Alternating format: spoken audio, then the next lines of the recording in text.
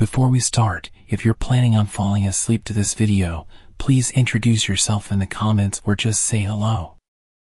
Every comment really helps. Also, please like the video and subscribe if you haven't already. It's amazing to see how many people from all over the world are watching. Your support on these videos has been incredible and I'm so glad that these videos are helping people sleep. If you want to support the channel even further, there's a little thanks button under the video which allows you to donate. Any amount is appreciated. You can also become a member of the channel with exclusive rewards. Thank you again, please get comfortable, turn off the lights, and make sure you've locked your door. Remember to say hello in the comments. It's time to close your eyes. I remember that summer vividly. I was about 15, and my family decided to spend a few weeks camping near the lake. It was the perfect escape from the sweltering heat of the city. We set up our campsite, complete with a cozy tent and a small bonfire pit. Days were filled with swimming, hiking, and enjoying the company of my parents and younger brother.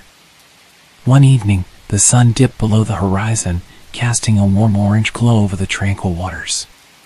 The crackling of the campfire filled the air, and we all huddled close, sharing stories and roasting marshmallows. My little brother was captivated by the stars that dotted the night sky, and my parents laughed and reminisced about their own childhood camping trips. As the fire dwindled and everyone retreated to their tents, I lay in my sleeping bag, feeling the cool breeze against my skin. I could hear the distant hum of insects and the soft lapping of water against the shore. It was peaceful, serene, until a rustling noise interrupted the quiet. I lay still, my heart quickening as I strained my ears to listen. The rustling grew louder, closer. A chill ran down my spine as I realized that the sound was coming from just outside my tent. It was too rhythmic to be the wind, it sounded deliberate. Fear clenched my chest, and I held my breath, hoping that whatever was out there would just move along. But then, I heard it, a low, guttural growl. My pulse raced, and I felt a surge of adrenaline. I knew I needed to see what was causing the noise, even though every fiber of my being was screaming for me to stay hidden. With shaky hands, I unzipped the tent just enough to peer out. Moonlight filtered through the trees, casting eerie shadows that danced on the ground. And there, just a few feet away, I saw it. It was a large, hulking figure, partially obscured by the darkness. My breath caught in my throat as my eyes locked onto it, two glowing orbs that seemed to pierce through the night. The growl grew louder, more menacing, and the figure took a step closer. Fear paralyzed me, my mind racing to make sense of what I was seeing. My instincts told me to stay hidden, to stay quiet, but curiosity and dread pushed me to inch the tent flap open just a bit more. That's when I saw its shape, a massive, shadowy creature with elongated limbs and sharp glistening teeth. Its eyes never left mine as it stood there, almost as if it were studying me, assessing my fear. As the seconds dragged on, I felt a sense of dread. I couldn't tear my gaze away from those eyes, and I couldn't shake the feeling that this was a predator, a force much more powerful than me. My heart pounded in my chest, drowning out the sounds of the night, as I realized that whatever this creature was, it was not something to be trifled with. And then, just as suddenly as it had appeared, the creature turned and melted into the shadows, disappearing into the night. The woods fell silent. I zipped the tent shut, my mind racing with questions and possibilities. Morning came, and I emerged from my tent, shaken but determined to find some rational explanation for the night's terror. I scoured the area around the campsite, half hoping to find evidence of a prank or a wandering animal, but there was nothing, no signs that the creature had ever been there. I tried to shake off the unease, chalking it up to an overactive imagination and the dark of the night playing tricks on my mind. Reluctantly, I shared my experience with my parents over breakfast, expecting them to dismiss it as the product of my teenage imagination. My dad chuckled, attributing the sounds to a nocturnal animal, probably just a bear rummaging around the campsite. Mom nodded in agreement, mentioning that bears were known to roam these parts from time to time. As much as I wanted to accept their explanation, a gnawing feeling remained deep within me. I knew what I'd seen and heard. It was no bear. It was something bigger, something much scarier. Even now, years later, whenever I'm surrounded by the tranquility of the gray outdoors, I can't help but think about that night. I've heard the usual explanations, the logical reasoning, but deep down, I'm certain that what I encountered was something different, something you hear about in urban legends. I always think about going back to that place with some friends and searching for that monster. But that's probably not a good idea, is it? I love to go camping. Been doing it my whole life. Never had a scary experience until this past summer. My boyfriend and I decided to go out to the gorge for some quality time camping. We had always gone with several other people, but this was the first time it was just the two of us. When we got out of the car to prepare our gear for the hike back to the camping spot, two sketchy looking dudes came out of the trailhead, looked us up and down, and got into their old school VW camper van. I had a weird feeling but shrugged it off and proceeded back to our camping spot. I had previously camped in the same area a handful of times and knew it pretty well. Once we got back there, I knew of a handful of different camping spots and proceeded to check them all out for the one that would be ideal. I noticed what looked like someone camping further up the hill, so I picked a spot a little further down where we'd be mostly out of sight. Not out of earshot though, as I heard yelling over on the trail. It was starting to get dark by the time we got everything set up, so I figured I'd start looking for firewood. Suddenly, this guy appears out of nowhere and asks us if we'd like any help and offered to sell us a bundle of firewood for $10. I laughed because we were in the woods, thus surrounded by wood which I could pick up off the ground for free. He then said I wouldn't find much wood because they'd already cleared it out over the past few weeks. Few weeks? I asked him how long he'd been camping up there, and he said almost a month. The longest anyone can camp in this area, a national forest, is two weeks. I already had the creeps about him, and he claimed he was up there by himself. I asked him why I heard him yelling with someone then, and why he had referred to more people when talking about the wood. He stammered and was like, oh well, uh, yeah, there's some dudes I know camping over there up on the other side of the river. Then he proceeds to tell us that he's been lonely since he arrived. He was from Pennsylvania, took a bus to Lexington, Kentucky, and had been living in the woods back behind where I currently work. I knew exactly where he was talking about because I see homeless, immigrants, and drug addicts coming in and out of those woods every day.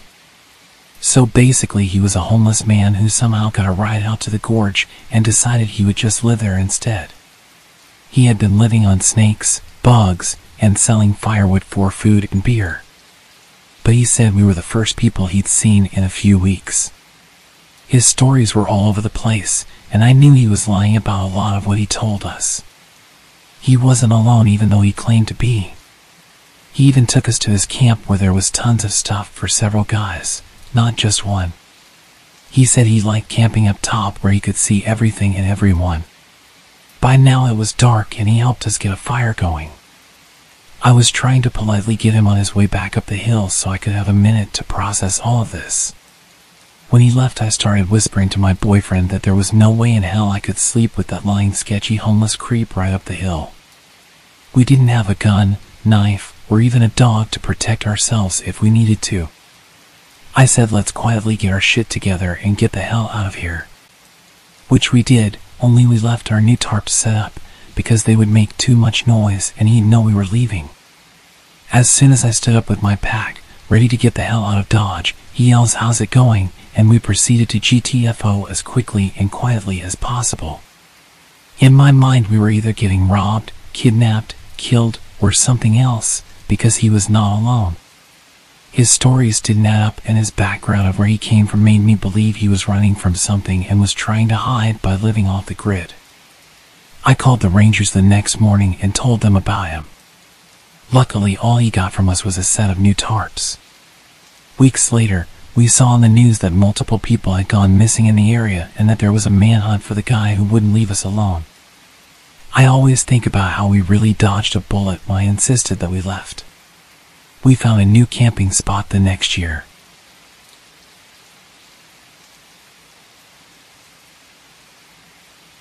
I was about 11, my sister was 13. We slept in the living room of a little caravan we used to stay in over summer. There wasn't a lot to do, the campsite didn't have any amenities. I'd pass the time playing with my sister, taking walks or playing the Nintendo. This was 98, so Castlevania and Donkey Kong Country weren't nostalgic yet, they were just lame. I couldn't wait to get home and back to the PC so I could get my theme hospital on. But mostly I'd read. I had a collection of books about ghosts, UFOs, cryptids, and such. I'd pick them up at library sales or in charity shops. My favorites were the unexplained true stories, like the Dover Demon or the Gulf Breeze incident. There was a quarry on the other side of the site. Sometimes at night I'd pretend the two red lights were the eyes of the Mothman who'd swoop down to terrorize my family.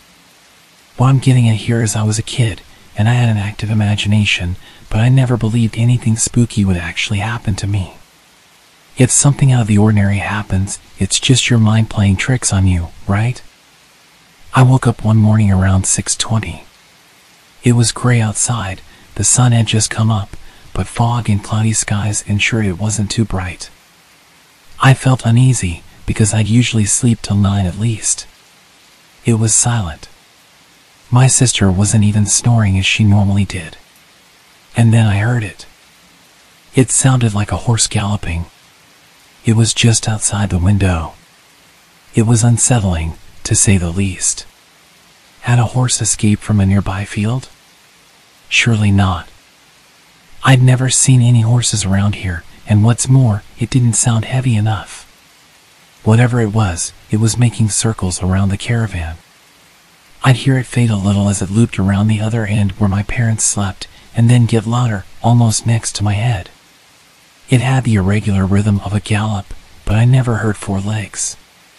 It was almost like a person was skipping very, very quickly, but no person could be heavy enough to make the kind of noise on soft ground. It was fading off into the distance.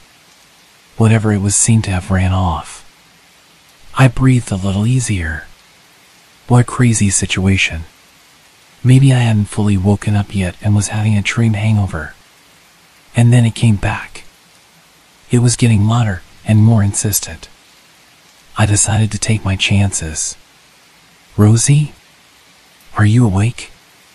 Yeah, she said, voice quivering. You can hear that, right? Yeah. What is it? I don't know, I answered truthfully. I'm afraid to look outside though. Why? I'm afraid it might be the devil. She moaned in fear. There was a thump from the other end of the caravan, like whatever was outside had grazed it. I pulled my blanket tighter around me. After about a minute, it faded again. I told myself if it came back, I'd look outside, and the devil be damned. It didn't come back. My parents woke up around 8, made us breakfast, and the fog cleared. We asked them if they'd heard anything strange earlier.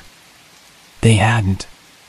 There were no scrapes on the caravan that would suggest something heavy bumping against it.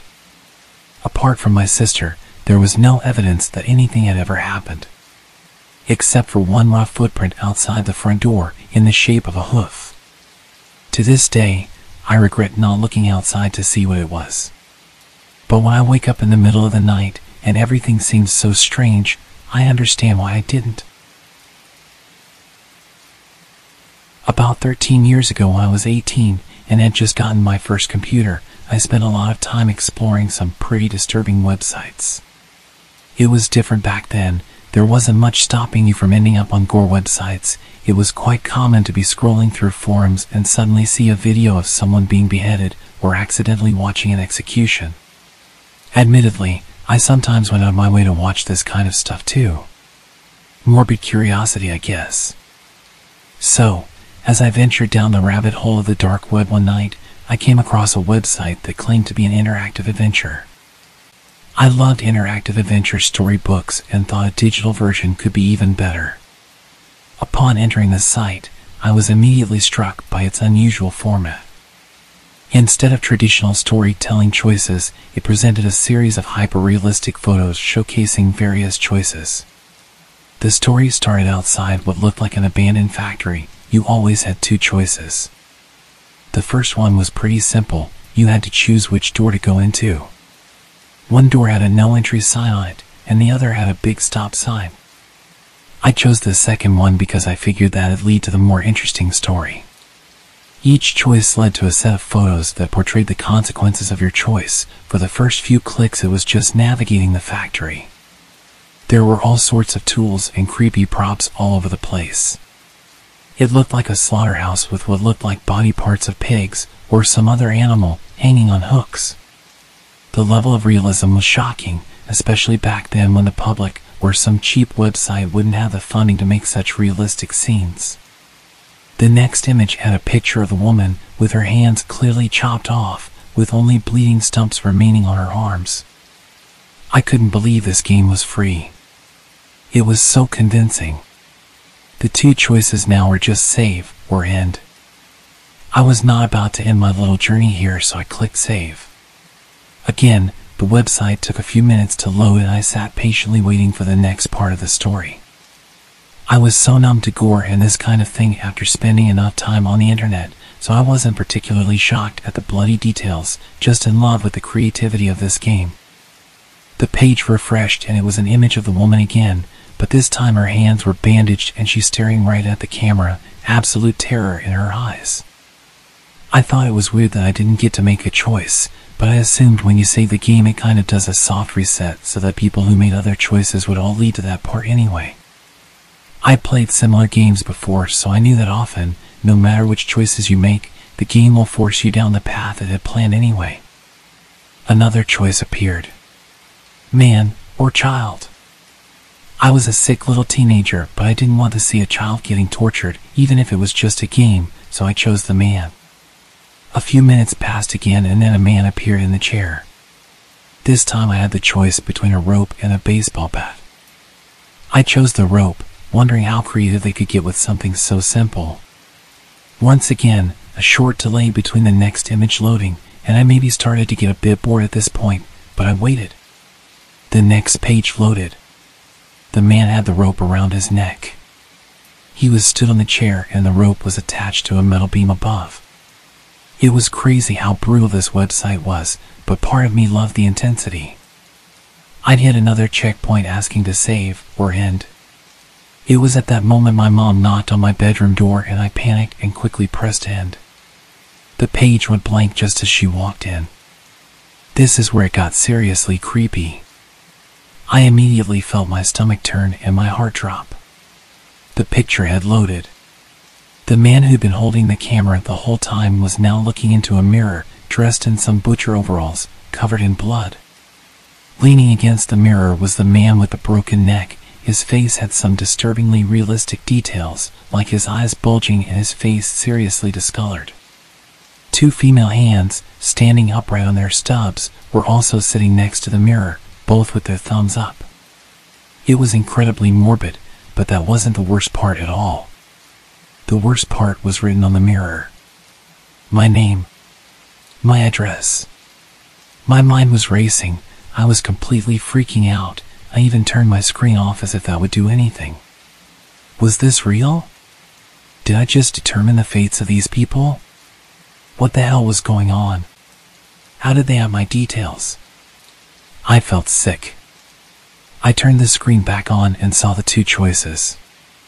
It said, continue, with yes or no as the options. I immediately clicked no. I was done. I was genuinely so scared. The page started loading again, this time quite a lot faster than usual. The new page was just a zoomed in image of my name and address, with the option to continue being repeated back at me. This time with save or end as the options. Is that what save meant? Save the woman? And end? Did I choose to end the man? I was drenched in sweat at this point and really panicking. Was this a threat? I have to continue or they'll come for me. Am I choosing to save myself or end myself? I hated everything about this moment. I clicked end and immediately turned the computer off. As you can tell from the fact that I'm telling this story, they never came for me. We did move house a few weeks later for unrelated reasons, so maybe that's why. But I lived in complete fear for at least three years after this. Did I really do those things? Was it just a creative game with some clever tricks? It would explain the long loading pages. I don't like to think about it. Well, at least I didn't choose the child.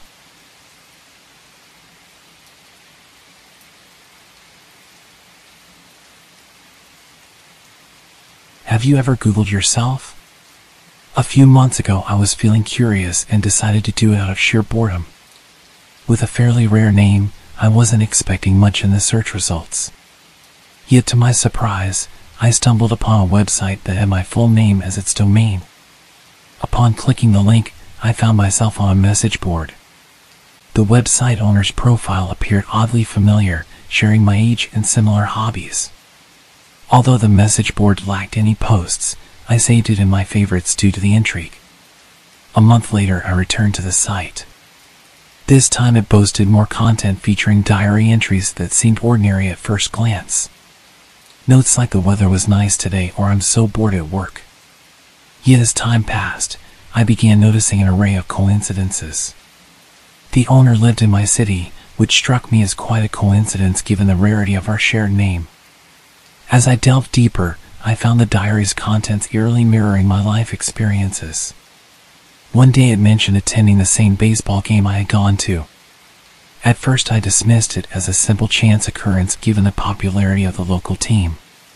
However, the coincidences persisted and became unsettlingly precise. Their pet dog's name matched mine from childhood and even their favorite restaurant was the same one I frequented during my previous job. One particular day, the message board was filled with birthday wishes for the owner. Oddly enough, it was my birthday as well. Intrigued, I decided to leave a message for the owner, mentioning our shared name and extending a birthday greeting. However, to my surprise, there was no option to type a message. It appeared the message board was merely a static page. Puzzled, I reached out to the owner via email with a simple introduction. Hi there. Believe it or not, we share the same name, birthday, and we're in the same city. Nice to meet you. Just a friendly introduction. A few days later, I got curious again and tried showing the website to some buddies, thinking we'd all have a laugh about it. But guess what? The website was gone. Completely vanished. No trace. It wasn't even in my browsing history. That didn't sit well with me something felt off. I mean, it's like the whole thing was there one day and then poof, it just vanished into thin air. And then I got an email from my own email address. It just said, found you.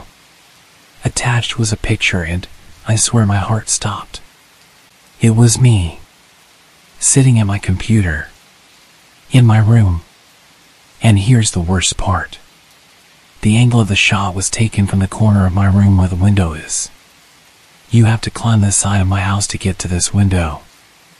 I zoomed in, squinting at every detail. The hairs on my neck stood up as I realized the angle of the picture didn't match up with the window. It was clearly taken from the very corner of my room where I usually keep my old chair piled with clothes. Someone had been inside. My mind raced. Who could have taken this? How did they get inside? I went through every possible explanation. A prank, maybe? But the more I thought about it, the more that email and that picture made me feel like I was being watched. Stalked. I can admit I was freaked out. The whole thing went from curious to seriously messed up real quick. I can't shake the feeling that I'm being watched. Monitored. The thought of someone sneaking around in my personal space snapping a picture while I was totally unaware. It's unsettling, to say the least. I've permanently locked all of my windows now, and I've got this weird paranoia about my room. Like, am I going crazy or was someone actually in here?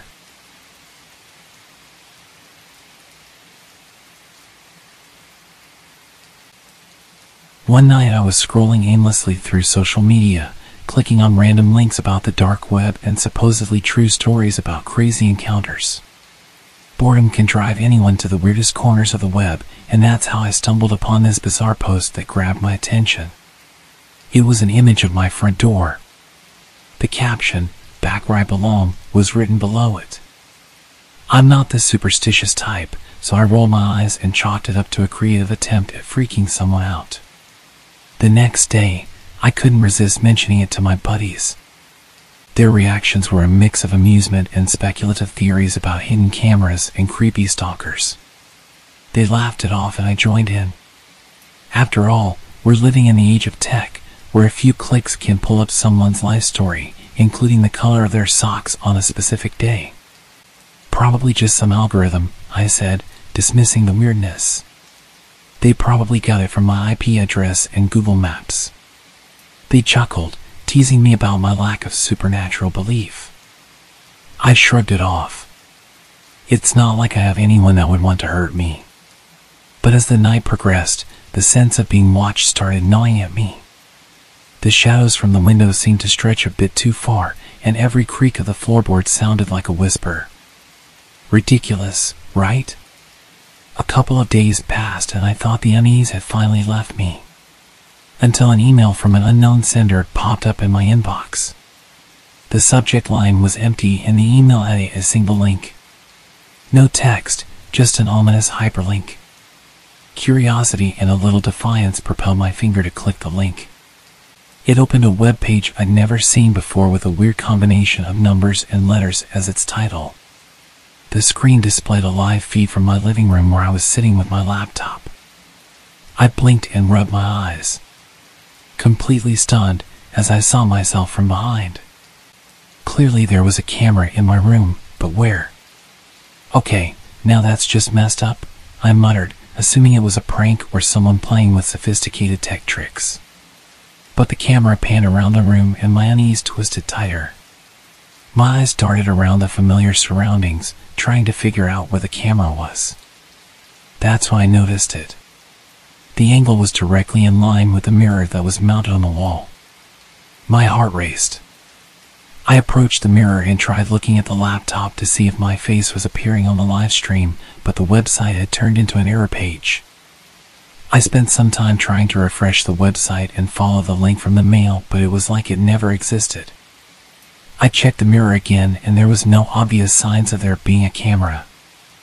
I was exhausted after a long day and I had quite a few drinks with my friends, so I told myself I was just being paranoid and went to bed. Days went by and I tried to forget the whole thing. Until one night, as I got up to grab some water in the middle of my sleep, I glanced at the mirror again. My reflection was normal, but something in the background wasn't. The edge of a shadowy figure peeked out from the corner of the mirror, a hint of a presence that shouldn't be there. I quickly turned around, heart racing, but there was nothing. The unease tightened its grip again. I need to chill out, I muttered to myself. It's all in my head. I blamed stress, lack of sleep, and the power of suggestion. But when I found my favorite mug smashed to pieces on the floor of my kitchen the next morning, I couldn't stop thinking that someone had been in my house. I was a believer in facts and logic, so when I heard the kitchen door creak open the next night, I didn't jump to supernatural conclusions. I thought it was an intruder. I tried the light switch, but it didn't work. It was practically pitch black. I grabbed my baseball bat and my phone and used its flashlight to investigate. I made my way towards the living room and looked around, aiming the flashlight all over, and suddenly I spot something. The mirror was leaning against the wall and there were obvious wires hanging out of it. I felt a strange mixture of anger and fear. Someone really was messing with me and they were here right now? I shouted who the hell is in my house? And turned towards the kitchen. But as I did, the lights suddenly came on and blinded me. The world seemed to blur around me. My vision blurred, and then I woke up. I was back in my bed. I sat up, heart pounding. My bedroom was exactly the same as normal. Had it all been a dream? A really weird, vivid dream? I reached for my phone to check the time, and that's why I noticed the notification. An email had come in from an unknown sender. With trembling fingers, I opened it. It was a photograph. Almost the exact same photograph as the one that started this whole thing. It was my front door, but this time it was taken at night. The caption below the image sent shivers down my spine. Sleep well. Goodbye for now. My eyes darted around the room as if expecting someone to jump out at me. But I was alone. My logical mind tried to find a rational explanation. Maybe it was a prank, an elaborate scheme by someone with too much time on their hands. I rushed to my laptop and checked the sender's email address, but it was a jumble of letters and numbers, impossible to trace. I started to panic as I realized that this wasn't a joke. Someone was watching me, invading my privacy, and I had no idea who or why. I ran back into the living room to check the mirror. It was back on the wall in its usual place. I frantically clawed at it and ended up smashing it on the ground in an attempt to prove to myself that I wasn't crazy. I felt like I was going insane, stood barefoot on my broken mirror, shuffling through the shards with my bare hands. The camera was gone. Or it was never there. What was I doing? I locked the front door, drew the curtains, and sat in the dimly lit room, my heart racing. I thought about going to the police, but what could he tell them? That I was receiving strange emails and photographs that seemed impossible to explain. The hours dragged on, and as the night grew darker, I felt my paranoia settling in. I didn't want to admit it, but the rational explanations were wearing thin. Was it really possible that someone was going this far out of their way to terrorize me?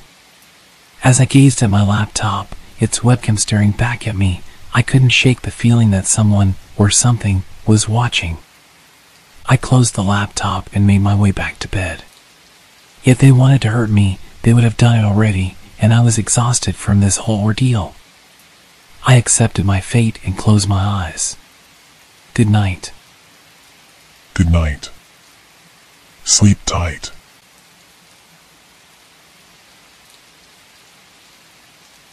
Late nights at Walmart had their own peculiar aura.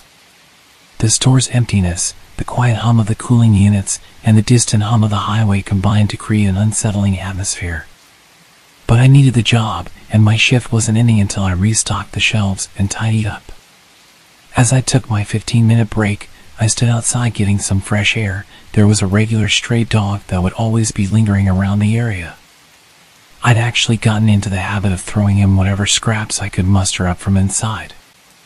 I started to make my way in and I noticed a man in his 40s pacing near the entrance. His eyes darted around as if searching for someone.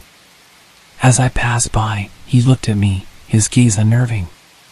Hey, could you help me? He called out, his voice almost too friendly. I hesitated, my instincts urging caution. Just need a hand loading a couple of things into my truck, he continued, motioning to the exit. Despite my unease, I agreed, thinking it was a straightforward favor. As we reached the entrance, I noticed that his truck was parked in the darkest corner of the parking lot. My heart pounded. This felt wrong, but it was company policy to help people carry things to their car. He gestured to a couple of boxes in the bed of the truck. Could you just hand me those? he asked. My fingers twitched with unease, my gut telling me something was off but I tried to push the thoughts aside and focused on helping. Just as I reached out to grab a box, a shiver ran down my spine. I heard the faintest whisper behind me, the rustling of fabric. It was the sound of movement, of someone stepping out from the shadows. Panic surged through me, and I glanced back. And that's when I saw them, two more men, emerging from the darkness, their faces obscured by shadows. My heart raced, my body tensing, and I dropped the box instinctively. My mind screamed at me to run, to get back inside the store, to safety. I turned to bolt, but the man in front of me grabbed my arm, his grip like a vice. Where do you think you're going? He sneered, his friendly demeanor now replaced with a menacing grin. Adrenaline surged through me, and I fought to break free. The men were closing in, their intentions unmistakable. I struggled, my heart pounding in my chest, my thoughts a jumbled mess. And then, out of nowhere, a barrage of barks came from the bushes. It was the stray dog that I'd always see around the parking lot.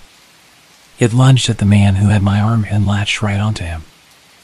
I felt so relieved and shocked that I remember I actually let out a smile and a slight giggle. It's weird, but I vividly remember the massive emotional shift from sheer terror to absolute relief when that dog came running out. The grip on my arm loosened, and I wrenched myself free, stumbling back. I started sprinting back to the store, followed only by the sound of the growling, barking, and moans of pain from the man. At this point, my coworker came running out to check on me. I could see the men getting into the truck and driving towards us as I told him what happened. Get lost, my coworker growled, his voice full of authority. The men hesitated for a moment longer before retreating, disappearing into the darkness. My coworker turned to me, clearly concerned for me. You okay? he asked. I nodded, my heart still racing, my mind was still racing, and I was on adrenaline high. That's when the dog ran over, peaceful as ever, wagging his tail and pushing himself into my legs. I gave him the biggest hug and told him how much of a good boy he was. My coworker and I watched as the men disappeared into the night. We need to call the police, he said firmly, his eyes focused on where the men had vanished. We retreated back into the store and dialed 911.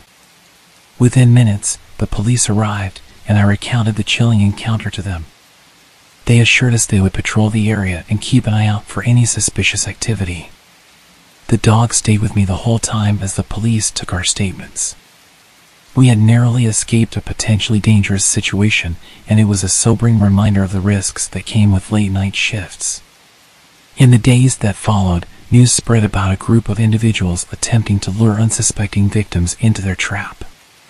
The police were investigating, and I felt a mix of relief and gratitude that my new best friend had come to my rescue.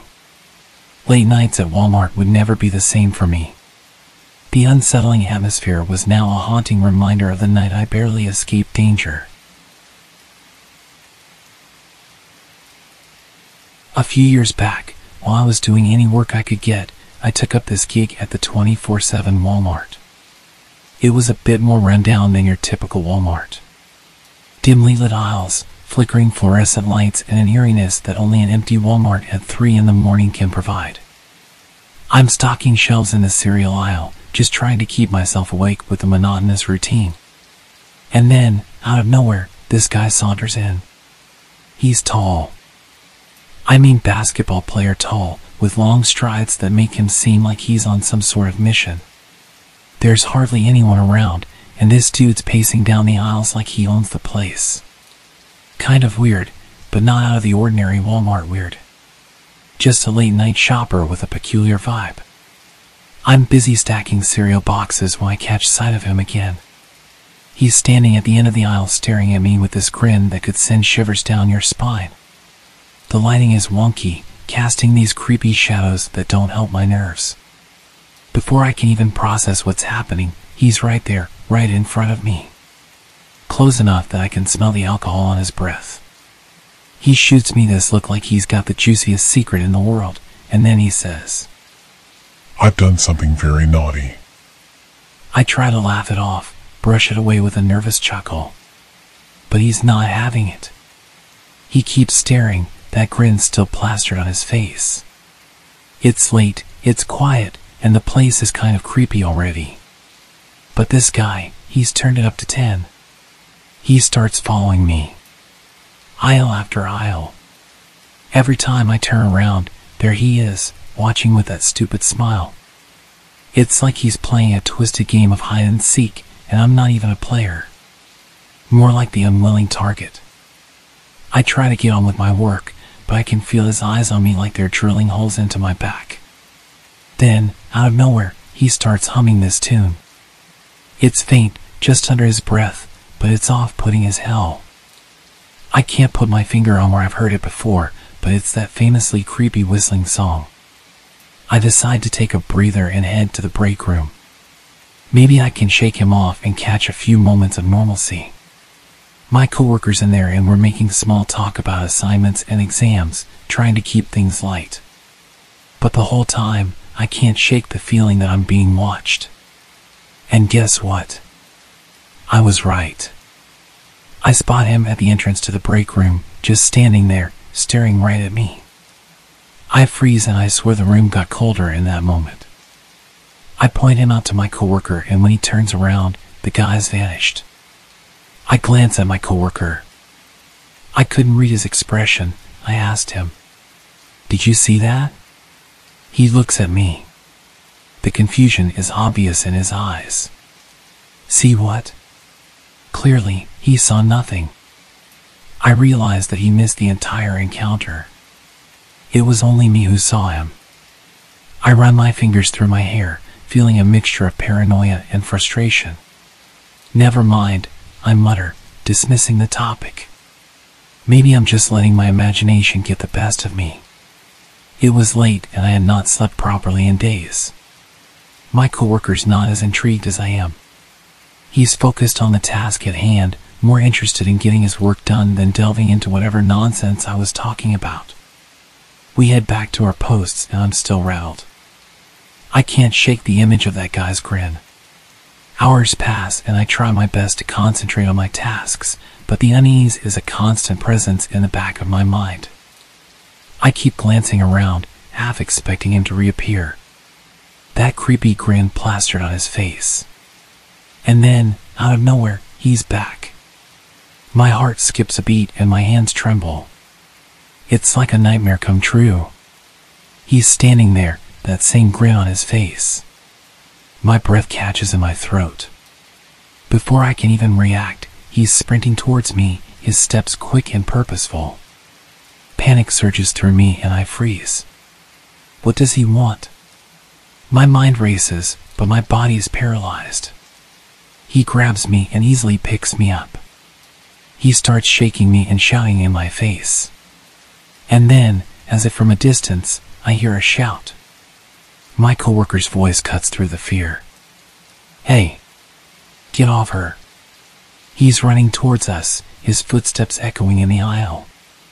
The guy releases his grip on me, his attention shifting to my coworker. And in that split second, I find my voice. I scream as loud as I can and start beating on him.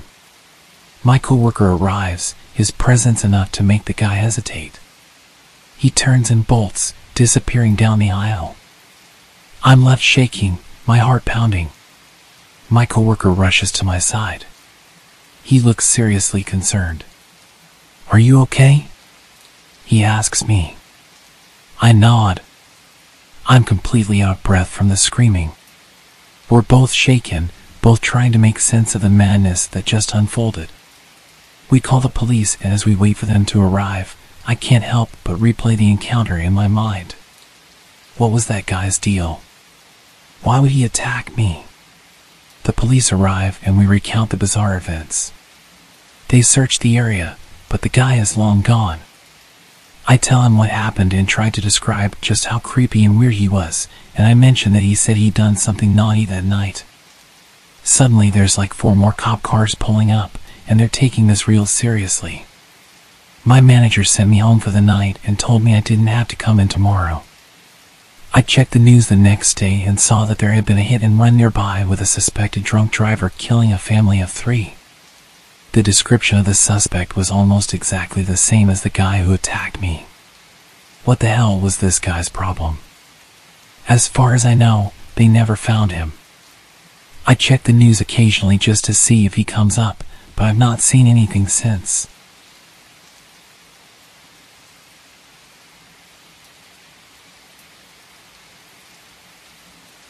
A few years ago, when I was just a teenager, I had a rather peculiar and unsettling experience in a supermarket that still baffles me to this day. It was a typical Friday evening, and I found myself at our local grocery store tasked with picking up some items for the weekend. At the time, I was around 16 years old. I was a typical cheeky teenager. This supermarket was a place I had visited countless times, but this visit would be unlike any other. As I strolled through the aisles, I noticed a child's voice coming from somewhere nearby. It sounded faint, as if it were coming from behind the shelves. This was nothing extraordinary for a grocery store, a kid amusing themselves or playing hide and seek. I used to do that myself. Curiosity got the best of me, and I decided to play along. With a grin on my face, I knelt down next to the cans and responded to the tiny voice. Hey, what are you doing back there, trying to sound playful? To my amazement, the voice responded, I'm stuck. Please help me. At first, I found it amusing, thinking it was another shopper's child having a little fun. I chuckled and continued the conversation, exchanging light-hearted banter with the mysterious voice. It was almost like a game of pretend, and I played along, asking them how they got behind the shelves and what they were doing there. But then, the tone of the voice changed, growing more desperate. I'm really stuck. It's so dark, and I can't breathe properly. My amusement began to fade as genuine concern started to take its place. I realized that this might not be a joke, and I needed to act quickly. I called over a store employee and explained the situation, telling them that there was a child trapped behind the canned goods. The employee rushed to get help, visibly concerned. I tried to reassure the child that help was on the way, but the response I received sent chills down my spine. Hurry, please. It's getting harder to breathe. Panicking, I shout the employee over and I quickly move the cans aside, expecting to find a child in distress. But to my absolute bewilderment, there was nothing behind the shelves, no space, no child, just a solid wall. The employee caught up to me and we both exchanged uneasy glances.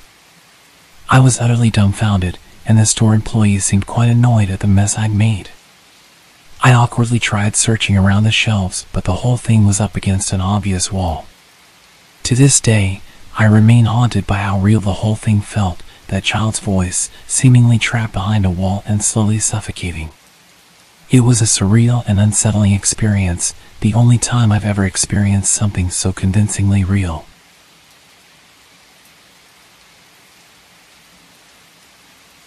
I've been with my wife Rebecca for six years and married for 11 months. Our entire history together has been very normal and never once have I noticed any weird behaviors or red flags. I can't stress enough how out of character this whole thing has been. She doesn't even like watching horror movies. When we first started dating, she agreed to watch The Shining with me because she knew how much I loved horror. She was so scared that she didn't even make it through half of the movie before we had to turn it off. She isn't into anything creepy and has never been into pranks, and that's fine. But that's what was so strange about this. It's just so unlike her. I should also add that she never had any mental health issues, and as far as I'm aware, it doesn't run in her family. I know some people are able to hide their mental health problems, but in the six years we've been together, I think I have seen some sort of sign. Two months ago, I was in the kitchen making myself some coffee. I was running a bit late that morning and knew I wouldn't be able to grab some food on the way to work. I took a sip of my coffee as I hurried down the hall towards the front door when I happened to notice Rebecca peeking at me from around the corner ahead of me. I could only see her eyes and a strand of her long dark hair hanging against the wall. The rest of her body was concealed behind the corner. I nearly spilled my coffee when I saw her. What the hell, Rebecca? I said, wiping a few drops of coffee from my pants. You scared the hell out of me. She immediately popped out of view like a little kid that had been caught. I heard her scurry off towards the living room, and by the time I got to the front door, she was out of sight.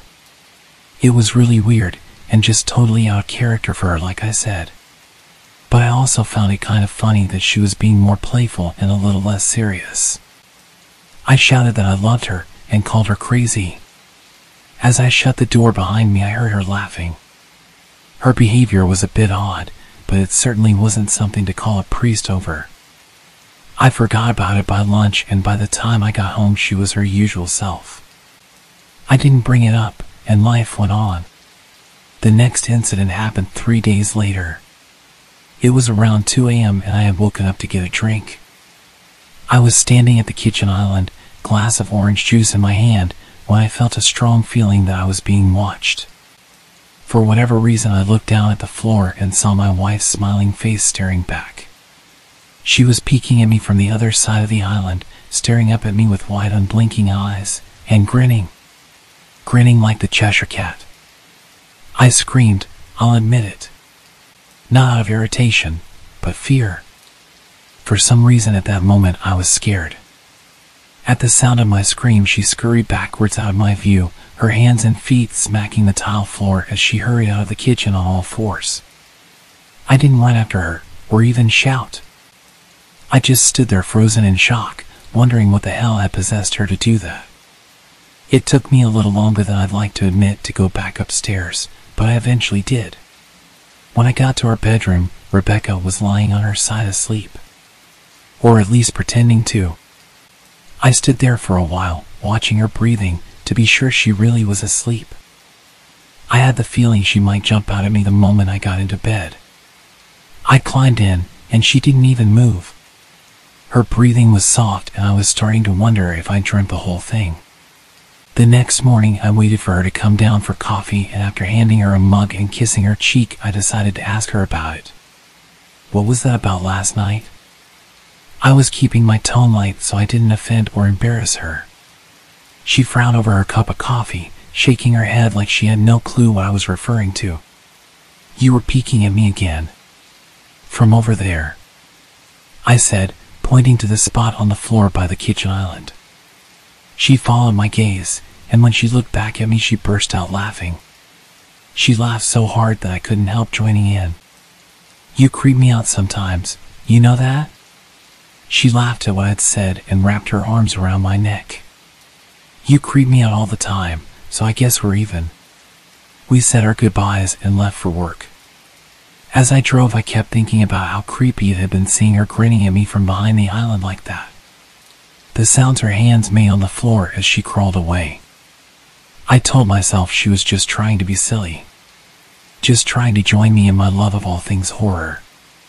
It's not like I was afraid of her but it still didn't sit right. I started seeing her peeking at me more and more.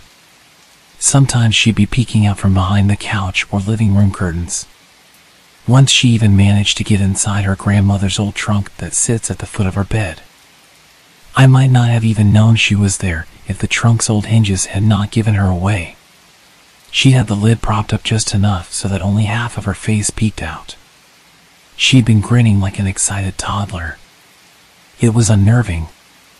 I didn't even know what to say to her. All I could do was stare. When I finally found my voice, I asked her why on earth was she doing this. She didn't answer, but she had slowly closed the lid, shutting herself inside the trunk. I just walked away, feeling disturbed. I didn't understand why she was doing it, but it clearly made her happy. I just hoped she would tire of the game quickly. Rebecca didn't peek at me for the next two weeks. I started to think she was done with her weird prank and I was relieved. We were watching a show on Netflix one night and I jokingly said that I hadn't seen her peeking at me lately and that she must have given up on her game. She looked up at me with a small smile and said, maybe I've just gotten better at it. I didn't say anything but I wondered whether or not she was joking. For the next few days I couldn't stop thinking about what she'd said. Was she still peeking at me while I wasn't looking and I just hadn't noticed? And if so, what the hell was she getting out of this? I started to feel paranoid, constantly checking whether she was watching from around the corner or behind a door. I was jumpy whenever I was home and she wasn't in full view of me. I felt stupid and a little crazy. But after a few weeks without another incident, I began to relax. I stopped checking behind furniture and walls and told myself it was just a bad memory. Then a few days ago things got so much worse. Rebecca left to go to a friend's and I lounged on the couch and played a couple games on my laptop. Around 9 p.m. I hopped in the shower and as I was washing the soap from my hair, I felt that awful feeling that I was being watched. I slowly opened my eyes and almost had a heart attack. Rebecca was peeking from behind the shower curtain her entire head stretched into the shower, leaving just her body outside.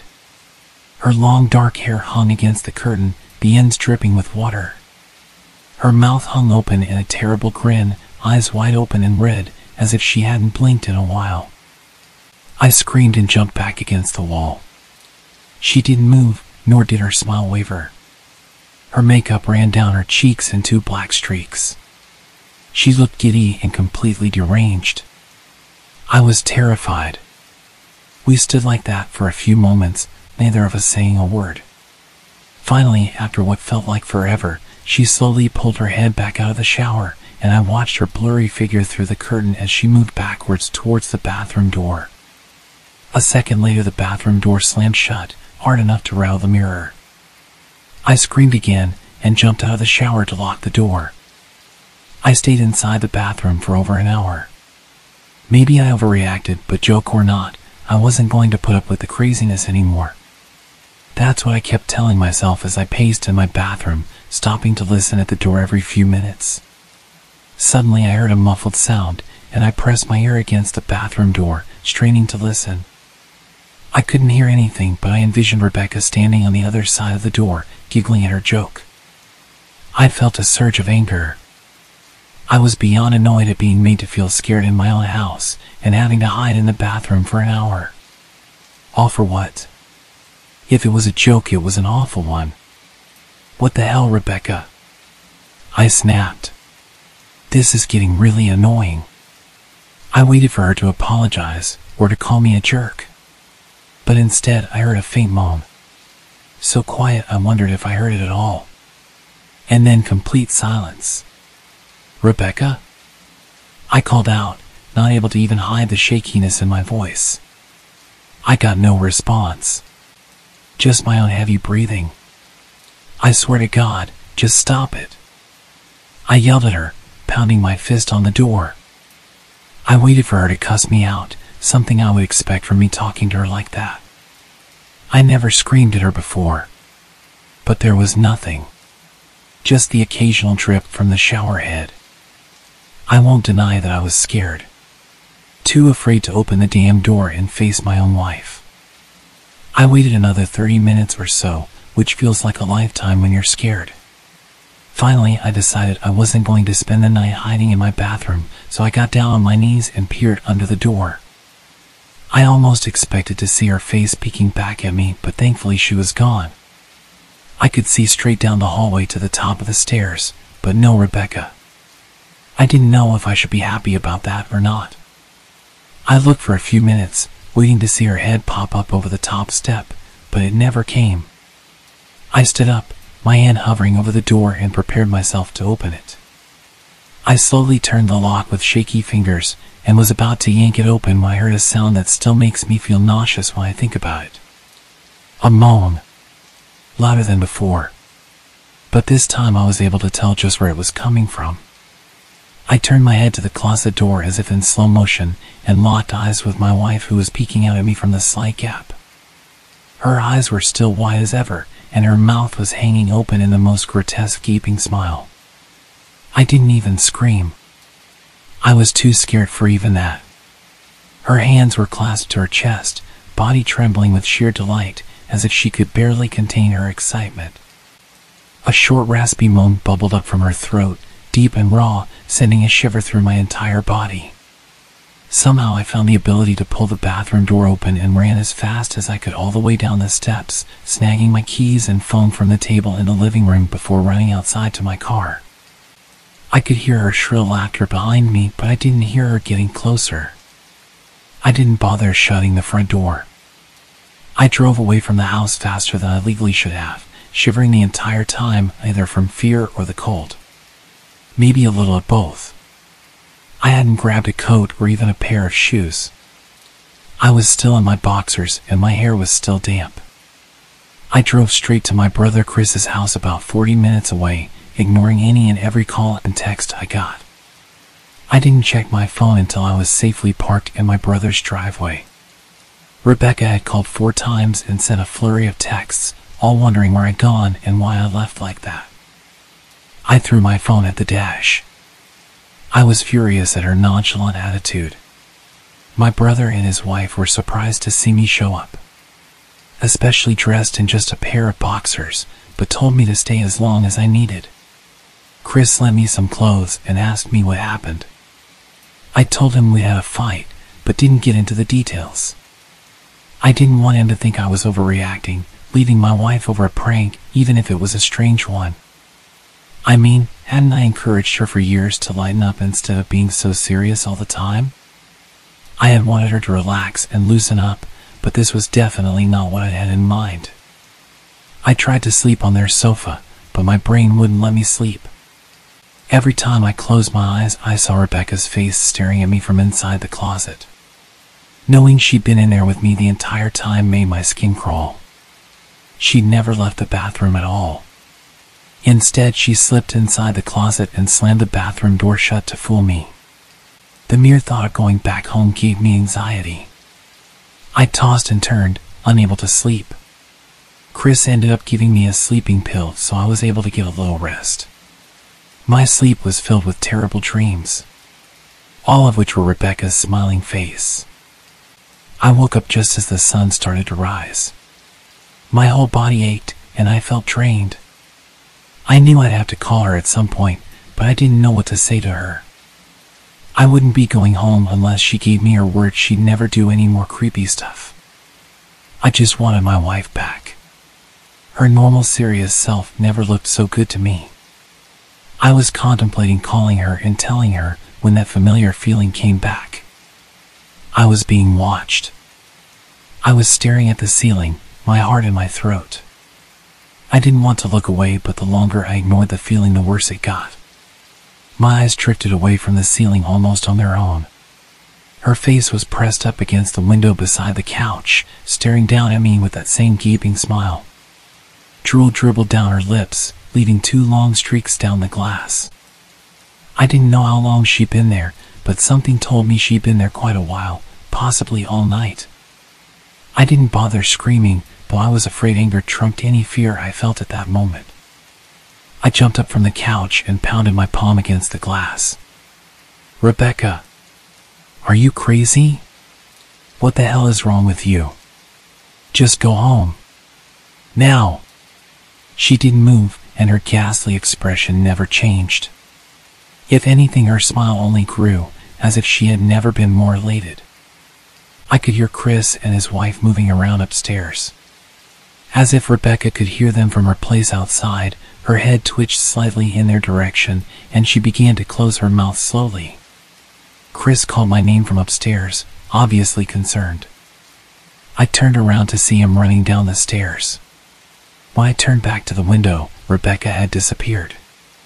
The only sign she'd been there at all was the two streaks of drool still dripping down the glass.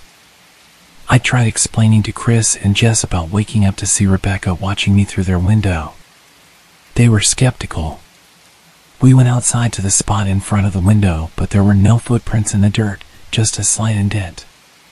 Animal probably, Chris guessed, and I didn't argue. He and Jess assumed I dreamt the entire episode, but they didn't understand, and I was too tired to explain it to them. I called out of work that day and turned my phone off. I didn't want to face Rebecca. Just talking to her was too much for me at that point. I really started to believe something was irreversibly wrong with her. That no matter what promises she made, we'd never be the same again. The thought saddened me to my core. I cried most of the morning. By noon, I figured I was ready to confront her. Give her one last chance to explain herself. I could at least give her that after six years, I told myself. I turned my phone on and saw the dozens of texts she'd sent, all from a seemingly concerned wife. Can we talk? I love you. Please call me. I'm really worried. Can you answer?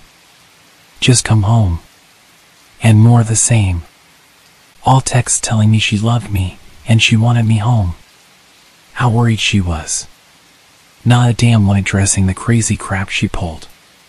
Like she hadn't been acting like a character from a Stephen King book. Even her texts were different.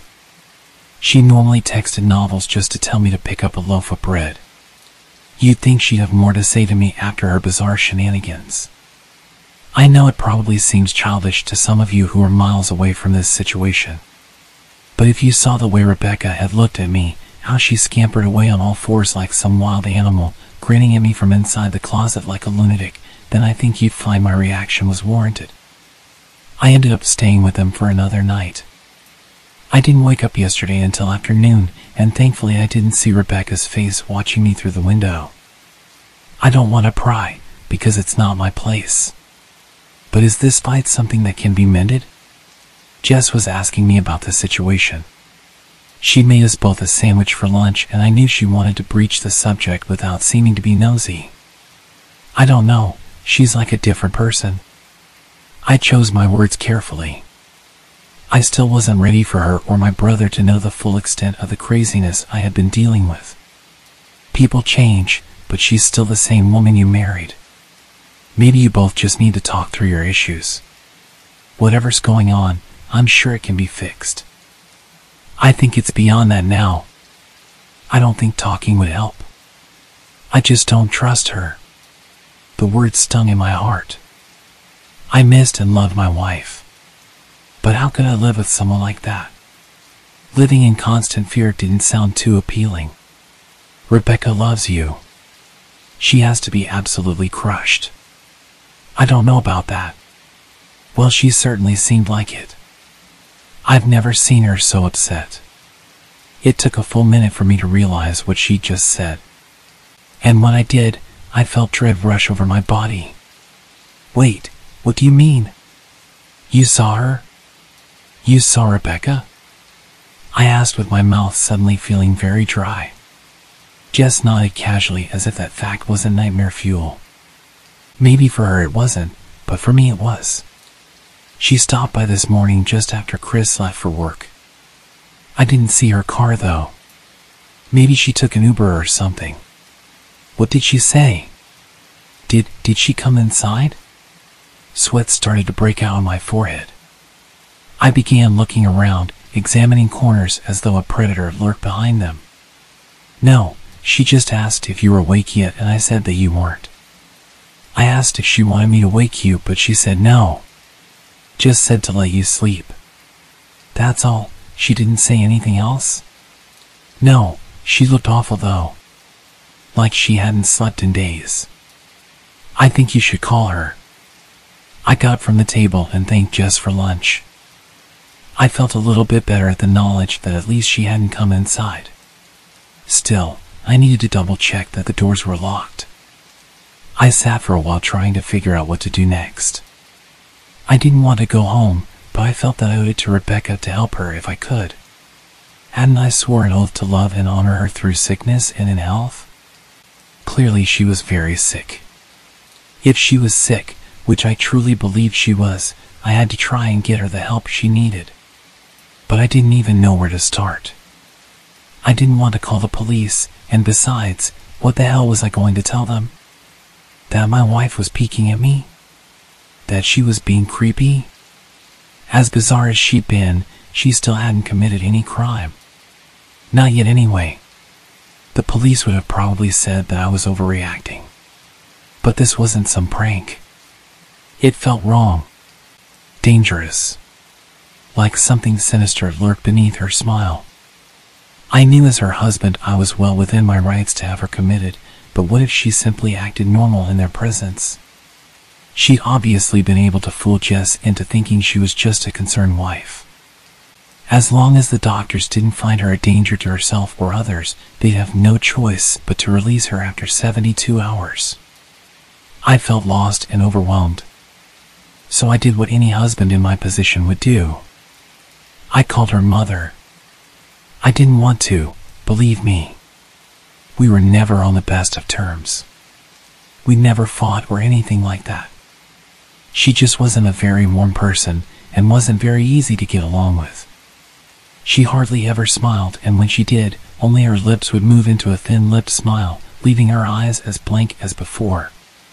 She gave off this aura that felt like she was permanently on the offensive. I'd only met her twice, and both times were very short. I got the impression she didn't approve of me for her daughter. Rebecca always ushered us out quickly, as she didn't want me to feel uncomfortable, which I was grateful for. Being in her mother's company felt almost unbearable, like walking on glass.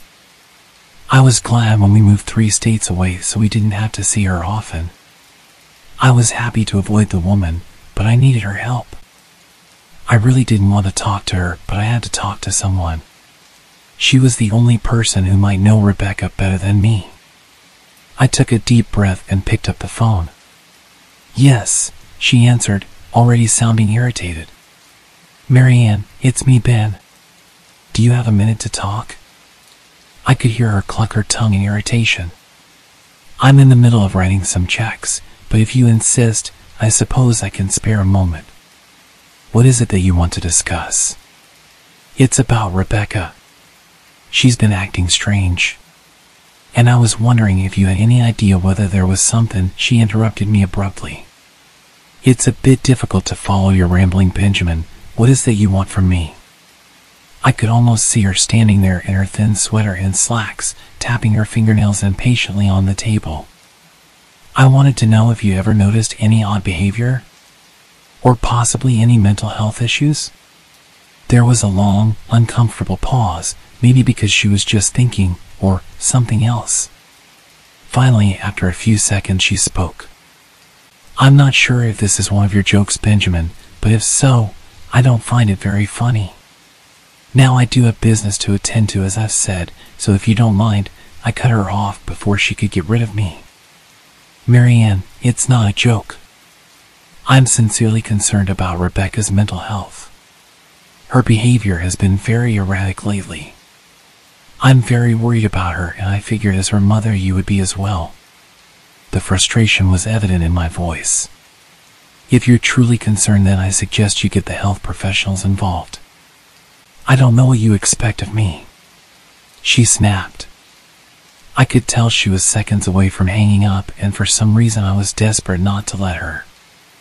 I had the feeling that she knew a lot more than she was letting on. Please. If not for me, do it for Rebecca. I heard a faint shaky intake of breath, as if she were trying to hold her steely persona together, but failing. Marianne? Benjamin, I don't know what to tell you. My only advice would be to seek professional help. Do not call here again. I tried to call out to her, but she'd hung up. I tried to wrap my head around the call and her refusal to help me. Even if she didn't like me, why wouldn't she want to help her own daughter? I couldn't understand that. I tried to replay the conversation, desperate to find something I missed. I almost gave up until I remembered her last words to me.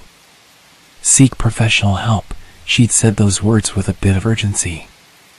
I could have just been grasping at straws, but no, I was sure her voice had changed ever so slightly when she'd said that. As if those words were very important. What had she meant? I assumed she'd been referring to medical professionals, but maybe she was referring to someone else. Someone that for some reason she didn't feel comfortable saying directly. Or maybe I was just desperate. I waited for Chris to get home, and after a very long and exhausting conversation, I convinced them that Rebecca truly needed psychiatric help. I didn't tell them everything. I wasn't prepared to go into it yet, but I told them about our last encounter. How she hidden in the bathroom, peeking at me from the closet. They were obviously shocked, but thankfully they believed me. They too just wanted to help her. Still, they didn't think it was all that serious. Weird, maybe, but not dangerous. They just kept saying that Rebecca had to be playing some kind of weird joke. Maybe for YouTube? Jess offered, if only half heartedly. Chris didn't think we should involve the police just yet. He offered instead to go with me, and I readily accepted. He reasoned that calmly talking to her, trying to coax her into going willingly was the best recourse. I agreed to do it his way. At least I wouldn't be going into that house alone. We drove over this morning, just after breakfast. There was no way I was going at night. When we pulled into the driveway, my stomach began doing somersaults. Her car wasn't there, but I still didn't let my guard down. The front door was ajar, and for a split second I thought we'd see her eyes staring through the gap. I was shaking and starting to sweat. Chris, however, was fine. He waited for me to open the door, his hands in his pockets like he was going on a stroll through the park. I envied his ignorance. I pushed the door open and was immediately hit with the stench of rot. Chris smelled it too, and he walked in the house behind me with his nose scrunched up. My eyes were looking around for any signs of Rebecca. The house was deadly quiet and dark, despite being late in the morning. All the curtains were closed up tight, refusing to allow any sunlight inside. If I hadn't left just two days ago, I'd have thought the house to be abandoned. We moved through each room, carefully checking any place that she might hide, occasionally calling her name. Why the hell are you looking under the couch? Are we looking for your wife? He was looking at me like I was a moron. Let's just go upstairs. He shook his head but followed me up the stairs to check the bathroom and spare bedroom. On the way up, my shoes crunched over pieces of glass that looked to be littered over a few of the steps. I noticed that one of our wedding portraits that hung on the wall along the staircase had been smashed. The frame hung crookedly, all the glass was removed. I stared at the picture, a lump forming in my throat. We had taken the photo just after leaving the church. She looked so beautiful in her white gown. I looked at her beautiful face. I never dreamed her face would ever be a source of terror for me. We climbed the rest of the steps and checked the spare bedroom, but it looked completely untouched. I was hesitant to go into the bathroom, my fear from that night coming back to me all at once. Chris noticed and offered to go in by himself, but I couldn't let him do that. So we walked in together, checking the closet and the shower. The bathroom looked as if it hadn't been touched since the night I left. I don't think she's here. Why don't you pack some clothes and we'll try coming back tomorrow or something? I nodded and went into our bedroom and shoved some clothes into a duffel bag. When I checked inside our closet, I found the source of the smell. I immediately started gagging. Chris took one look and lost all color in his face. He had to go stand by the stairs to get away from the sight and smell.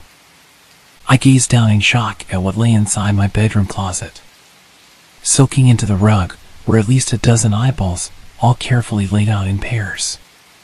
Some were as large as a coin, while others were as tiny as a marble. I stared down at the eyes she collected from small animals and I wondered how she got in them. I shuddered at the thought. Man, I thought I had it bad with my wife's shoe addiction. Yours is in here collecting eyeballs. Chris said while gagging. Ben, I think we should go. He called from the hall.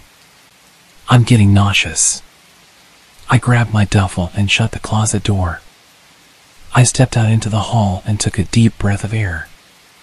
I could taste the rotten smell on my tongue and I couldn't help but gag.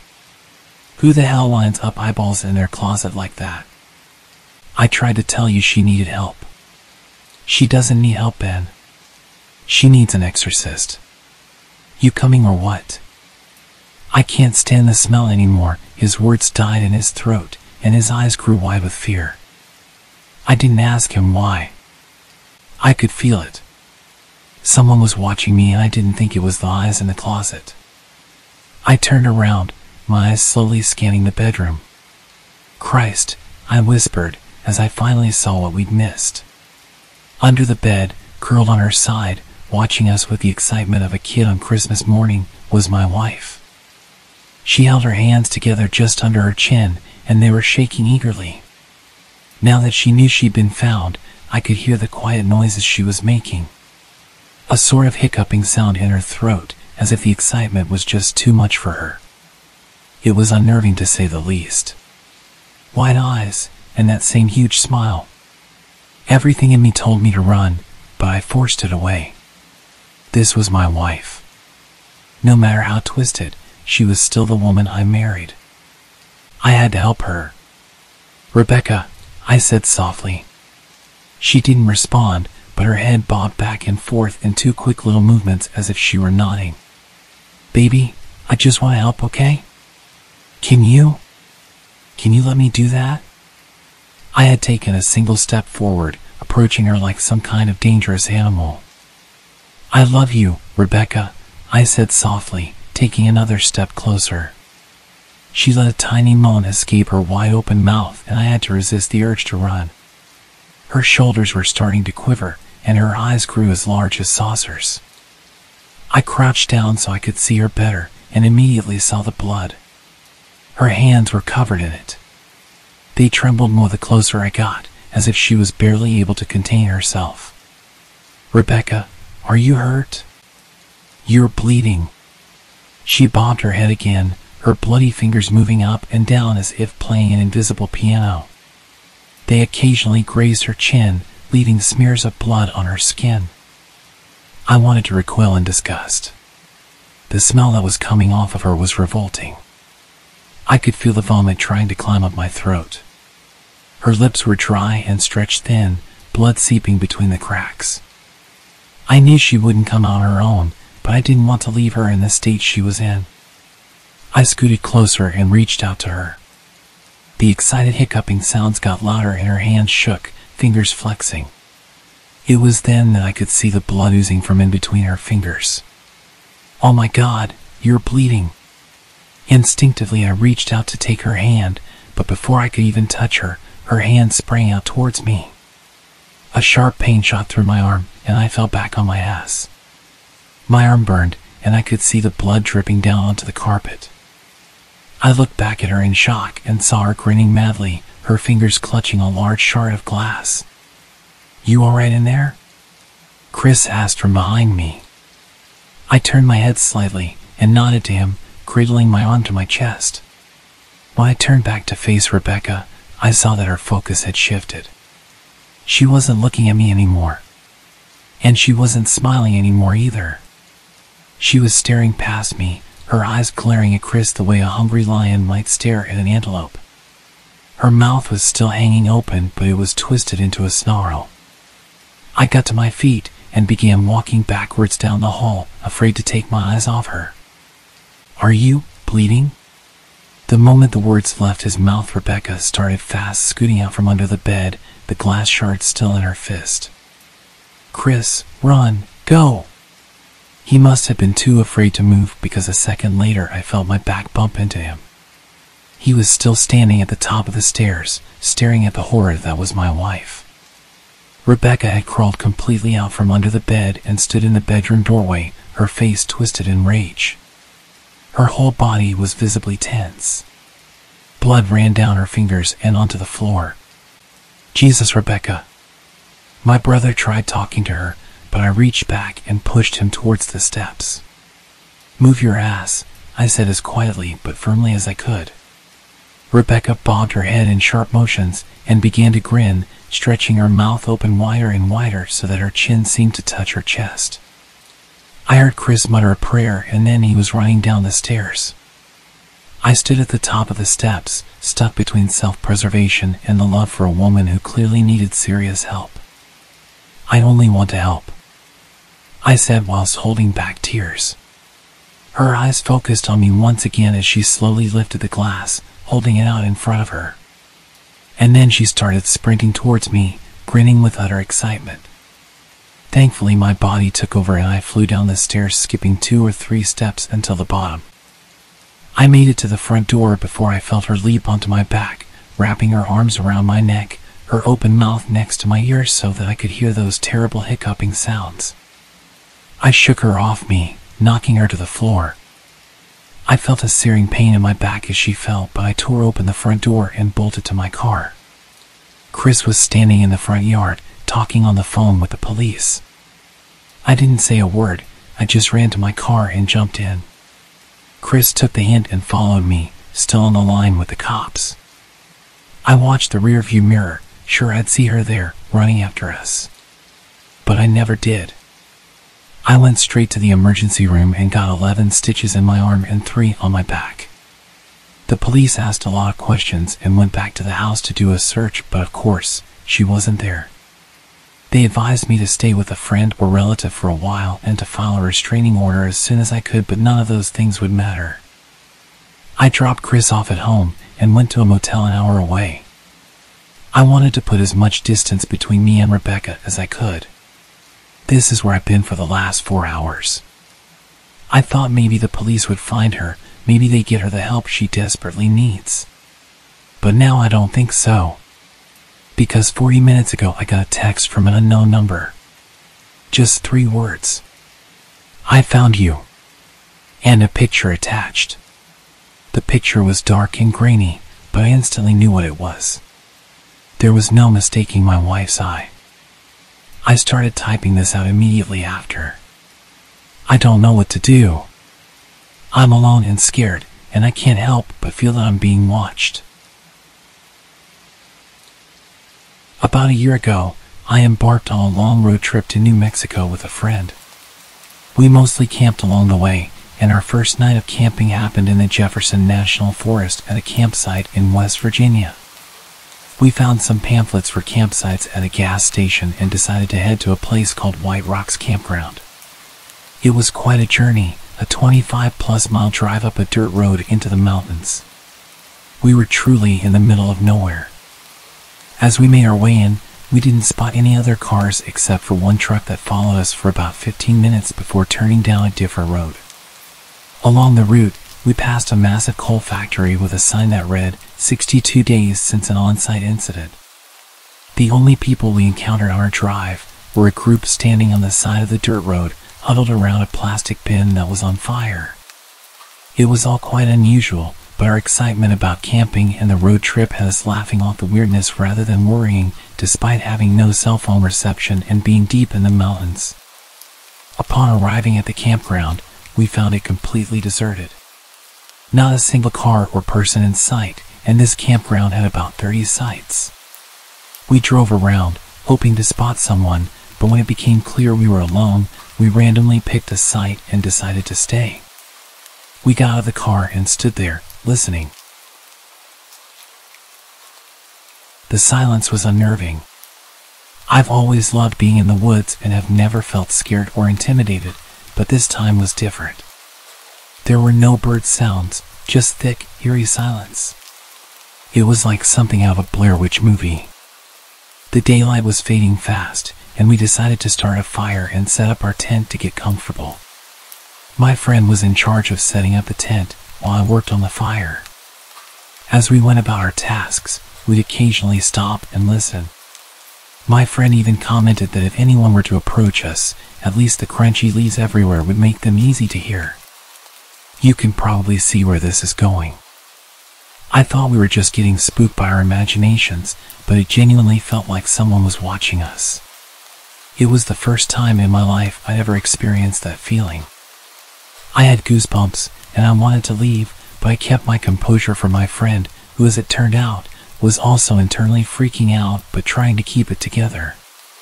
Once we got the fire going, the tent was set up, and our sleeping bags were ready. The sun had completely set. Sitting around the fire together, the darkness seemed to encroach upon us, making us feel suffocated. My friend tried to alleviate the tension by pulling out a book to read aloud and make us feel more at ease. While she was reading, I used my headlamp to occasionally scan the area around us.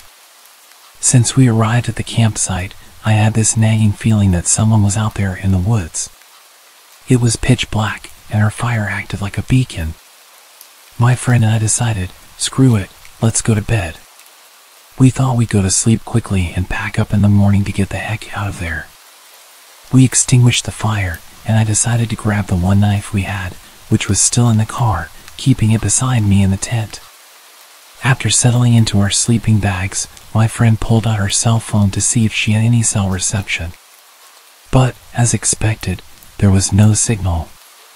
She tried dialing her boyfriend just in case, and I remember saying out loud, We have no reception out here. It won't work. We lay in silence, watching our phone trying to dial out, but it eventually disconnected. Just when we thought things couldn't get any worse, suddenly, about 20 feet off to the left of our tent, we heard footsteps. These weren't quiet, gradual steps. They sounded like someone had been standing behind the tree near our tent and started walking toward us. Those crunchy leaves certainly did their job. We froze, staring at each other with wide eyes. The footsteps continued, coming closer to the tent, then veering behind it for a couple of yards before stopping. The silence that followed was chilling. These were heavy, booted footsteps with the distinct rhythm of a person walking, not an animal. My friend grabbed the knife that was next to my bag and with her headlamp on, unzipped the tent and stepped out. She stood in front of the tent with her knife drawn, scanning the area with her light. She was nothing short of a warrior. We both listened for more footsteps or voices during what felt like an eternity of silence. I could see the light from my friend's headlamp darting around the trees, but there was nothing there. She leaned back into the tent and whispered, We're getting the hell out of here. We packed up everything within maybe 10 minutes, moving quickly, and then we bolted from the campsite. Looking back on it, it's amazing how we didn't lose our heads. We stayed calm while packing, even though we were internally screaming with terror. We only had our headlamps on, and the whole time we were packing up, I couldn't shake the feeling that the hill people were watching us and waiting to grab us and pull us into the darkness. We felt entirely helpless. But it didn't seem real, like we were just psyching ourselves out. Still, I couldn't shake the feeling of being watched as we sped away. Then came the confirmation that someone or something had been tracking us. As we pulled out of the campsite, we spotted two dirty black trucks pulled off to the side of the road, concealed in the trees but still visible. They had definitely not been there when we arrived earlier. The nearest residential homes were about 15 miles away.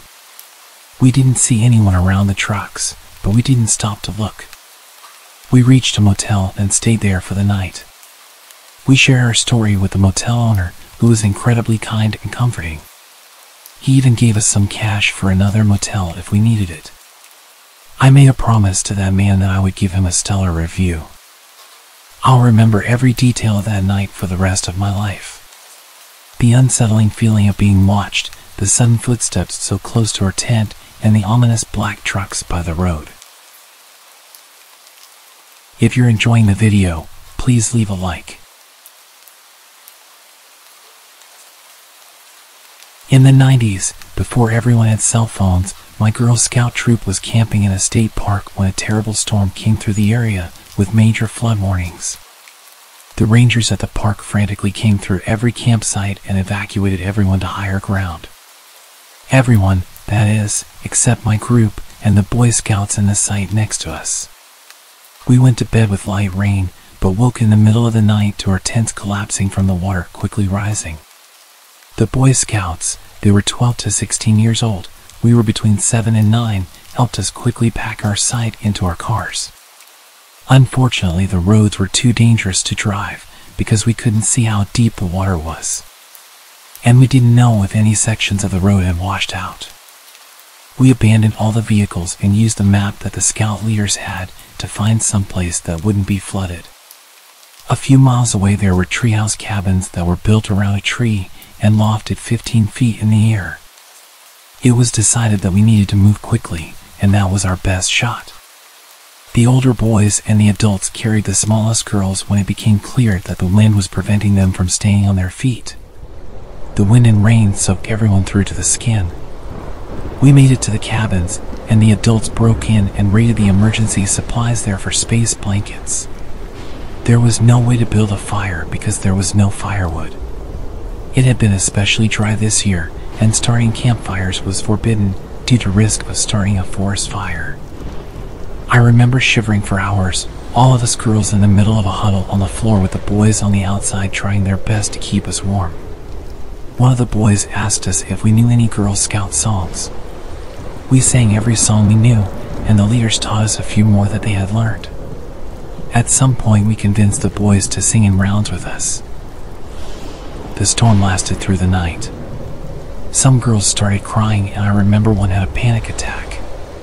The sound of the storm battering away at the cabin would send creaks all along throughout the space.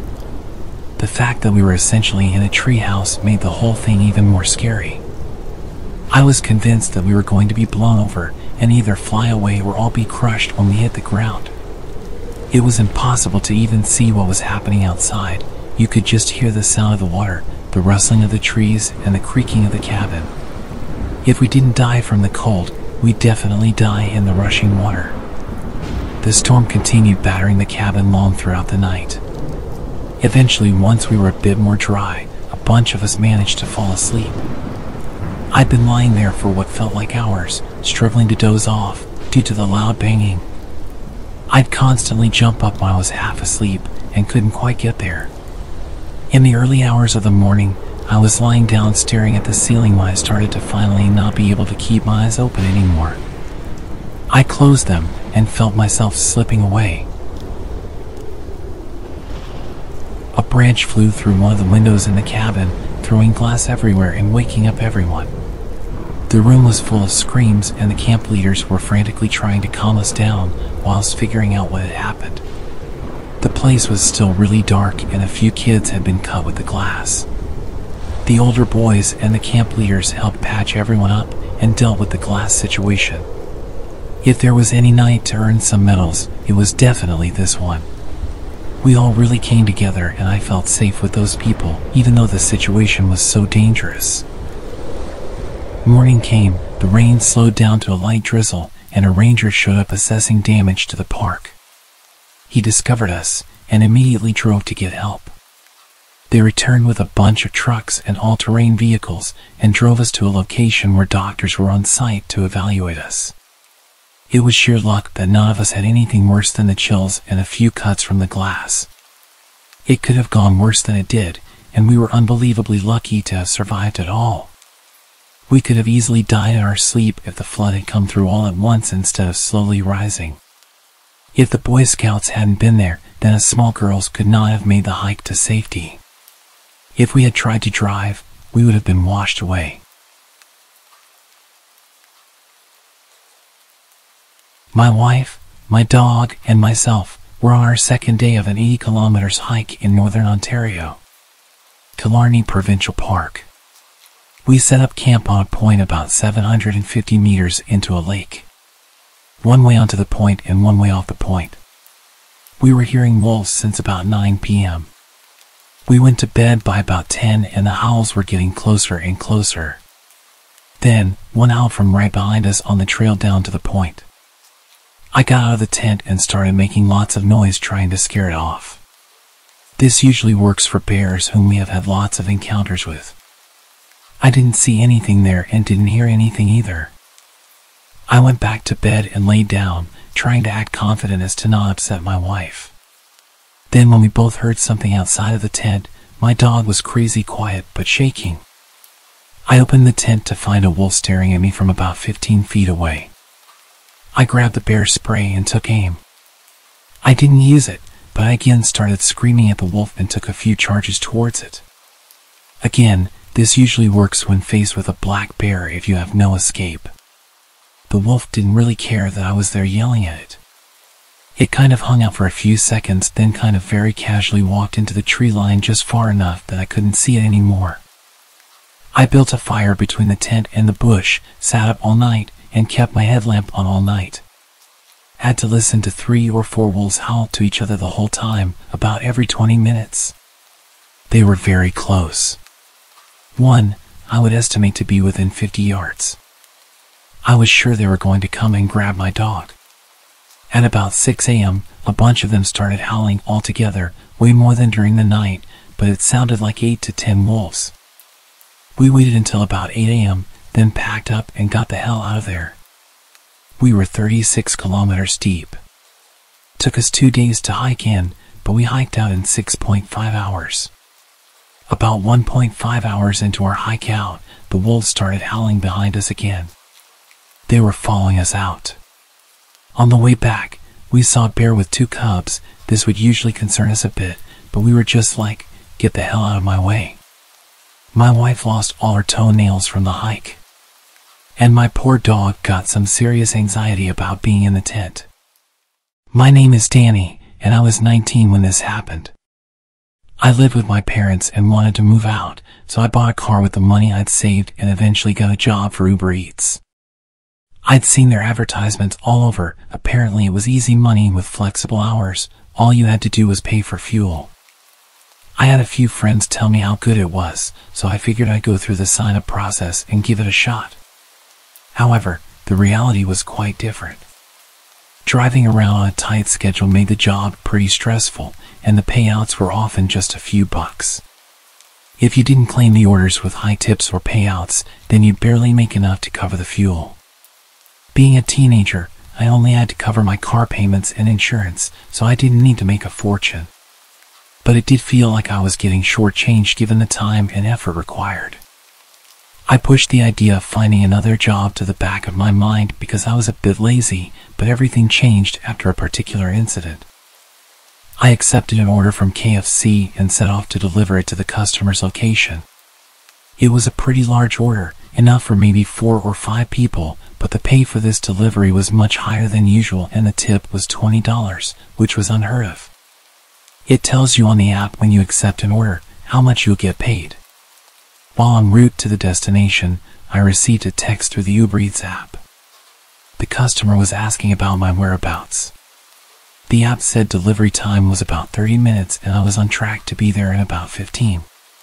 They could literally see my live location on there, so I didn't understand why they were asking. I didn't see the point in pulling over to reply, so I just kept driving, as I'd be there in about five minutes. Within pretty much a few seconds, they sent another message, impatiently asking me why it's taking so long.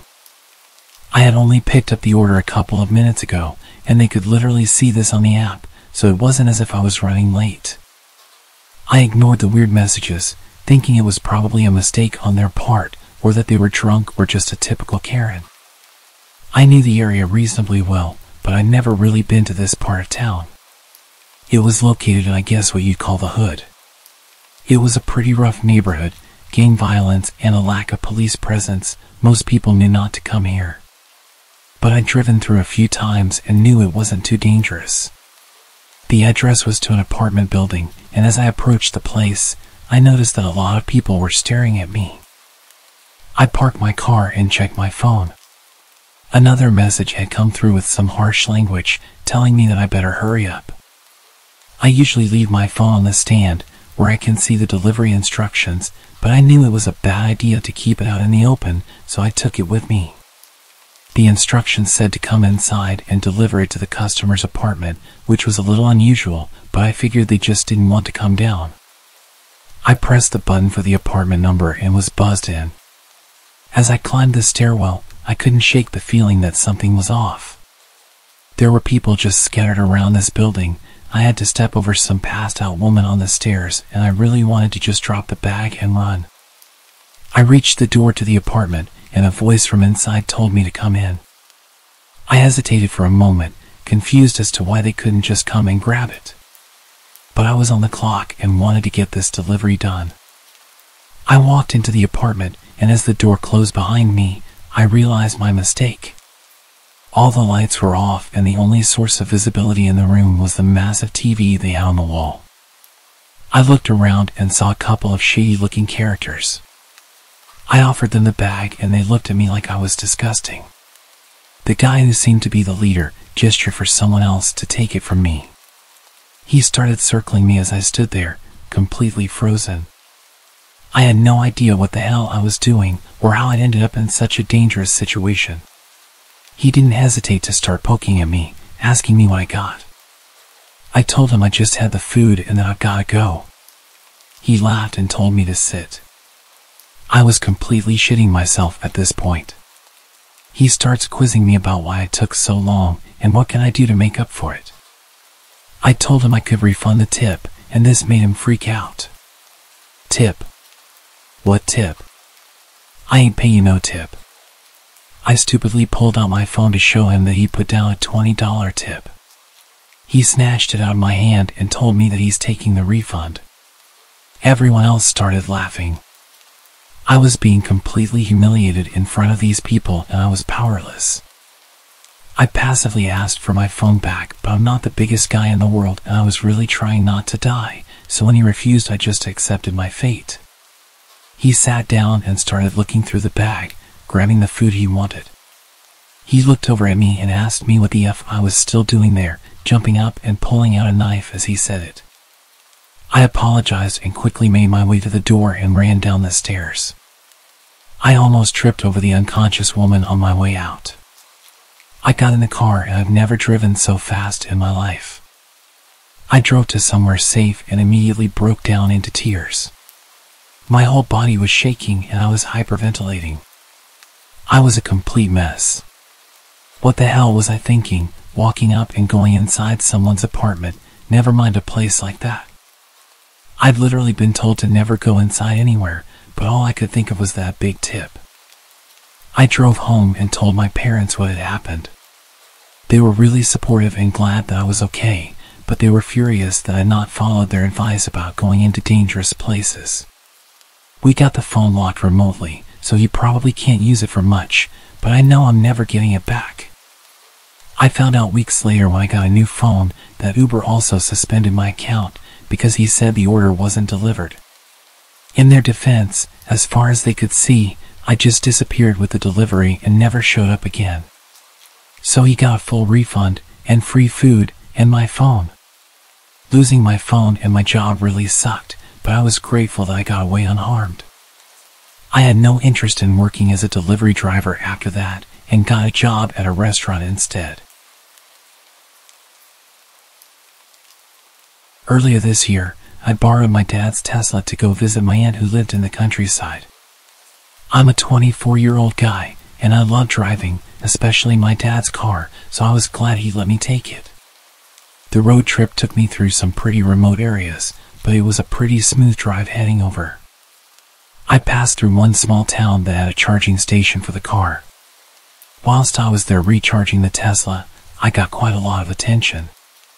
Apparently not many electric cars came through the area and they had lots of questions for me. I traveled the rest of the way with no issues and I stayed with my aunt for a few days and eventually decided to head back home on a sunny afternoon. I began my journey around 3 o'clock. The first part of the drive was through a busy town and after that, I passed through some quiet suburban neighborhoods. But as I was taking the same route back, I soon found myself once again on the long narrow highway that seemed to stretch and turn endlessly. It was peaceful, but as the hours passed, I started to feel more tired. To keep myself awake, I turned on the radio quite loud, hoping it would wake me up a bit. I squinted at the road, trying to focus, and that's when I noticed a small glimmer of light in the distance. It was the reflection of my car's headlights on another vehicle parked by the side of the road. As I approached, it became evident that the car was abandoned. It was dark and the windows were tinted. The area was quite remote and the thought of getting stranded there was unsettling. The nearest town was an hour's drive back. I continued my journey but kept my eyes open just in case someone was nearby. A few minutes later, I noticed a blindingly bright light in my rearview mirror. The intense glare made it impossible to see the car, only their dazzling lights. They seemed to be getting closer, so I reduced my speed, thinking they would soon overtake. But as I continued down the road, I saw something unsettling up ahead. There was another car right in the middle of the road, blocking my path completely. The car had its lights turned off, and I didn't see it until I was almost right upon it. I slammed on the brakes as soon as I realized what was happening. The lights in the rearview mirror kept getting brighter. I could hear the sound of an approaching vehicle behind me. I decided to turn my car around to escape the situation, but when I looked back, there was another car parked diagonally behind me, effectively sealing off any retreat. Suddenly, it all clicked in my mind. I heard the doors of the cars around me opening and closing. Panic coursed through my veins. Without thinking, I veered off the road plowing into the trees, attempting to bypass the obstructions and get to the other side of the road, past the parked cars. I was so preoccupied with avoiding trees and avoiding getting my car stuck that I didn't even look to see if the people were chasing me. About 10 seconds after driving off the road, a gunshot echoed. I looked back and they were chasing me. The bullet hit somewhere in front of my car. Fear and adrenaline pulsed through me as I continued maneuvering around the twisted dirt road. Another shot rang out, hitting the back of my car. I was driving like a maniac, going full speed through these tight trees, desperately trying to lose them. My Tesla was impressively handling the practically off-road adventure that I pushed it through. Eventually, I could see that I lost them, but I didn't slow down until I hit the highway again. It took about 10 minutes of driving before I regained enough cell phone reception to call the police. The attackers didn't catch up, and as far as I know, they were never apprehended. To this day, I can't help but wonder about how they had such an elaborate setup. Had they spotted me coming in an expensive car and somehow thrown together a plan? Was it the guys I'd been speaking to in charging my car? I told them that I was going to be heading back through in a few days. It really bothers me not knowing, but as you can imagine, I'm not allowed to drive my dad's Tesla anymore. Making these videos takes a lot of time and effort, so your support is appreciated. My name is Christine, and I was 23 years old when this unforgettable New Year's Eve story happened. I was out with my beloved dog, Max. It was a few hours before midnight, so I took him for a quick walk before getting ready for the party. Max was usually well behaved and fine without a lead, so I decided to let him off for just a minute to enjoy the crisp air as we strolled through our neighborhood. The evening was filled with anticipation. People around the town were preparing for the upcoming New Year's festivities. The streets were lined with colorful decorations, and you could feel the excitement in the air. As Max and I walked along the sidewalk, he was happily sniffing around, enjoying the scents of the night. The night was still young, and there was no sign of chaos yet. Little did I know that everything would change within the next minute. It was then that the first firework exploded in the sky, lighting up the darkness with brilliant colors and a deafening bang. I instinctively grabbed Max, pulling him close, but it was too late. The sudden noise startled him, and in an instant, he broke free from my grip and bolted down the street. I called out his name frantically, but he didn't respond.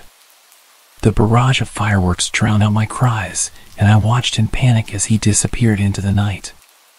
My heart raced as I realized I had to find him amidst the chaos of the celebrations. I spent hours driving around the neighborhood searching for my dog.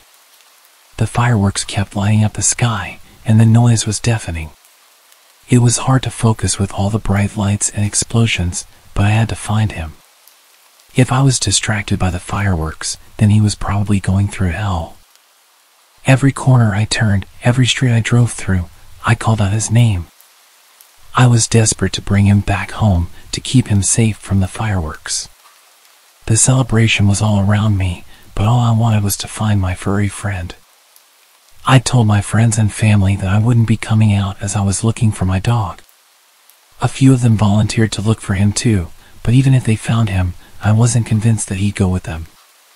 Finally, as I turned down a dimly lit street, I spotted a crowd of people surrounding a public bus, as if there were some sort of disturbance. My heart leaped with hope. I parked the car and rushed towards the crowd.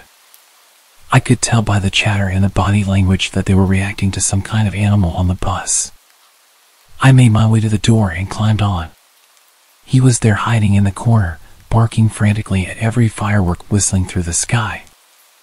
I spoke to him gently, and he recognized my voice. The fireworks kept going off, but I didn't care. I reached down and picked him up, cradling him in my arms. He nestled against my chest, seeking comfort from the frightening night. I thanked everyone for trying to help him and rushed him back to my car. I got back in my car, holding Max securely. The drive home was a little quieter, the sound of fireworks slowly fading. Max had been found, and the new year could finally begin with both of us safe and sound. I sat in the car with Max, watching the fireworks through the window. The bright lights that had once scared him now seemed to twinkle in celebration of our reunion. It was a New Year's Eve we'd never forget, one that sent me on a wild late night drive, looking for my best friend. It all started on a sunny day in college. I had just finished my last class and was excited to get back to my dorm room. Once I arrived back in my dorm, I quickly got on my computer. I was anxious to see what new websites awaited me. A while back, my brother had sort of joined me up to a dark web mailing list where people would send me interesting sites they found. He was a complete computer genius. From software encoding to Photoshop and video making, he was a wizard with all of it. One day I received a message from an unknown user. It said, chat to real people from the past. I thought it could be fun, so I clicked on it. The web page loaded, and there was nothing on the screen besides a chat box and a button to search for a new person to talk to. I clicked on the button to find a new person to chat with and it took some time, but eventually I connected with somebody. There was no text or anything. Then, all of a sudden, I received a message. It read, Dear friend, I am writing this internet mail to anyone who cares to read it. I am soon to be a father to twins. I hope this mail reaches you in good condition. We're off to see the new Star Wars, The Empire Strikes Back, at the theater to celebrate. New Star Wars. That movie was over 30 years old at this point. This had to be some kind of lame joke, I thought to myself. There was no way a guy in the 1980s was communicating with me. I decided to play along and thought it was all in good fun. Yeah, I wouldn't call that movie new. I watched that when I was a kid. He replied saying, What are you talking about? The opening night is tonight. You must be thinking of a different movie, unless you live abroad and it came out early there. No. I'm a college kid in America, I replied. I went on to list every Star Wars movie and TV show that exists since then. I think you have a very strong imagination, the guy replied. He wrote a long message telling me that they only have plans for a certain amount of movies and that he knows his stuff. He reminded me of my dad. He was a major Star Wars fan. I was fully indulged with the time travel role play and told him that I knew a massive spoiler for The Empire Strikes Back. I was respectful enough to ask him if he wanted to hear it, and he confidently replied, challenging me to spoil it for him. If you've seen the movie, you know which one I'm talking about. He laughed and told me that's impossible, and mentioned that he was heading off to the theater. He stopped replying at this point, so I assumed that the fun little role play was over. It was quite wholesome and the guy really played the part well, speaking like someone who'd only just figured out what email was and with a polite tone throughout. I went about my day, probably studied a bit less than I should have, and had a small chat with my brother. I told him about the guy from the 80s and he laughed and told me he'll have to check that website out. He was much more nerdy and he was really into all that stuff. He was a bit on the antisocial side, so the dark web was his happy place. Hours later, I heard a ding. I'd left the website open without noticing. The 80s guy had actually replied. He was going crazy, asking me how I knew about the big spoiler and speculating that I must have had early access or worked on the film. We had a further back and forth about how I lived in 2023 and I really played into the part about being in the future, teasing him about the technology we have here. Part of me enjoyed the role play, even though that usually wasn't my thing. He asked for my name, but I was smart enough not to give someone on the dark web any details about myself. So I asked what he was called, and I felt my stomach twist when he told me. Alfie Rogers.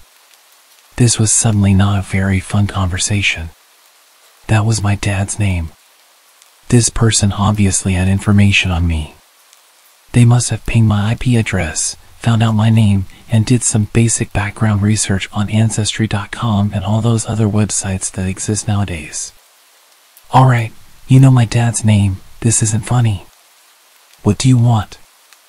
I asked him, knowing that this kind of thing usually turns into a blackmail attempt or a twisted game. What do you mean? He replied, still deep in the role play. There's no way that you just pulled out a random name and it happened to be my dad's name, so you know who I am. What do you want? Even as I called him out, he still didn't budge.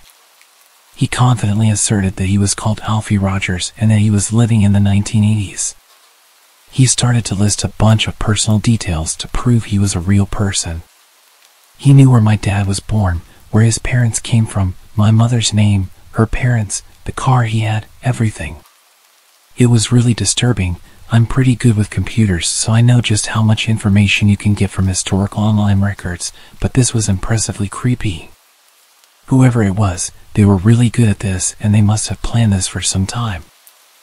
I thought about a question I could ask him, something only my dad could really answer. I found the perfect question. We had an old dog when I was a kid, and unfortunately we had no photos of her. Nobody else would know about this dog. There's absolutely no way it was on any database. So I asked him, Who is Poppy? Poppy. That's my dog. How did you know the name of my dog? She's a border collie. She's sat with me right now. That's creepy. How did you do that? I started freaking out. I don't believe in stuff like this. In time travel or having conversations with the past, but whoever this man was had too much information about my family history. It just didn't make sense. He answered every question I threw at him. I think I spent hours quizzing him on his entire life and eventually accepting that whoever or whatever this person was, I felt like I was talking to my dad when he was my age. I'd settle past the discomfort, enjoying every moment of this conversation. Though I did ask one thing from him. If he really did exist in the past, and he really was my dad, then I wanted him to take some pictures of Poppy. He laughed and told me he'd get right on it. He told me he had to get going and that he loves how clever computers are. I don't think he fully grasped the situation, but he happily played along as if he was talking to his real son. I asked him to tell Poppy I miss her, and even though I highly suspected that this was some strange AI or a wholesome role player, I told him I loved him. Funnily enough, he replied saying that he loved me and finished with, can't wait to meet you. Then we ended the conversation. A few weeks passed. I truly felt the happiest that I'd been in a long time. It had been hard living without a dad. He had a heart attack a year before I left for college. But that conversation really gave me a feeling of closure. I felt like I'd navigated my grief and allowed myself to start healing. I'd occasionally check back on that website but never saw anything from him. I suppose it was a one-off thing. Over the next few months I started to think about that conversation less and really started to live my life again. It was Christmas time and I went back home to visit family. It was the second Christmas without him and the lack of his presence was still heavily evident, but we enjoyed the holiday and I enjoyed seeing my mom and my brother. On the last night before I returned to college, my mom remembered that she had something for me. She brought me an old VHS. It was Star Wars, Empire Strikes Back. I knew what a VHS was, but they'd been extinct for about 20 years, so I wasn't sure why she was giving it to me. Open it, she said. I pried open the clunky case and looked inside. Well shit. There was a whole collection of photos of Poppy, dozens of them posing with the whole family, including me and my brother when we were just babies. There were some photos of my dad posing with the dog too. It was surreal, and I was too emotional to think about how these had come to be. There was a note attached. For my brilliant children, may the force be with you. He was always a bit of a dork. My mom said to me, I thought we didn't have any photos of Poppy. I don't even remember your dad taking these. A glimpse of happiness and nostalgia was noticeable in her voice. But your brother found them a few weeks ago. I gave her a big hug and went to find my brother. I told him how great it was that he found them and started to look through them. I told him all about the website and the man from the past who claimed to be my dad, and that we even had a conversation about him taking photos of the dog. He was happy to listen and go through the photos with me, but he was his usual quiet self, and didn't have much to say other than a few positive comments on the photos. He hadn't been the same since he passed.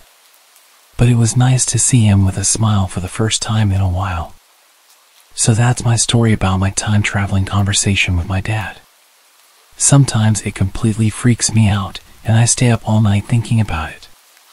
Other times, I just feel comfortable knowing that something beyond my comprehension happened to me. Whether it was an incredibly talented hacker or a crazy AI, I don't know. But I tend to avoid the dark web now. I think I got lucky with this encounter. It was only a matter of time before I met someone who would use that information for the wrong reasons. I have some of my own theories about that story, but I want to hear yours in the comments. If you're enjoying so far, please remember to like the video. Okay, so before I start, this was many years ago and I don't do this kind of thing anymore. I was young and naive and I wanted to impress a girl I liked. For legal reasons, this whole story is completely made up. I was in my early 20s and I'd started hanging out with a group of people that party pretty hard. They did all sorts of drugs that I shall not mention here. I did my best to keep away from that stuff, but I may or may not have joined in a few times. My life was a bit of a mess at the time. I won't make too many excuses about why I was hanging out with these people, but one of the reasons I stuck around for so long was this girl. At the time, she was exactly my type. She had long hair and she was playful and flirty. She was pretty much my dream girl. We got chatting and I asked her to hang out sometime and she actually agreed. I couldn't believe it. A few days before she was supposed to come and chill, she messaged me asking if I had any of that good green stuff. I didn't smoke on my own, only in social situations that made it a necessity. But instead of saying this, I just lied and said of course I have some. Suddenly, I'm panicking, contacting everyone I know about getting some grass. Nobody could help, and I was desperate. So, I did the dumbest thing I could think of. I went to the dark web. I got myself a virtual private network to stay anonymous and went searching for a way in. After a bit of digging and asking around, I found a link that supposedly led to a dark web marketplace. My heart was pounding as I clicked on that link. The website had a sketchy vibe, and it was like nothing I'd ever seen on the regular web. No flashy ads, no social media links, just a simple page with a list of products. I went through the listings until I found what I wanted. I messaged the seller and worked out the details. Paying for it wasn't as easy as clicking one button like you can on Amazon. They wanted cryptocurrency, so I had to figure out how to get my hands on some. It was a bit of a headache and cost me $50 for something that should have cost about 20, but I managed to get it sorted. A few days later, a small package arrived. My heart was racing as I opened it. But instead of what I ordered, it was just some random junk. I had been scammed. Panic set in as I realized I was in way over my head. Soon after, I started getting threatening emails from an anonymous sender. They knew what I'd been up to and were demanding more money or they'd expose my activities to the authorities. I was trapped in a twisted game of blackmail. Every knock on my door made me jump. I desperately tried to figure a way out of this mess. I was stuck in a dark web nightmare of my own making, and I couldn't see a way to escape it. Call me an idiot, because I really am, but I sent the anonymous blackmailers around $600 in total, about $100 every week. They just keep coming back and blackmailing me, and I kept paying until eventually I just said screw it and stopped sending them anything. I lived in complete fear for months afterwards, thinking that the FBI were going to break down my door and arrest me. Looking back, it was pretty ridiculous. Nobody cares about a guy buying a tiny amount of green stuff on the internet, but my head wasn't quite right. The worst part is that the girl I liked didn't even care. She came over and we had a great night and she didn't even ask about it. So, if there's a moral to the story, other than avoiding the dark web, I'd say don't do drugs just to impress someone. And don't send $600 to people blackmailing you over a misdemeanor.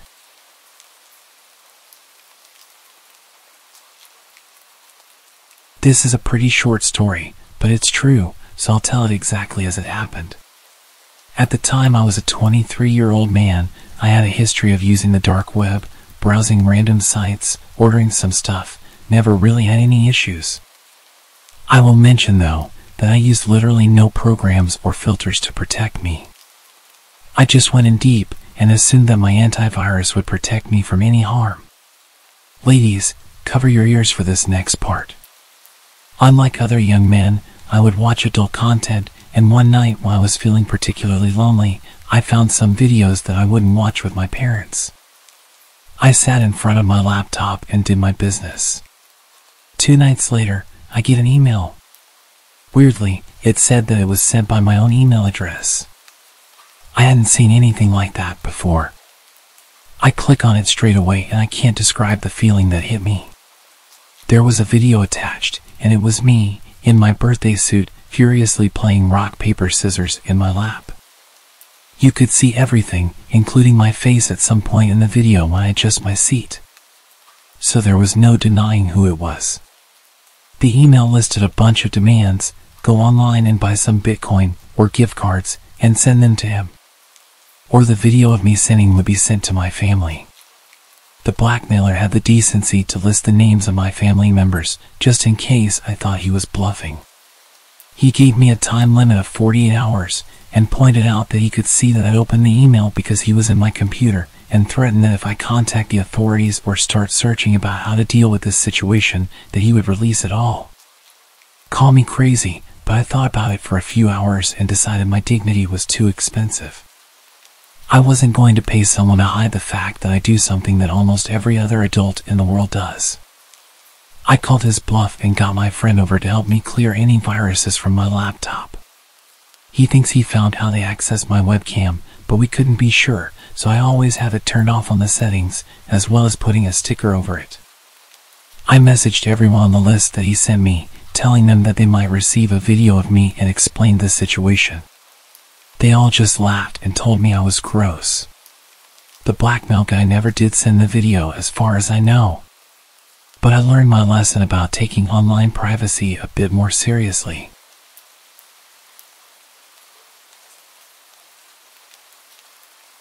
This all happened just recently, in summer this year.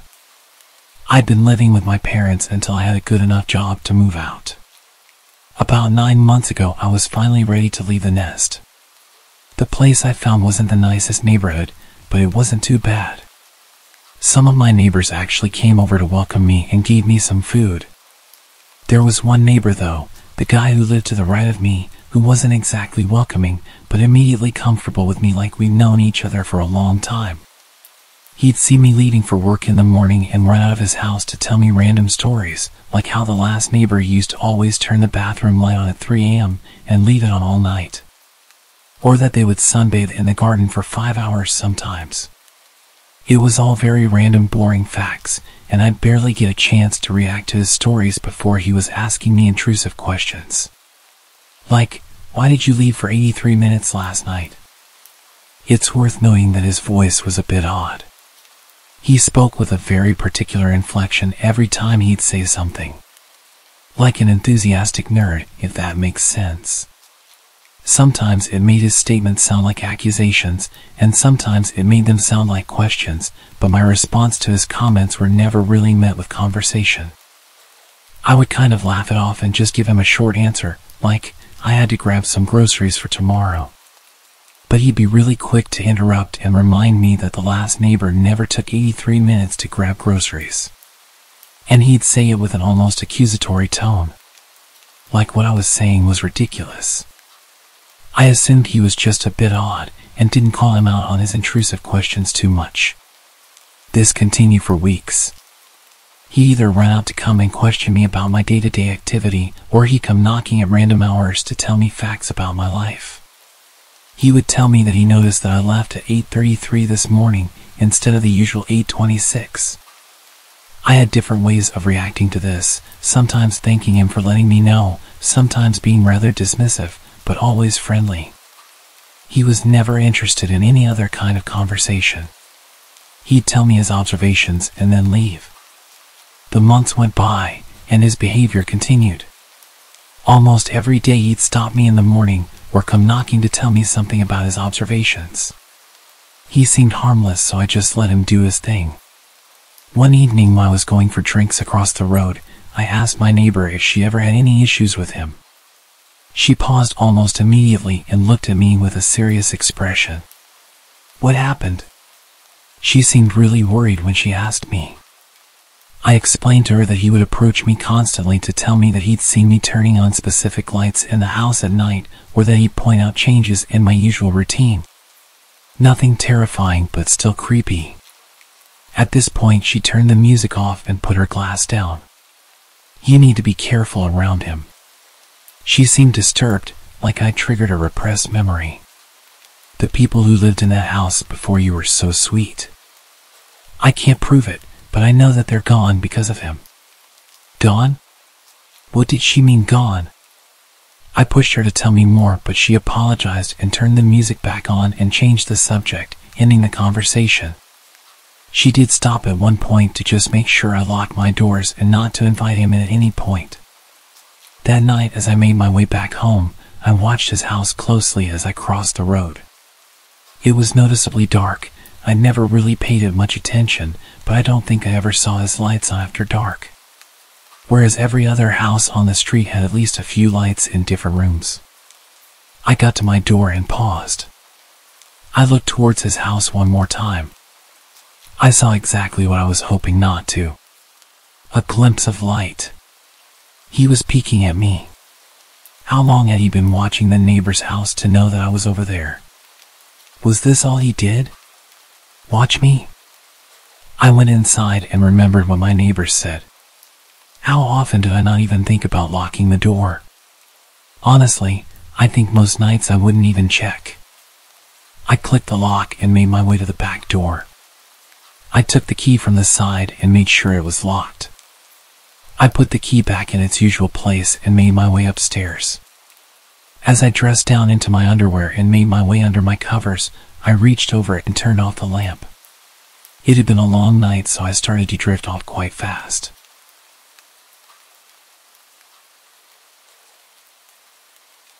Did I hear that?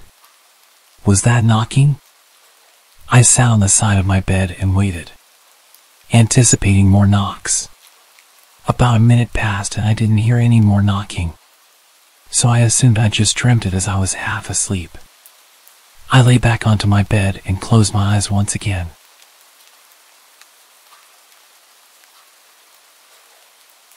No.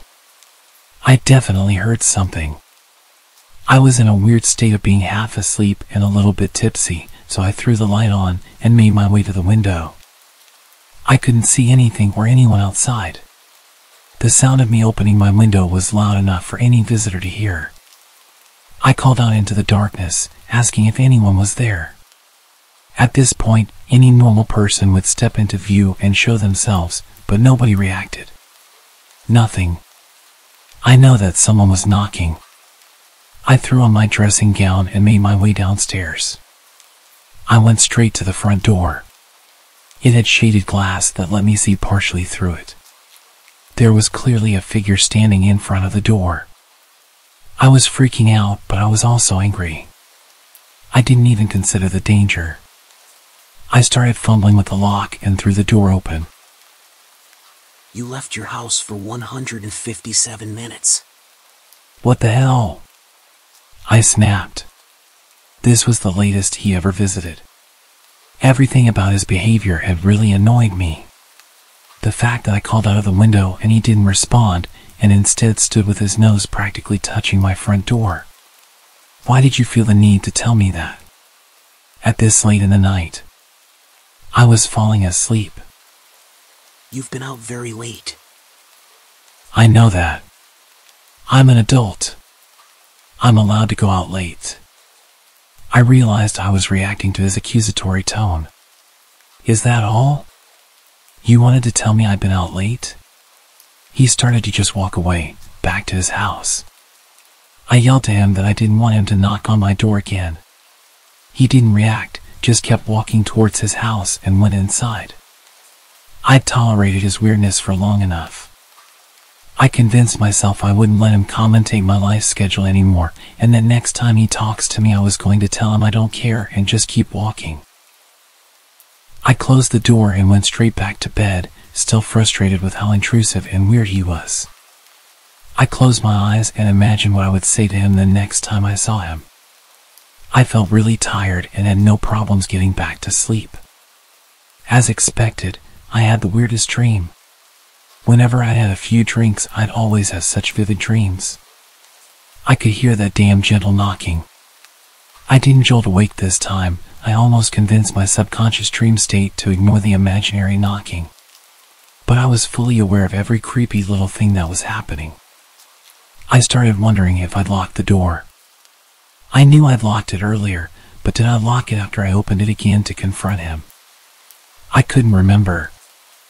I hated how realistic my dreams were. Of all the scenarios I could think about, did I really have to imagine him breaking into my house and walking up my stairs? I feel like I'd never been so consciously aware during any of my dreams. I was dreaming that I was locked in place, sleeping on my side, with my back to the door. His breathing sounded so real. If it wasn't for the alcohol in my system, I would have definitely woken up. This was by far the creepiest dream I ever had. I dreamt that he was climbing into bed with me, wrapping his arm around my waist and playing with my hair. I felt absolutely disgusted, but the soft touches also felt relaxing and pushed me deeper into the dream. I was urging myself to wake up at this point. My mind kept racing back to the thought that I actually hadn't locked the door. I needed to get up. His breathing was so intense. It felt so real. His touch felt real. This was unlike any dream I'd ever had. I was urging myself to wake up. I felt paralyzed. Wake up. Wake the hell up. My eyes finally opened and I could still feel his touch. Why didn't you lock the door? I jumped up. His voice immediately jolted me awake. He was in my bed. I screamed and ran straight down the stairs and out into the night. I was still screaming as I ran across the road and started banging on my neighbor's door. I was freezing, only wearing my underwear and completely barefoot. I banged aggressively on her door and shouted her name until she came down. She opened the door in a daze and I pushed my way in. I frantically explained what had happened whilst begging her to lock the door and call the police. We watched out of the window. My front door was wide open, just as I'd left it. The cops were on their way and my friend was comforting me as I got into some of her clothes and told her all the details. Minutes passed as we stared out of that window. My friend asked if I was sure he was there and it wasn't just a bad dream. I started to doubt myself when we didn't see him leaving. I wasn't the sensitive type. I wouldn't make up that whole scenario out of fear. I had a vivid memory of him lying in bed with me and touching me and talking to me. It was real. I know it was. The cops showed up after about 15 minutes and started to enter the house, guns drawn. We watched intently, waiting for them to bring him out in cuffs. They were in there for quite a while and I started to think that he'd locked himself in my room or something. After what felt like forever, the cops started to leave my house. They were alone. He wasn't with them. I couldn't believe it. I was not crazy. He was in my house. I know he was. I made my way outside to speak to the cops and ask where he was, but they confirmed that they found nothing and searched everywhere. I frantically told them that I was not going back into that house with him still in there. That's when the worst thing that could have happened, happened. He walked out of his house. He stood there, just watching. I was freaking out, demanding that they arrest him and insisting that he was in my house. His expression didn't change, he didn't even flinch. He just turned and walked back inside. Yes, I was drunk and I was pretty emotional at this point, but I couldn't believe that they didn't listen to me. They told me that they'd searched the entire place and there was no intruder. They said that the person who I claimed was an intruder was clearly in their own home, so I should just go inside and get some sleep. There were no signs of forced entry and no damage or evidence of an intruder, so there was nothing they could do. After a while me practically begging them to at least go and interview him, one officer did go over and speak to him, but it seemed like a very short conversation. He confirmed that he did come over initially to check on me, as I looked drunk, but then went straight home. I was furious, but also terrified. I eventually went back inside and searched the house for any evidence that he was there. I was almost starting to doubt myself until I checked the back door. It was unlocked and the key was still in the door. I never left the key in the door, ever. He'd left through the back whilst I was hiding across the street. He'd been in my house and there was nothing I could do about it. I made my way upstairs after properly locking every door. The sick freak had made my bed. It was perfectly tidy and the covers and pillows were placed perfectly. He didn't even rush out after I woke up. He just tidied my bed and then left through the back door. I climbed in and tried to fall asleep, but there was an overwhelming musky smell. His unwashed body had tainted my covers and his odor lingered all over my room. It took me hours to replace all of my bedding and finally get to sleep. The next morning I couldn't shake the feeling of being violated, but I also doubted the whole night. The police had been inside my house, a bunch of men in heavy uniform. That could explain the smell. The key being in the back door, maybe they were checking to see if it was the right key for that lock, confirming that nobody had stolen it. Even the tiny pillows had an explanation. I told them he was in my bed. So it makes sense that they'd throw my bedding onto the floor if they were looking for him, and then maybe one of them just put it back and tidied it up for me. I followed my usual morning routine, and then at 8.30 as I approached my front door, I took a deep breath, anticipating his presence. I left my house and headed towards the road, looking in his direction as soon as I stepped outside. There he was, walking out of his house to greet me. Like clockwork.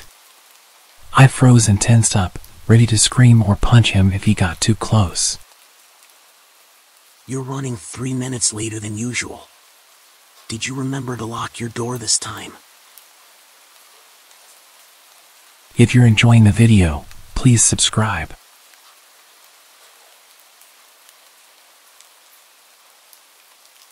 When I was 12, we had this neighbor. She was an elderly woman, but she was surprisingly active. We'd always see her around, carrying weeks worth of groceries up the hill like it was no big deal. She was outside doing her gardening almost every day. She was a tough old lady. The unfortunate thing was that she was the opposite of friendly. If you said hello to her, she'd tell you to run into the road. She hated people and was a very bad neighbor. She would complain about every little thing and show up late at night to tell you that you're too loud and threaten to call the cops. Our family got into quite a few arguments with her. Whenever she would come over to complain, she would aggressively insult all of us. My parents got sick of this and just started insulting her back, telling her she was old and miserable and she would die alone. I didn't like it, but I figured it was just adults letting off some steam. I'm sure I even caught her smiling on her way back home after shouting with my parents. She had quite a reputation around town for being a witch. There were all sorts of rumors about her being hundreds of years old and having the stamina and strength of a 20 year old man. They were not wrong about that. People would say that they'd seen her performing rituals through her window and that she kidnapped children and ate them. It was all silly stuff, but at the time I found it fun to believe. Anyway, the real scary part happened when I was home alone playing on my Nintendo. I could hear an odd sound outside my window, like an animal scratching at a door. I paused my game and went to check it out. I couldn't believe my eyes when I saw it. She was in our backyard, clawing at a window with a screwdriver, trying to get into the house. I opened the window and told her that I'd called the cops. She didn't hesitate to run back home. It was still so strange seeing this old woman running back at such speed. I actually did call the cops and told them what had happened. They told me they were on the way over and that I should go upstairs and lock myself in the bathroom. Within a few minutes, I could smell something that made me panic. It was smoke. I immediately assumed she'd set the house on fire. I ran to open the bathroom window and that's when I realized what had happened. The smoke wasn't coming from my house. It was coming from next door. For whatever reason, her house had set on fire and she was still inside. Before the fire department could arrive, the whole place had gone up in flames. They announced that she died in that fire and we even went to her funeral. There weren't many people there. The last scary thing about all of this was that it only fueled the stories about her being a witch and that after I caught her trying to kidnap me, she had to burn it all down and move elsewhere to conceal her identity. I don't know what to believe, but I do enjoy telling this story every Halloween. Please leave a comment and like the video. It means a lot. My neighbor is very weird. He never waves and has a permanent sneer on his face. When we moved in, we were told that he was on a certain bad list and that we should call the cops if we see him with kids. One day, he randomly knocked on our door. I'd never spoken to him before, and without even introducing himself properly, he proceeds to launch into his explanation of the reason that he's on the registry. Basically, he claims that he accidentally hurt some kid in a locker room while they both happened to not be wearing any clothes. He says it was plain old vanilla assault where both parties just happened to be in their birthday suits. He repeated multiple times that he is absolutely not into children. Then he left without even letting me talk. That was literally my first introduction to him. Other than the notification about him when we first arrived. And that wasn't even the creepiest thing about him. At some point, he started building a sign in front of his house.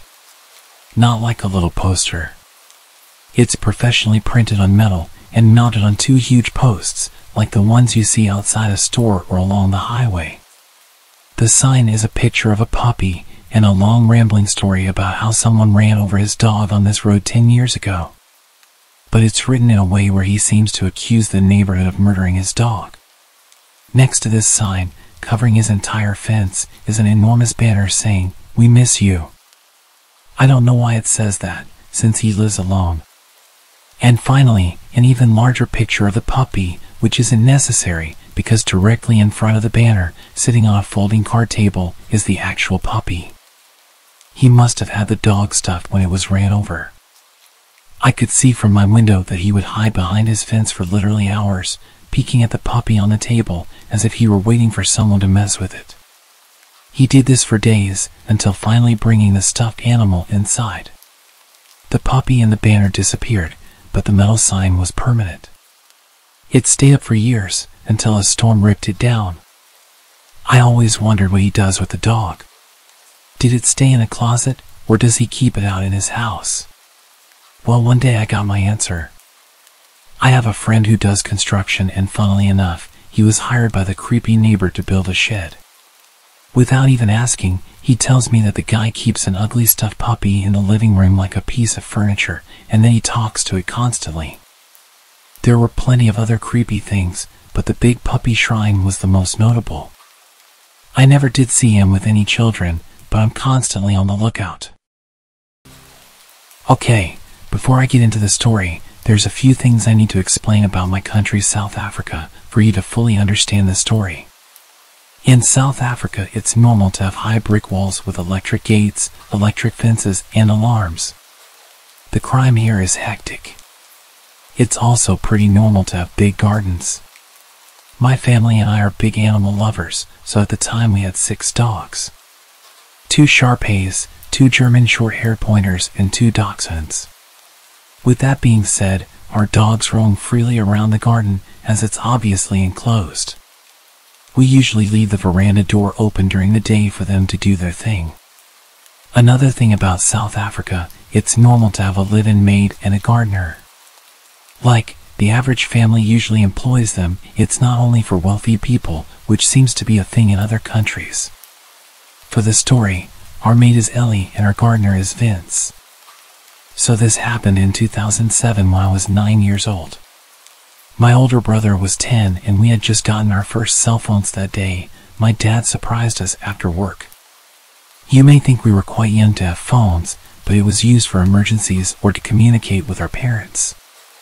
Anyways, it's an important piece of info for the story. We don't usually leave our veranda door open at night due to security reasons, but I remember it being a hot summer night that night. So of course, this night of all nights, the veranda door was wide open and the dogs were doing their thing in the garden. My brother and I were in my parents' room setting up our new cell phones, all excited. Ellie's daughter, who was 18, was like an older sister to us, and she was helping my brother and I.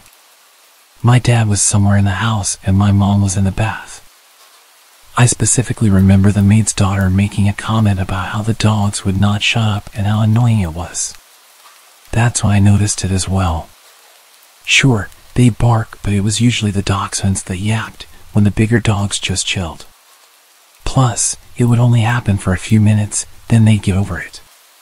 Something was different that night, as even the bigger dogs were barking nonstop. My dad appeared in our room and mentioned to us that he also noticed the dog's incessant barking and he was going to check if everything was okay. No alarm bells went off in my head, and I don't believe my dad thought anything was amiss either, because my brother asked to investigate with him and my dad agreed. I was obviously too engrossed in my new Sony Ericsson. My dad said he had a terrible feeling because of this and because of how out of character the dogs were acting. He called after them. They usually come running, but tonight they all seemed to just look at him. They then turned back around and continued going crazy at this dark corner down the steps. My dad told my brother to go back inside the house and get a torch, sort of using it as an excuse for my brother not to come with him because of this off feeling. When my brother went back inside, my dad slowly approached the steps. He noticed how the dogs seemed to be snapping at whatever it was, hiding just out of view in the darkness. As he got to the steps, he noticed the lamp was smashed. Confused, he inched to the steps and just as he realized what was happening, it was too late. My dad, being an ex-vet and avid hunter, felt something cold against his temple and immediately knew it was a gun. Four men in balaclavas stepped out of the darkness, all armed. Shocked, he stood frozen on the steps. The man holding the gun to his head was instantly aggressive and asked him where my brother was. He said that he saw my dad come out with my brother, but my brother went back into the house. My dad said something came over him, and before he knew what he was saying, he responded by saying, He's gone inside to press the panic button. As he said it, he saw how all these guys started to panic. They started speaking in an African language called Zulu, assuming my dad couldn't understand because it's not common for white people to speak it. But my dad had actually grown up on a farm where he learned it fluently because of the farm workers. The aggressive guy holding the gun said, in Zulu, shit. The cops will be here any minute. Let's just kill this guy, grab what we can, and leave. The others seemed apprehensive, and a smaller guy seemed really on edge and continued to say how he can't go back to jail again. And they need to get out of there before the cops show, which would be any minute. He was panicking. My dad then took advantage of this guy's fear. My dad interrupted them, speaking English, pretending to not understand what they're saying, and said that we usually have armed response vehicles that drove our area, and since my brother pushed the panic button so long ago, they'll probably be here any second. And that did the trick. My dad watched as their plan unraveled before them. The smaller, scared guys started freaking out all the other guys, saying that they need to leave ASAP or else they'd be caught. He seemed to make the others more nervous and lose confidence until they started full on bickering amongst themselves. Their plan was slowly turning to shit, as a third guy had put it. The aggressive guy pointing the gun to my dad's head slowly lowered it as they started fighting, losing focus on my dad and shifting his focus onto his crew. My dad then used this as an opportunity to slowly back up the steps and turn to dart towards the house. As luck would have it, as my dad ran into the veranda door, my oblivious brother was heading out with a torch. My dad scooped him up under his arm and sprinted into the house, not even closing the door behind him. Silly, but I think he just wanted to get my brother inside as quick as possible without even thinking. The maid's daughter and I were obviously also oblivious to everything when my dad rushed through the bedroom door, slammed it shut, and told us to go upstairs into the attic. There's five guys outside with guns. They're here to hurt us. Get upstairs now. My heart sank. I remember my body automatically responding and me sprinting to the stairs. My mom ran out of the bathroom in a towel, not too far behind. We sat there in the darkness and silence. I swear you could hear a pin drop. I think we were all just waiting to hear something below us in the rooms. My mom cursed saying she didn't have a phone, and neither did my dad. But as luck would have it, in my hand was my brand new Sony Ericsson. No better emergency to use it than now, right? My mom dials the police, and I kid you not, when they asked where we lived, they told us it wasn't in their jurisdiction. Sorry, Click. The line goes dead.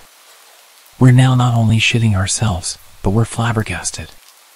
My mom starts cursing like a sailor again, and that's when my dad realizes, damn. He didn't close the veranda door, and what about Ellie and Vince, who are in their rooms, blissfully unaware of the danger they're in? He gets his firearm in the safe in the attic and tells us that whatever we hear, to not come downstairs. To stay hidden no matter what. Now I'm sobbing, begging my dad not to leave us, but he tells us he has to go get the others before something bad happens to them. Now there's even more tears, as reality hits that there's two other people still in danger. The maid's daughter is understandably in hysterics, because she's also fearing for her mom downstairs. My dad disappears and the air is thick with tension. We can still hear the dogs going crazy, indicating that those men were still on our property. My mom then calls another number, the armed security that drives around the area, and they say they'll be over in about 10 to 15 minutes. They say to wait and stay hidden until they ring our bell at the gate. We all wait in silence, fearing that we'll hear a gunshot or anything indicating these men are in our house. But there was just silence. The only sound was the dog's barks outside. After what seemed like hours, most likely a couple minutes, we heard stomping coming up the stairs and my heart rate quickened. I remember shutting my eyes and praying that it was my dad with Ellie and Vince. Luckily, it was. We all hid for a while, no one dared to speak. The dogs seemed to have calmed down considerably, but were still barking every now and then. The gate intercom rang and my dad told us to wait while he checked if it was the security company, and sure enough, it was. He opened up and the nightmare was over. I remember standing up and my knees buckling from the adrenaline my body endured. The armed security somehow notified the right police for our jurisdiction and everyone investigated the garden. They found that there were actually seven pairs of footprints and that these guys had bent the spikes on our wall and just climbed over. We got an electric fence shortly after.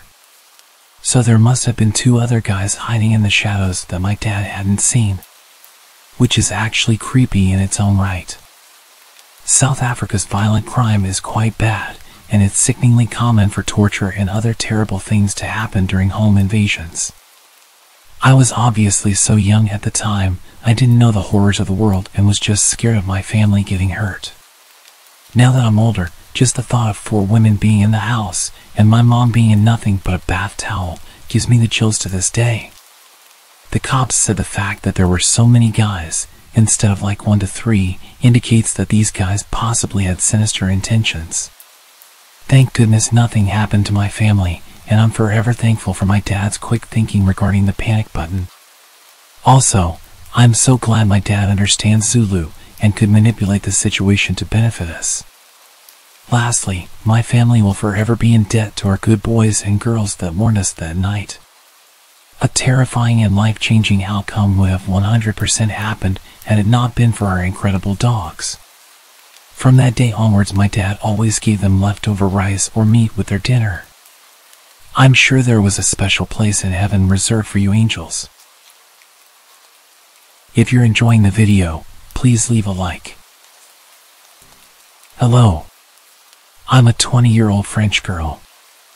I'm sorry in advance if there are any mistakes, Hope you can understand me. To set the context, I live in a suburb in a small residence with six houses. My gate is often broken, and most of the time it's wide open, giving easy access to our small courtyard. My house has one floor with four bedrooms, including mine. Downstairs, there's a guest bedroom which we use as a treatment room due to my health issues. It's where we keep all the equipment and medicines. I also have a dog who means the world to me. He feels everything and even senses my epileptic seizures before they happen. He can even tell when the nurses are arriving by the sound of their tires in our yard. He never barks unless there's a problem. A nurse visits me four to five times a day for treatments, including infusions. This is an important part of my story. One morning, as usual, my nurse, Sandra, arrived at 8 a.m. She administered my treatment, and we chatted like we always did. After about 40 minutes, she left, saying she might be a little late next time, but I shouldn't be worried. That day, my parents were at work and I had a medical appointment in the morning. I was home alone, except for the nurse's visits every four hours. When I returned from my appointment, I sat on the sofa with my dog while waiting for the next nurse. When I heard tire noises, I thought it was Sandra arriving a bit early. My dog started growling, which was unusual. I looked at the time, 11:50 a.m. I assumed Sandra might have switched with the previous patient, as she sometimes did. I heard a knock and I went to the door. I saw a young woman I had never met before. She introduced herself as Camille, a third year at nursing school, and explained that Sandra had sent her to prepare my treatment. I wasn't suspicious. I was used to students coming over. But I was a bit surprised because Sandra usually informed me in the morning or sent a message. Also, she never left a student alone on the first visit. I led Camille to the treatment room and showed her the way. While she washed her hands, my dog's behavior became strange. He growled as she approached me and circled me, so I decided to leave him in the living room and close the door to keep him calm. I didn't pay much attention to what Camille was doing. I was on my phone at that moment. Then, I noticed she was preparing a syringe rather than using the pre-made saline syringe as usual. I glanced up and saw that my treatment ampoules were untouched, but I had heard the distinct sound of ampoules breaking. Something felt off. As she approached me with the syringe, I received a message from Sandra saying she'd be there in five minutes and asked me to start setting up the equipment. I made up an excuse, telling Camille that I needed to use the restroom and left her in the treatment room. My dog kept barking and growling. When I reached the toilet downstairs, I sent Sandra a message telling her about the woman, and she had no idea what I was talking about. I was terrified and started crying in the bathroom. Camille came to check on me and asked if everything was okay. I assured her it was, and that's when I heard the front door slam shut. Two minutes later, it reopened, and I heard Sandra's voice. I left the bathroom, still crying, and Sandra asked me what had happened. I explained the situation and showed her the treatment room. We called the police, who arrived, examined the evidence, and took samples from the syringe and other items prepared by Camille. The test results were shocking. The syringe contained a paralyzing substance, enough to paralyze a 120 kilograms man, and the IV contained a highly concentrated medicine that could have stopped anyone's heart. To this day, we don't know who Camille really was. Thankfully, I never heard from her again. She had stolen all my opioids but left my tablet and computer untouched. Looking back, I realized my dog had sensed Camille's ill intentions. I should have been more vigilant, especially since she was a stranger and on her own. My treatments are far from simple. I often wonder what could have happened if I hadn't checked my phone that day. I had blocked this story from my memory until my girlfriend reminded me of it a couple days ago. I started dating my girlfriend at the end of my senior year, and I used multiple dating apps before we started dating. I had my Snapchat listed in many of my dating app profiles. This is important.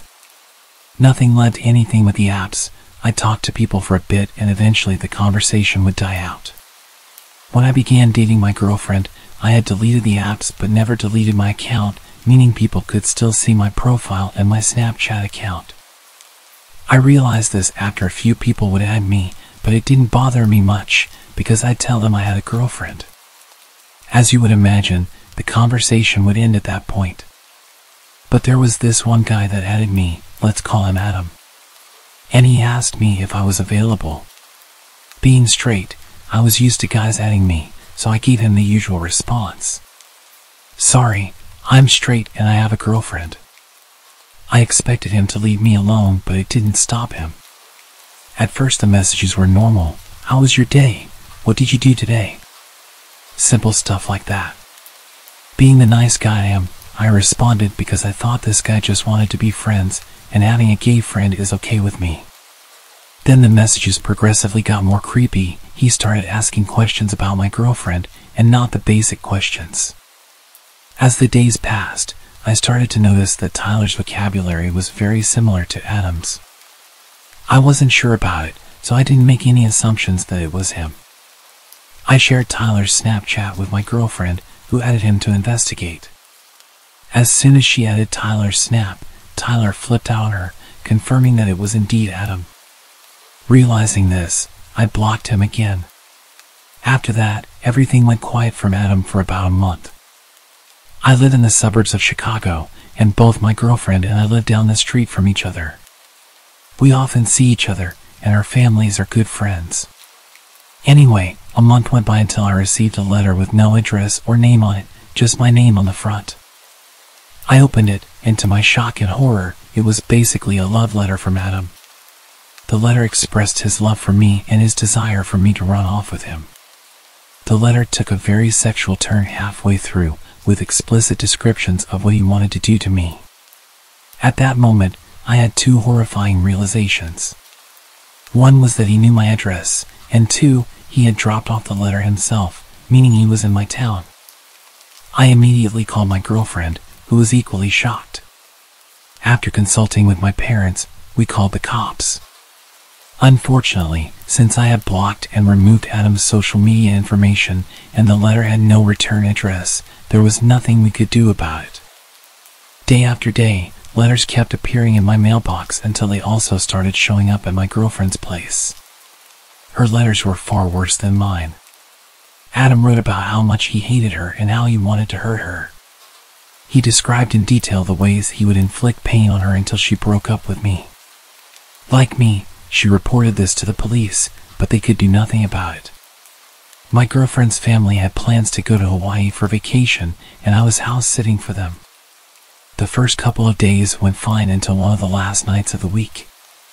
As usual, I was at their house, watching TV on the couch, when the power went out. It was around 1 a.m., and it was pitch black. The next few seconds were silent, and then I heard a window smash from the office. To help you understand the layout of the house, when you entered the front door, the living room was on your left, straight ahead were both the kitchen and stairs, and to the right were the office and dining room. Upstairs, as soon as you reached the top of the stairs, there was a bathroom straight ahead. My girlfriend's room was on the right, and the other bedrooms were on the left. I immediately grabbed a kitchen knife and ran upstairs to hide while I called the cops. I quickly got into my girlfriend's room and slipped into the closet. As soon as I was able to contact the operator, I heard the intruder pounding up the steps. Thankfully, I had relayed all the information to the operator in time, and she stayed on the phone as we both remained quiet. The intruder took a left when he reached the top of the stairs, which gave more time for the cops to arrive and for me to get ready, just in case I needed to defend myself. A few minutes passed until I heard the intruder start walking toward my girlfriend's room. In the precious seconds I had, I slipped out of the closet and positioned myself next to the door. As soon as he opened the door and started to enter the room, I took the kitchen knife and drove it into his shoulder. A young man screamed in pain as I heard a heavy metallic object make a large thud as it hit the ground. From there, I bolted out of the house, where I was met by four squad cars and cops with their guns raised. I raised my hands, shouting that he was upstairs in the right room. A few minutes passed, and the intruder was dragged out, still screaming in pain. With the siren lights flooding the street, I got a glimpse of his face. It was Adam. Later, an officer informed me that the metallic thud was caused by him dropping his handgun. Adam was from Texas and had traveled up to my state to be with me. He had rented a room at a local motel and would put letters in both my girlfriend's and my mailbox daily. He was doing this in the early hours of the morning. This was confirmed by the security footage from the motel he was staying at. On the night of the break in, Adam had plans to kill my girlfriend and her family so that I would choose to be with him. He managed to pry open the power box, switched off the power to her house along with neighboring houses, and broke in with the intention of her being there. Well, unfortunately for him, she was enjoying a tropical vacation. To be honest, I have no idea how the outcome would have been different if they hadn't gone on vacation, and I am grateful that I still have my girlfriend as well as her family alive. So, to any stalkers out there, please stay away from my girlfriend. This happened to me over a decade ago but I will never forget the feeling deep in my chest. Both that night and the next morning when the true nature of the situation became apparent. It was late December in a small Texas town. We just received five inches of snow earlier in the morning. I can't remember what time it was. All I remember is it was dark outside, and I was playing in my room. It's important to note that my room was made up of two parts, a mudroom with a door leading out front, then my actual bedroom. The door was an older style wood door with all the old hardware and had a window on the top half. It had a window shade, but that wouldn't stop anyone from looking in if they wanted. My room was the frontmost with my parents' room being in the back of the house. I was in my mudroom playing with my Hot Wheels when I felt something weird. Like someone was watching me. I was facing the door at this point and looked right up at the window. I was trying to focus on the little openings left by the window shade, staring for any reason to feel unsafe and run. After a while, I was sure that there was nothing, so I went back to playing. A few minutes later, I got the feeling again. This time I didn't look at the door, but instead moved so that my back was now to the door, hoping that it was all in my head. Just then, the most terrifying thing happened. There was a noise at the door, like the doorknob had been touched. I was still turned around. I was completely frozen at the metal sound of the doorknob. It was moving. I didn't know how or why, but it was moving, slowly turning, testing the lock. I wanted to move, but I was frozen. It was like someone glued every joint in my body. My chest felt like a car was parked on it.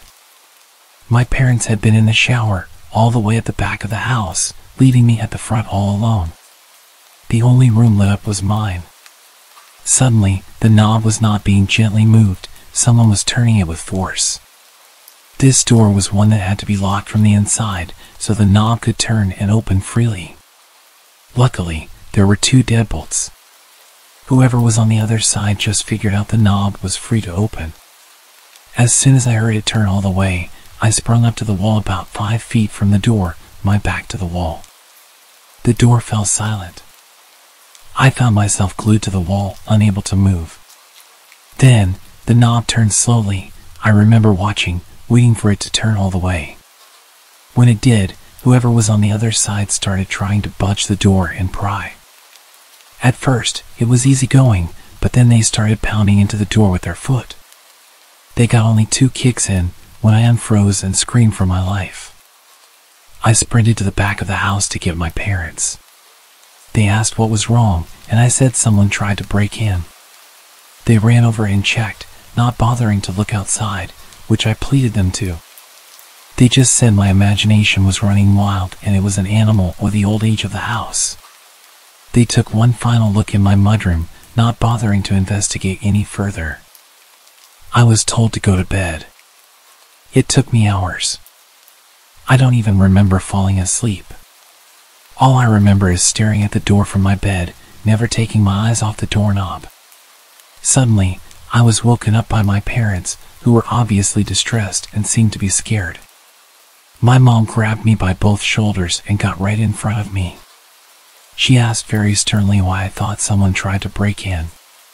When I told them this time, they seemed to listen, I was worried how serious they were as they asked me about everything. When I was done, they said they had to show me something. They took me to the front door and out to the front yard, pointing to my door near the driveway. You could clearly see the boot prints in the snow, walking along the street through our yard and straight to my window, then my mudroom door, where I had been playing the night before. The police showed up and took a report, but nothing ever came of it. I was never able to sleep well in that house. I can never forget what it felt like as a child to go through this and not have my parents believe me. I'm just glad I was not home alone and very thankful for that strong door. If you're a fan of the video, please subscribe. I always love reading your opinions in the comments. About 10 years ago, I lived on my own and didn't have much company. I was quite depressed at the time after losing my girlfriend to a drunk driver. I was enjoying a beer and watching the sunset on the back porch when I saw a massive scruffy man emerging from the tree line. My heart skipped a beat as he stumbled towards my house in a menacing way. Living alone, I often use my backyard for target practice. And at that moment, I was immensely grateful for it. Instinctively, I rushed to bolt all the doors while frantically dialing the police. What I didn't know was that this intruder had broken in the day before through a basement window and had spent the night squatting there. He had left the basement door unlocked, and at this point, he'd made his way inside the house and was making his way up the stairs towards me. I gripped my rifle, aiming at the approaching man as he descended the hallway. I shouted at him, ordering him to stop and get on the ground, but he just kept walking towards me. I fired the first round, loaded with rock salt, but he showed no reaction. I quickly followed with a rubber bullet to the chest. Yet the drugged up guy who was clearly out of his mind continued advancing. This guy was huge, at least twice my size, and I realized that whatever drugs he had in his body were going to push him through any pain that a rubber bullet would inflict. He was backing me into a corner. I desperately begged him to stop and warned him what would happen, but he just moaned at me like a zombie and shouted, Shoot! Do it! Then he lunged towards me. I took my third shot. It left a gaping hole in his chest. It barely even slowed him down. He kept coming, and in a frenzied struggle, he wrestled me to the ground. He was moaning and coughing up blood. Suddenly, he grabbed my face with both of his massive hands and started squeezing my head. It was utterly terrifying. I could feel him trying to burst my skull open like a balloon. I don't know how long it actually lasted, but it felt like forever. Eventually, the injury finally caught up with him, and he died on top of me. I was laying with him crushing me for a few minutes. My energy was completely drained, and I could barely breathe with his weight on top of me. His body was pushing my rifle into my chest, and it was causing me serious pain when I tilted his body to the side. I was completely drenched in his blood, and I can still remember the overwhelming smell. I'd completely forgotten that I was still on the phone with the operator, who had heard our entire exchange, which more or less amounted to me pleading, Stop, or I'll shoot, and the man menacingly taunting. The police arrived soon after, and the incident made it to the local papers. There was a criminal investigation, but eventually I was cleared of any wrongdoing. It turned out that the intruder was wanted for murder of an elderly couple in Baltimore and had somehow made his way 50 miles up the road into a rural area. Many years ago, I used to work the night shift at a hotel in Myrtle Beach, South Carolina. During the season, it wasn't too bad, mostly families and tourists. We had on site security back then. However, in the off season, the winter months were different. The cheap weekly rates we offer attracted a lot of creepy people. The idea was supposed to be to make money in the off season by renting to snowbirds, older retired people who came to the beach for about a month through the winter. It did not always work out that way. The cheap rates made it possible for a less than desirable element to become long-term residents. I've discovered more than my fair share of meth labs, broken up physical assaults, and more during the winter months. Working the third shift, I would meet some interesting people. The cold weather would mean some homeless people would come in to get warm and grab some free coffee. I wasn't supposed to let them, but it's not in me to be cruel.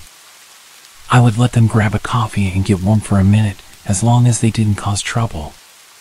As you can see, night shift in the winter made for some crazy and sometimes creepy stories. I have a lot, but this one is one that stands out because it didn't end well for me. I had a great night up to this point. I had gone to an indie wrestling show with my best friend before work. In fact, I had agreed to come in an hour early the next night for the young lady that worked the second shift in exchange for her working an hour late for me. Ironically enough, I met Terry Funk that night, a wrestling legend known for his hardcore matches. Little did I know I was about to experience this kind of violence for real. I was supposed to be there at midnight due to her working over an hour for me. I normally came in at 11 p.m. I counted the register and she briefed me on her shift as to what had happened, as per usual. As she was leaving, my friend Andrew arrived. He worked second shift maintenance at this hotel, and the other two hotels our company owned. He would regularly stop by after work, go grab us some food, and we would play World of Warcraft on our laptops after eating for a while since business was slow. He was just getting my money for the food, getting ready to leave. I was excited, telling him about how much fun I had at the wrestling show and showing him my Terry Funk t-shirt that I was so proud of. I was just walking into the back office to put the shirt up when I heard the doorbell indicating a customer had entered. It's true what they say, ask not for whom the bell tolls, it tolls for thee. I had turned around when I heard someone say something loudly, but I still couldn't make out what they had said. I had just reached the doorway when I saw Andrew fall down in front of me. The next thing I know, a guy walks around the corner and punches me in the head with a short steel pipe in his hand. It staggered me, and I fell to the ground. Before I could react, he hits me in the head with the pipe. I suddenly heard another guy that I hadn't even noticed. He was panicking because he thought that one of us had ran to get a cop. They left out the door. I was finally able to get to my feet. I tried to call the police from the phone in the back office, but it was having issues. I slammed it in frustration. I was hurting and scared, really freaking out. I realized that they could come back, so I ran and locked the door. I didn't know where Andrew had gone, and that worried me. I called 911 and started to notice the blood pouring down my head.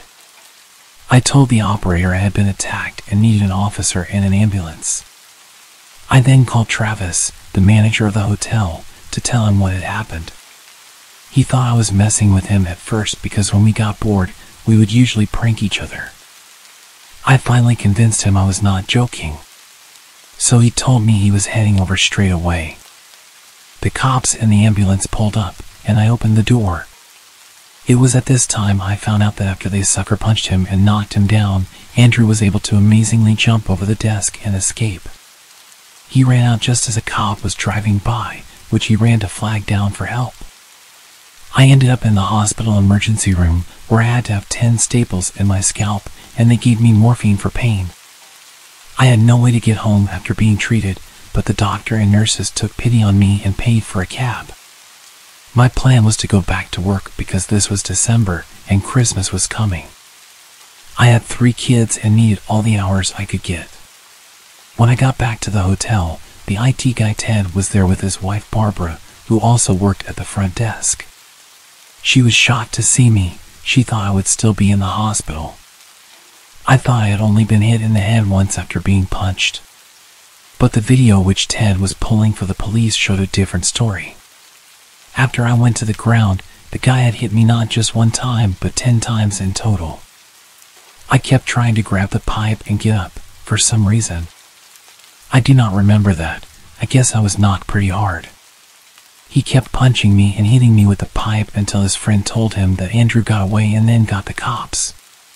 The two of them then ran out. I was given a room at the other hotel. And Ted and Barbara gave me a lift there as I was in no condition to drive due to the morphine. They also gave me a paid week off to heal. They switched me over to the other hotel on the night shift for a month, just in case they were after me in particular. We never found out why they chose to attack me. The police thought it might be a failed strong arm robbery due to Andrew getting away and me not just going down. Not knowing why they attacked me really shook me up. Even though I was at our other hotel when I came back to work the night shift, I was still nervous. I tensed up every time the door chimed.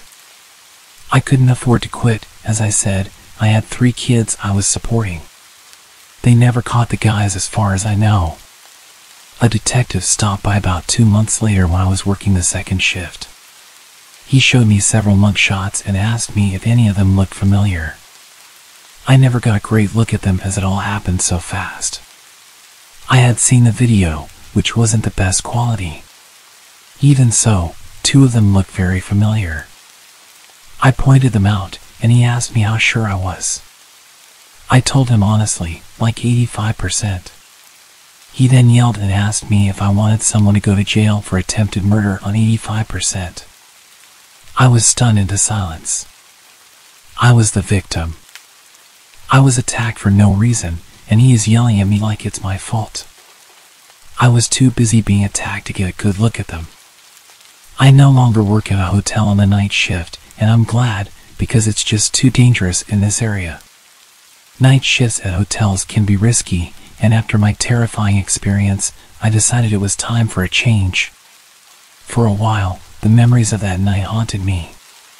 The feeling of being so vulnerable, the pain from the attack, and the lingering questions about the attacker's motives all weighed heavily on my mind. But over time, I began to heal, both physically and emotionally. I found a new job with better working hours and conditions, which provided me with the opportunity to spend more time with my kids. The sense of safety and security that had been shattered during that fateful night gradually returned. Life moved on, and I left the hotel industry behind. I learned that sometimes it's necessary to prioritize your well being over financial concerns. My new job allowed me to support my family while maintaining a more stable work life balance. I never did find out what motivated the attackers that night. They remained at large, leaving behind a trail of questions and unresolved mysteries. However, I chose not to dwell on the past, but to look forward to a brighter future. Though the scars on my scalp served as a physical reminder of that harrowing night, they also symbolize my resilience and ability to overcome adversity. It was a chapter of my life that had come to an end, and I was determined to write a new, safer, and happier story for myself and my family. Please remember to like the video if you're enjoying the stories, leave a comment about your thoughts, and subscribe if you haven't already. I need to preface this by saying that I don't believe in ghosts or any other kind of paranormal activity. This is not an attempt to convince people of their existence. What I will say is that I have an open mind regarding things that I can't explain using logic or reasoning. I know something happened to me, I just don't know what. And nothing I've heard so far has come anywhere near a satisfactory explanation. But then, that's what had me creeped out about it. If I could just chalk it up to seeing a ghost or witnessing a glitch in the matrix, as I've heard people call it, or any of that, at least I could draw a line under it and move on. But I can't because I have no idea what happened that night, and neither does anyone else. I used to work for a security company that contracted overnight work for large office buildings in downtown Houston. Some of the buildings were real nice places, and their security offices had all kinds of amenities that others just didn't have. The only problem was they made for some of the most boring overnight shifts you could possibly imagine. Tough guards can be exhausting and dangerous, but boredom is a different kind of poison altogether. So you understand why I say, out of all the places that I could have expected my scariest night working security, these places didn't get anywhere near the top 10. One of the buildings we worked in had a bunch of different offices on each floor with a layout, each one being shaped like a letter U. Each of the floors was owned by a different company for the most part. Anyway, so most had a different design but the same layout, and part of that layout were those polished metal plates that sat on the corner of each corridor. They were positioned at the 90 degree angles in the U shape. At first, I figured it was just an odd design choice. Then I figured out that they were like mirrors. If someone was walking down the connecting corridor and you couldn't see them, you'd be able to see a little movement in the polished metal so you wouldn't run into anyone or get a fright. Kind of clever, right? Well, listen to this. One night, I'm working the overnight shift with two other coworkers. When it comes my turn to perform a physical sweep of the building, we had most of the building mapped out with cameras, but no security guard worth his salt relies on electronics. So every half hour, one of the guards would take a quick walk around each of the floors just to make sure everything was a-okay.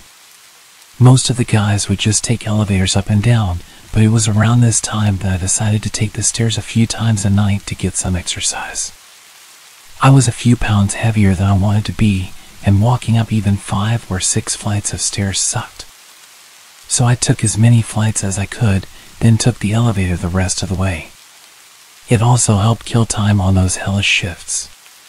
Anyway, this one time, I managed to hustle all the way up to the ninth floor, which was totally a new record for me but I was completely out of gas.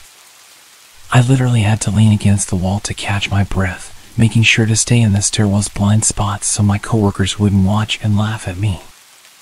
Once I had myself together again, I walked out into the corridor and towards the first bend in the U-shaped layout that I mentioned earlier.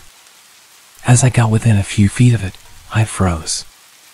For the first time in the whole time that I'd worked there, I saw a reflection in a polished metal mirror thing. It wasn't crystal clear, but it was absolutely different to how it usually looked. I had the usual reflective image ingrained into my memory because I saw it hundreds of times a night. I could clearly see someone standing in the connecting hallway, wearing what looked to be the same kind of security uniform as me. I called out, thinking it was one of my coworkers. Then the white shirt shape suddenly moved out of sight. Now, right away, I thought this was a prank. I caught them trying to scare me. So, as I'm walking around the corners, I'm kind of calling out, Hey, I know you're there. I saw you in the reflection. I get around each corner, but I don't see anyone. I assume the guy had ducked into one of the conference rooms or offices as a backup. I checked all of them, and they were all empty.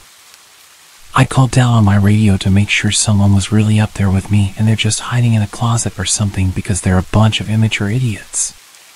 The second I heard both guys talking on the same radio, I felt myself getting just a little bit freaked out.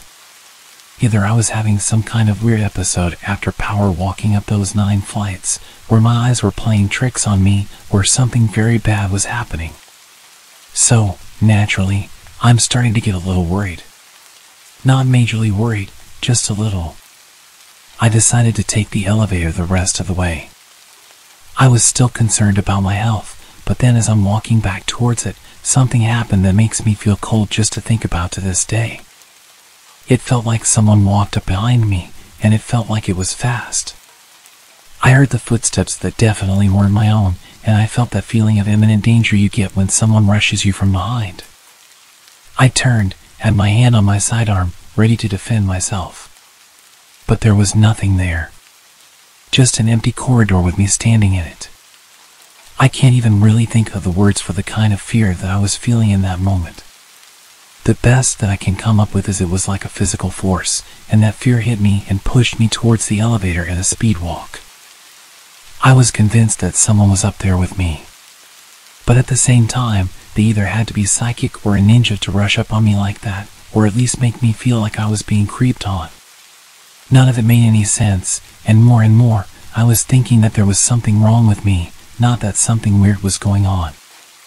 Once I was safely in the elevator, I called down to my coworkers and asked them to watch all of the cameras on the 10th floor for any kind of movement. They replied, asking if I was all good or if I needed help, probably because they could hear the state I was in. But I told them to shut up, watch the cameras, and tell me if they could see anything or anyone. I was expecting a no, in which case I had to accept that I was having some kind of medical emergency and maybe even call 911. I heard about people having strokes or heart attacks and how they can feel confused or panicked, so that's all my hypochondriac mind was thinking about. But then, as my radio crackled to life again, I heard the next thing they said, and I swear to Christ that I felt like I was going to throw up. My coworker came back with, Yeah, there's someone up there with you. We're headed for the elevator right now. I sent it down to the ground floor, and if I'm being honest, I was weirdly relieved. I wasn't about to have a stroke, and I wasn't going crazy. There really was someone up on the 10th floor, and they were about to get messed up for scaring the living daylights out of me. We swept all the rooms together, calling out to this potential intruder the whole time, saying things like, come on out, and you're only getting trespassing, and even saying things like, this is a heck of a way to get yourself shot. We were just bluffing, and it wasn't a huge issue that we didn't find this intruder. They could have easily used the stairwell to escape to another floor. But instead of going and hunting them down, we just headed back down to the security office, watched the cameras, and waited for the real cops to show up. On the way back to the office, I asked my coworker what exactly he'd seen on those security cameras, and it turns out he hadn't seen anything definitive, just enough blurry movement on the edges of a monitor to know that someone was definitely up there. And they seemed like they knew where the camera's blind spots were. This is what really sent alarm bells ringing for my coworkers. Stuff like that suggests someone has cased the place, done a little recon in the daytime, possibly disguised as a client or employee. They'd know where to go to get whatever they'd come for, as well as how to get there without being spotted straight away. A lot of people have asked me how this person could have gotten into the building in the first place, and didn't that bother me at all? The question did bother me, but we're not trained to waste time thinking about how. We're trained to react to intruders as and when they occur, to focus on either locking them down for the cops or getting them out of the building without anyone getting hurt. You focus on the how afterward. In the moment, you focus on the intruder. Anyway, we watched the cameras, called the cops, and tried to work out where this intruder could have gotten to while avoiding all the security cameras. We stared at the cameras for maybe 15 to 20 minutes before the cops showed up, and we didn't see any movement. When the cops arrived, we helped them sweep all the floors and offices to make sure no one was around. They were pretty thorough about it, opening up closets and checking under desks. But still, we found no one. Even the cops said that it must have been spooky for whoever was up there alone, which sounded like the understatement of the century. But right then, when we were dealing with the situation, I was sure that it wasn't just me going nuts. The situation was resolving itself, so I was relatively calm again. When the cops left, we switched on the alarm systems for floors 9 to 13, meaning if anyone entered those floors again, we'd be instantly alerted and a 911 call would automatically be issued. No alarms were triggered that night, so we figured the episode was pretty much over and done with. We'd have to talk to the head of security about it, and there was no doubt that he'd be very interested in how he let something like that happen.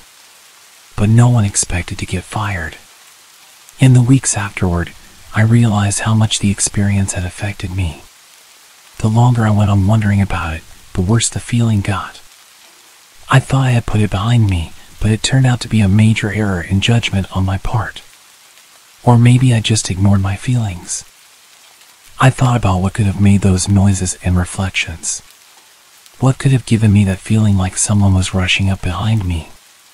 After thinking about it for long enough, I decided that I didn't want to work there anymore. When I was told that I couldn't pick and choose which guard shifts I was on, I was left with no choice but to seek employment elsewhere. I'm not afraid to admit that I was scared of whatever happened up there. Rather than going down some crazy rabbit hole trying to explain it, I thought it was better just to walk away and start fresh someplace else. It's never happened again, nor anything like it, but you can bet your bottom dollar that if it does, I'm out of there. A couple of years ago, I was living in Colombo, in Sri Lanka, at a small hostel on the outskirts of the city.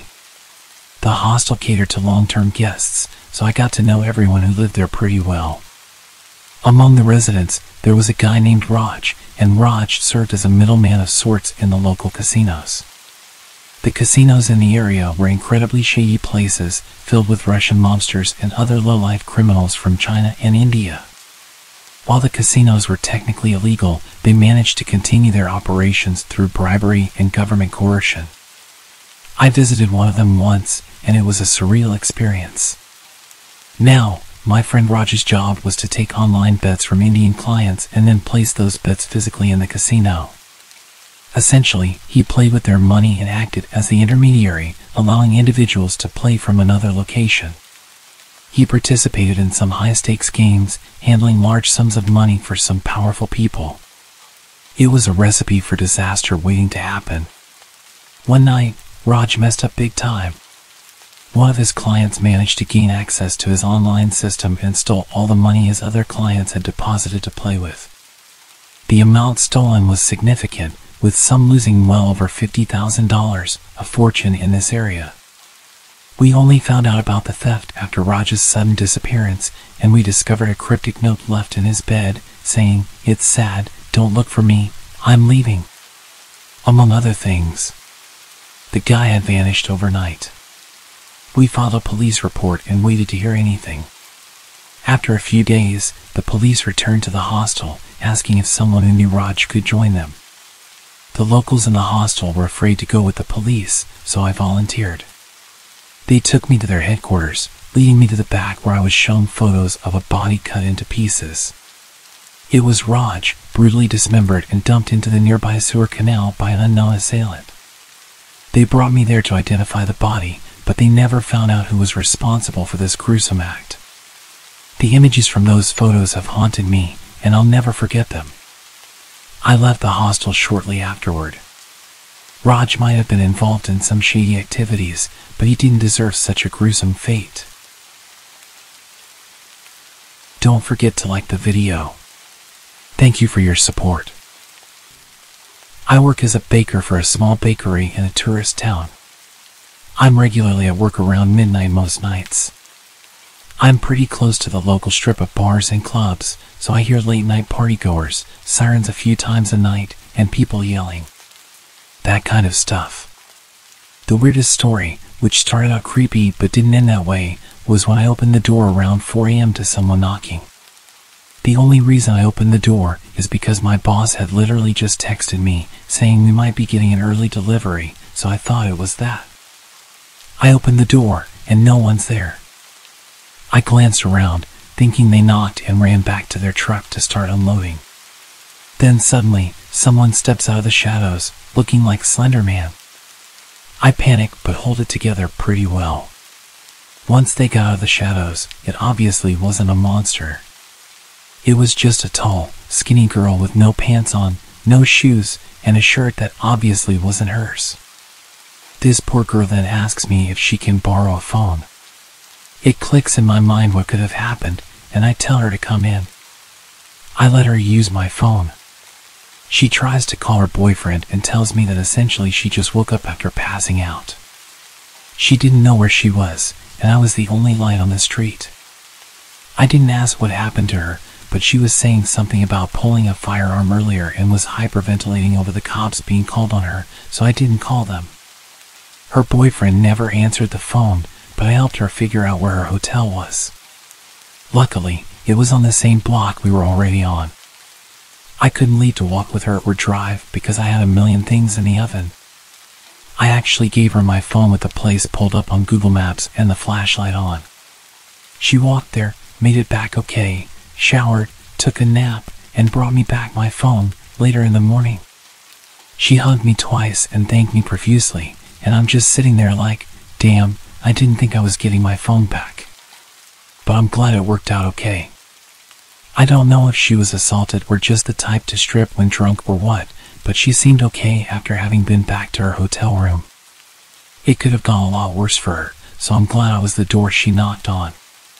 God, did she give me a heart attack at first?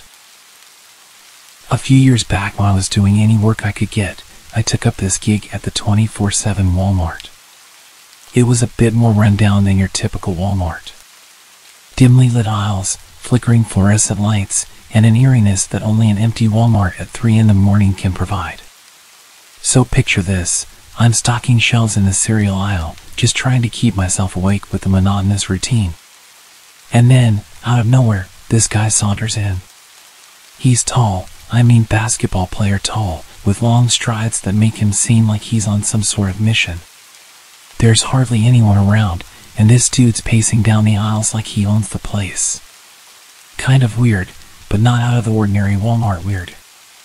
Just a late night shopper with a peculiar vibe. I'm busy stacking cereal boxes when I catch sight of him again. He's standing at the end of the aisle, staring at me with this grin that could send shivers down your spine. The lighting's wonky, casting these creepy shadows that don't help my nerves. Before I can even process what's happening, he's right there, right in front of me close enough that I can smell the alcohol on his breath.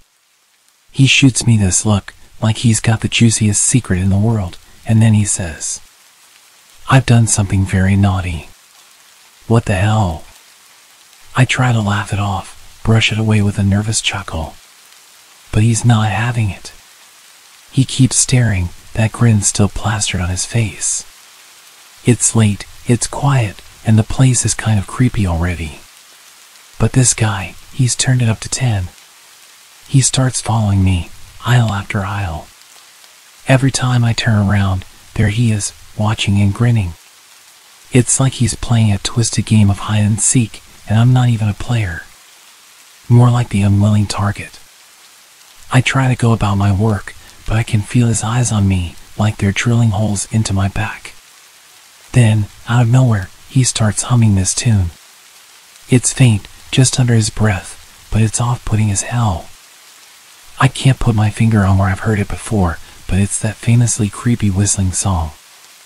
I decide to take a breather and head to the break room. Maybe I can shake him off and catch a few moments of normalcy. My coworker's in there, and we're shooting the breeze about assignments and exams, trying to keep things light. But the whole time, I can't shake the feeling that I'm being watched.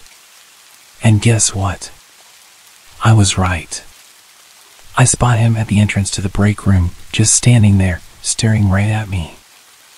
I freeze, and I swear the room got colder in that moment. I point him out to my coworker, and when he turns around, the guy's vanished. I glance at my coworker. I couldn't read his expression. I ask him, Did you see that? He looks at me. The confusion is obvious in his eyes. See what? Clearly he saw nothing. I realize that he missed the entire encounter. It was only me who saw him. I run my fingers through my hair, feeling a mixture of paranoia and frustration. Never mind, I mutter, dismissing the topic. Maybe I'm just letting my imagination get the best of me. It was late and I'd not slept properly in days. My coworker's not as intrigued as I am. He's focused on the task at hand, more interested in getting his work done than in delving into whatever nonsense I was talking about. We head back to our posts, and I'm still rattled. I can't shake the image of that guy's grin. Hours pass, and I try my best to concentrate on my tasks, but the unease is a constant presence in the back of my mind. I keep glancing around, half expecting him to reappear. That creepy grin plastered on his face. And then, out of nowhere, he's back. My heart skips a beat and my hands tremble. It's like a nightmare come true. He's standing there, that same grin on his face. My breath catches in my throat. Before I can even react, he's sprinting towards me, his steps quick and purposeful. Panic surges through me, and I freeze. What does he want? My mind races, but my body is paralyzed. He grabs me and easily picks me up. He starts shaking me and shouting in my face. And then, as if from a distance, I hear a shout. My coworker's voice cuts through the fear. Hey, what's going on? He's running towards us, his footsteps echoing in the aisle. The guy releases his grip on me, his attention shifting to my coworker. And in that split second, I find my voice. I scream as loud as I can and start beating on the guy. My coworker arrives, his presence enough to make the guy hesitate. He turns and bolts, disappearing down the aisle. I'm left shaking, my heart pounding. My coworker rushes to my side. He looks seriously concerned. Are you okay? He asks me.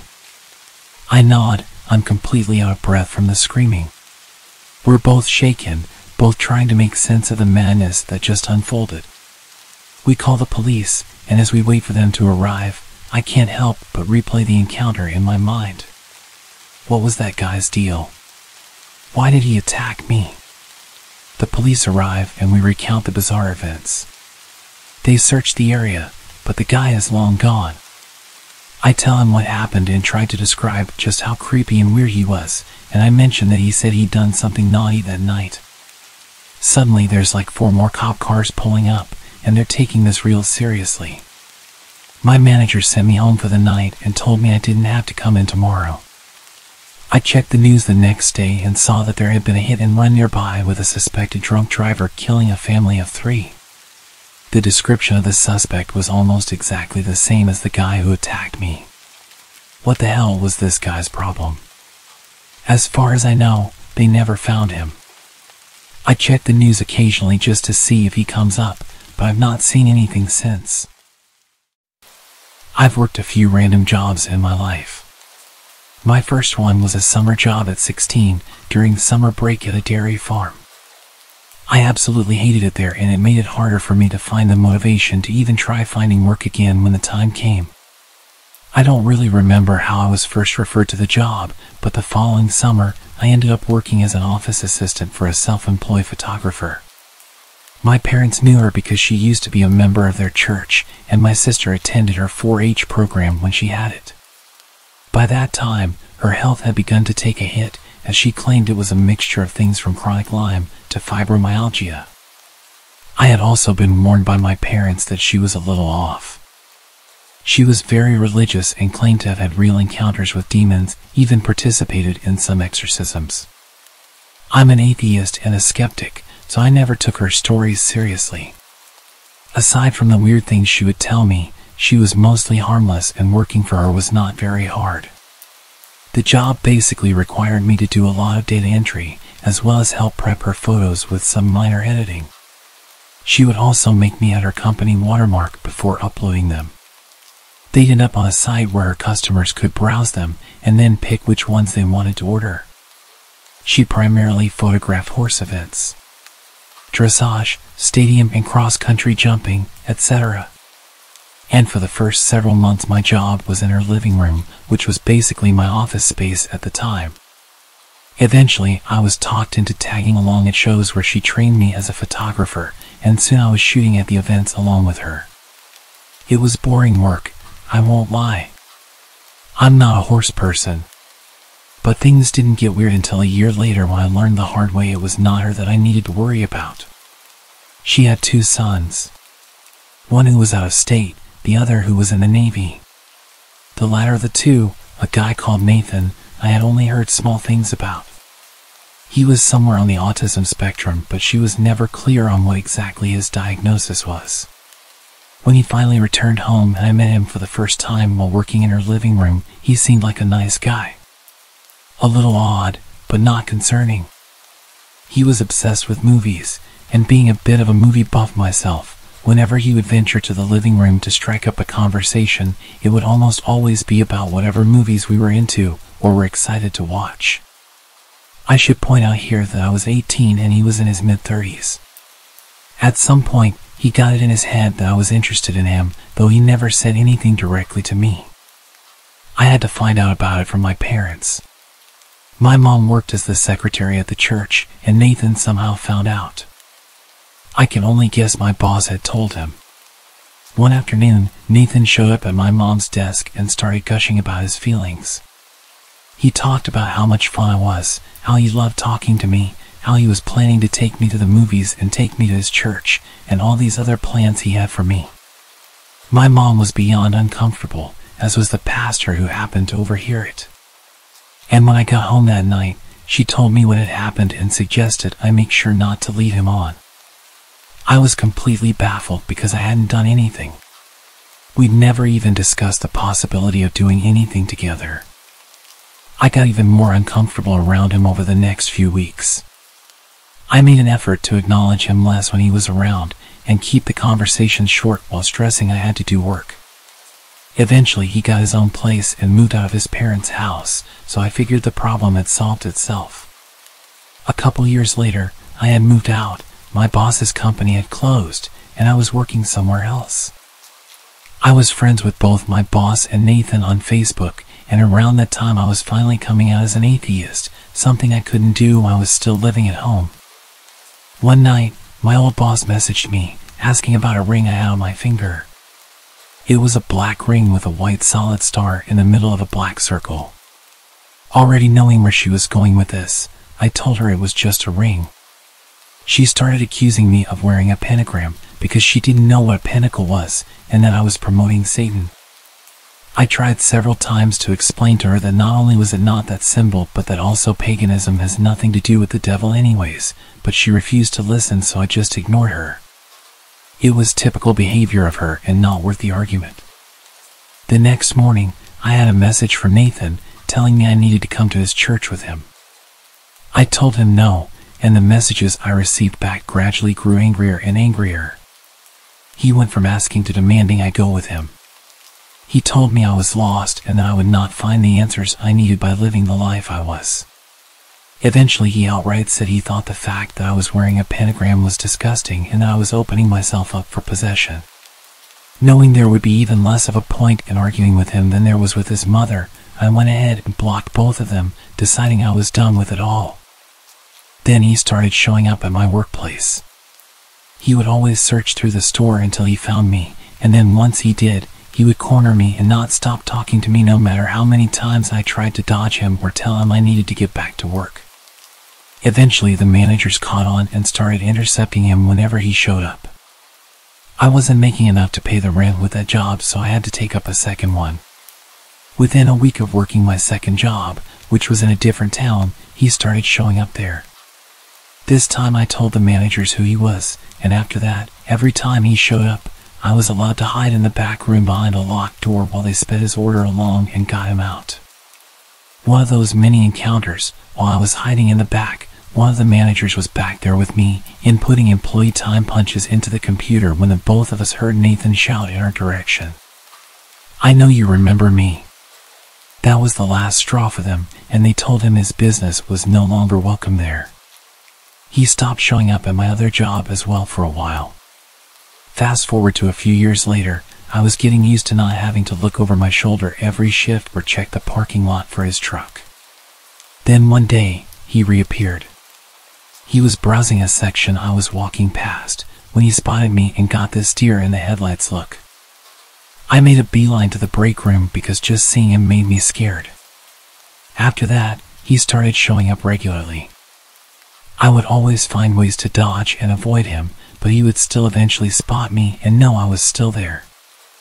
I was debating whether or not to tell the managers, because at this point it had been a while since he had done anything, and saying something just because I was nervous didn't feel right. Call me a coward or an idiot, but that was my thought process. What happened next made me regret not speaking up. It was bound to happen eventually, but one night he managed to catch me while I was at the customer service desk. He approached me and said hi, and I immediately started to look for someone to signal over so I could make a break for it. But before I could say a word, he said something that made me feel sick. How's your little girl doing? She's three, right? I looked at him, horrified. I had him completely blocked from all my social media. I had his number blocked. I was living at a new address, and I had not seen or spoken to his mother since she confronted me about my ring. I had not told either of them I was a parent now, or that I was married, and I was not friends with anyone who knew them. How's your husband doing? He's good. He's a good man, I said, trying to reinforce the idea that I was not available to him and that I had no desire to have anything to do with him. Really? Where does he work? At this point, I felt like I was going to pass out. Thankfully, another employee approached, and I got the hell out of there. As I was leaving, he called out behind me. I'll see you again. We'll talk. We'll go out and do something together. We will. I reported him to the managers, telling them everything about the encounter, including all the information that he should not have had. They were able to pull up his face on CCTV, and while I have not heard anything, I'm guessing one of them finally managed to approach him because I haven't seen him since. This has been going on for 10 years and I want it to finally be over. If he shows up again, I'm going to the police, but I'm seriously hoping it never comes to that. I just want him to stop. I haven't seen him since the incident with my managers. I think he may have gotten scared off. Turned out one of my coworkers used to work with him too at a different job and she also made a complaint about him to the managers. I don't know what they did with that information afterwards, but I know he hasn't shown up since. It sounds like they plan to call the cops if he sets foot in the store again. With two employee complaints of stalker-like behavior, they refuse to ignore that. In 2002, I was 14 years old, starting freshman year. I was an awkward nerdy girl that didn't know how to handle attention from boys, so you could say I made things worse for my situation. I had a knack for making friends with the weird people no one liked, but I tried to be friendly with everyone I met so it wasn't a big deal to me. Unfortunately, that was also my downfall. Clubs were a big deal, and they actually had an anime club, so of course I was all about that. First club meeting, I sat next to a couple of friends and soaked it all up. I thought I was finally with my people. Then here comes Stalker Kid. I'd use his real name, but to this day I have no clue what it is. He sat in front of me, and being that person, I said hi. I could tell he was uncomfortable and didn't know anyone, so I was just being nice. And boy, did this guy cling to me for that one word.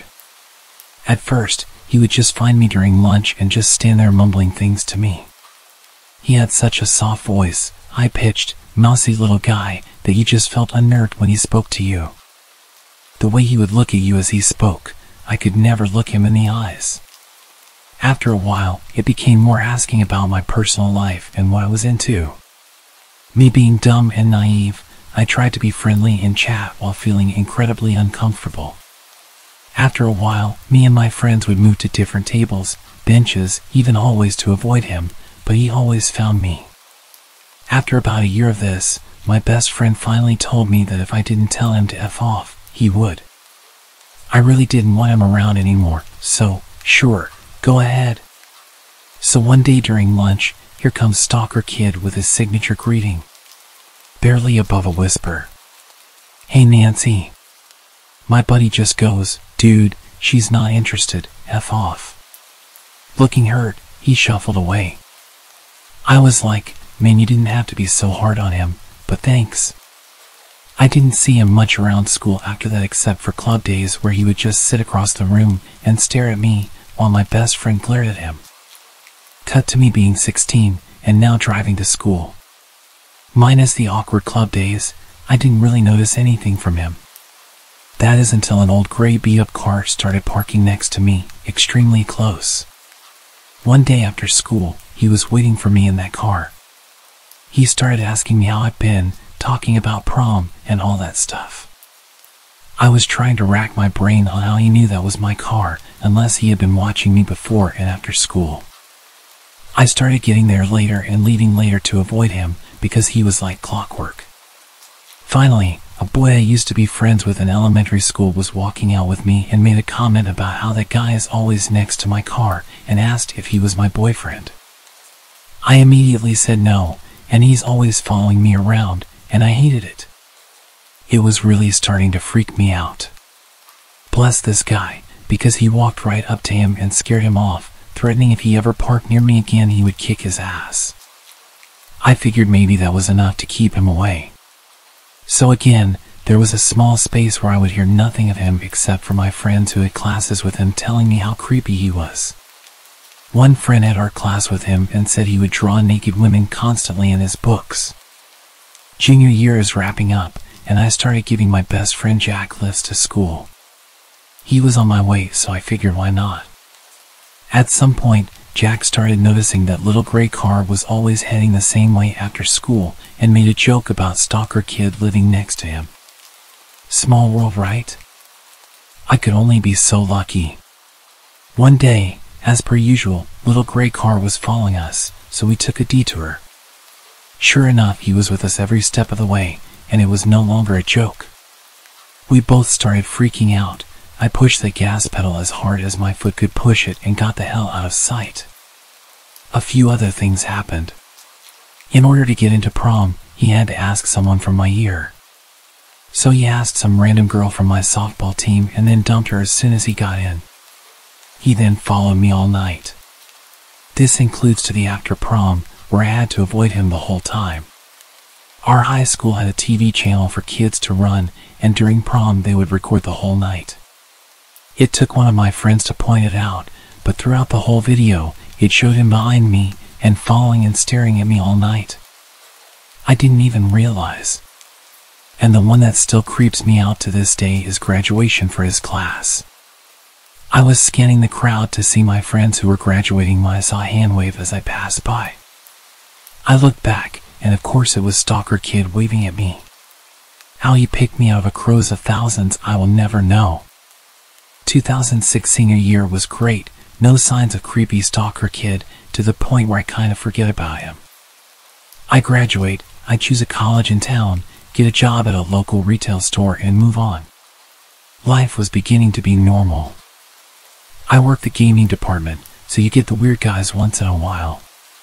One that I saw a lot was this little Mexican guy with glasses who never purchased anything but would just walk around from time to time. Then, Stalker Kid comes strolling in the doors and walks into gaming and just talks.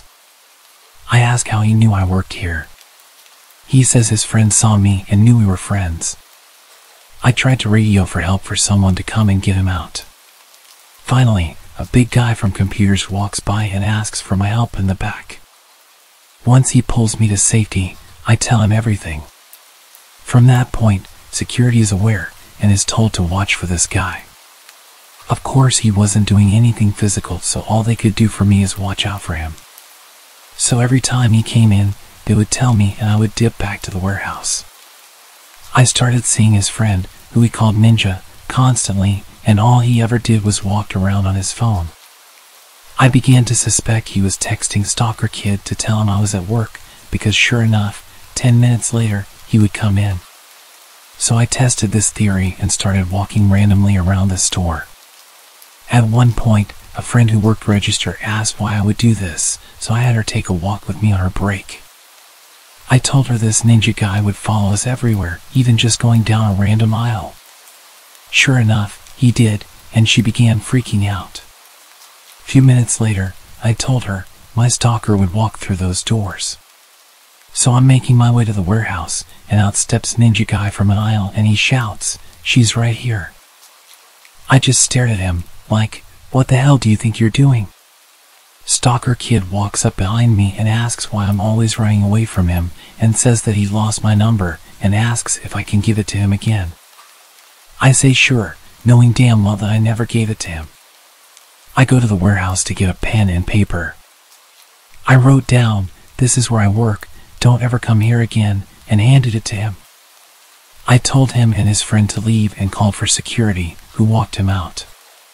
Security tells me later that he also cried while they took him out. Later that day, as I'm leaving work, security offers to walk me to my car. I say sure. Stalker Kid is out by my car waiting for me, so this is where security says he's not having it and calls the police, which we are conveniently next to their headquarters. He books it when he sees the car. Few years go by, nothing comes up. I buy a fancy new car and don't see him much. I'm thinking that did the trick and I'm finally free. 2012, my buddies and I are leaving work, ready to hit the night at the bar, per usual. We are all walking out the door where we all have to stand and wait to hear the alarm sound to verify it's armed. As we are walking out, I hear it. That awful sound.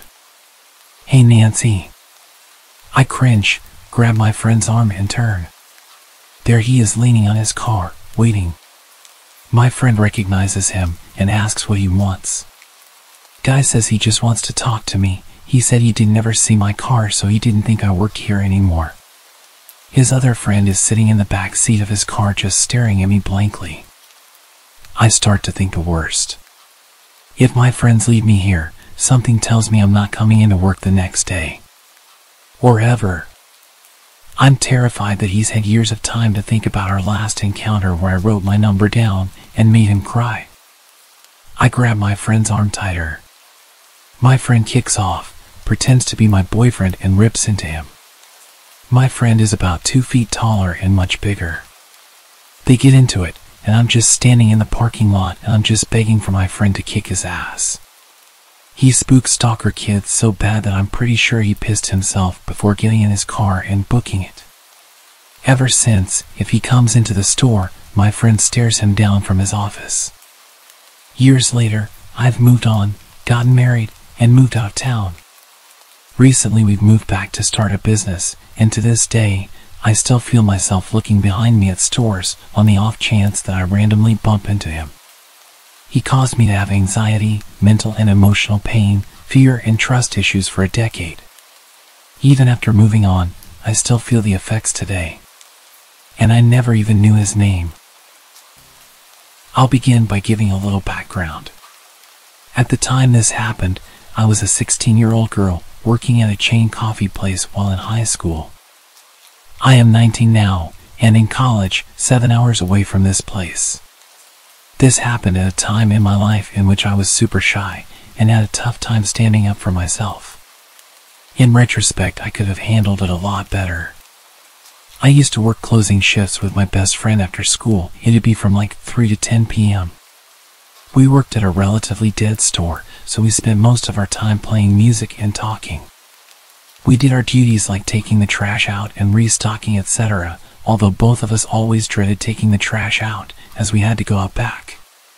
The dumpsters were behind the store, in a dimly lit area, next to a sketchy liquor store.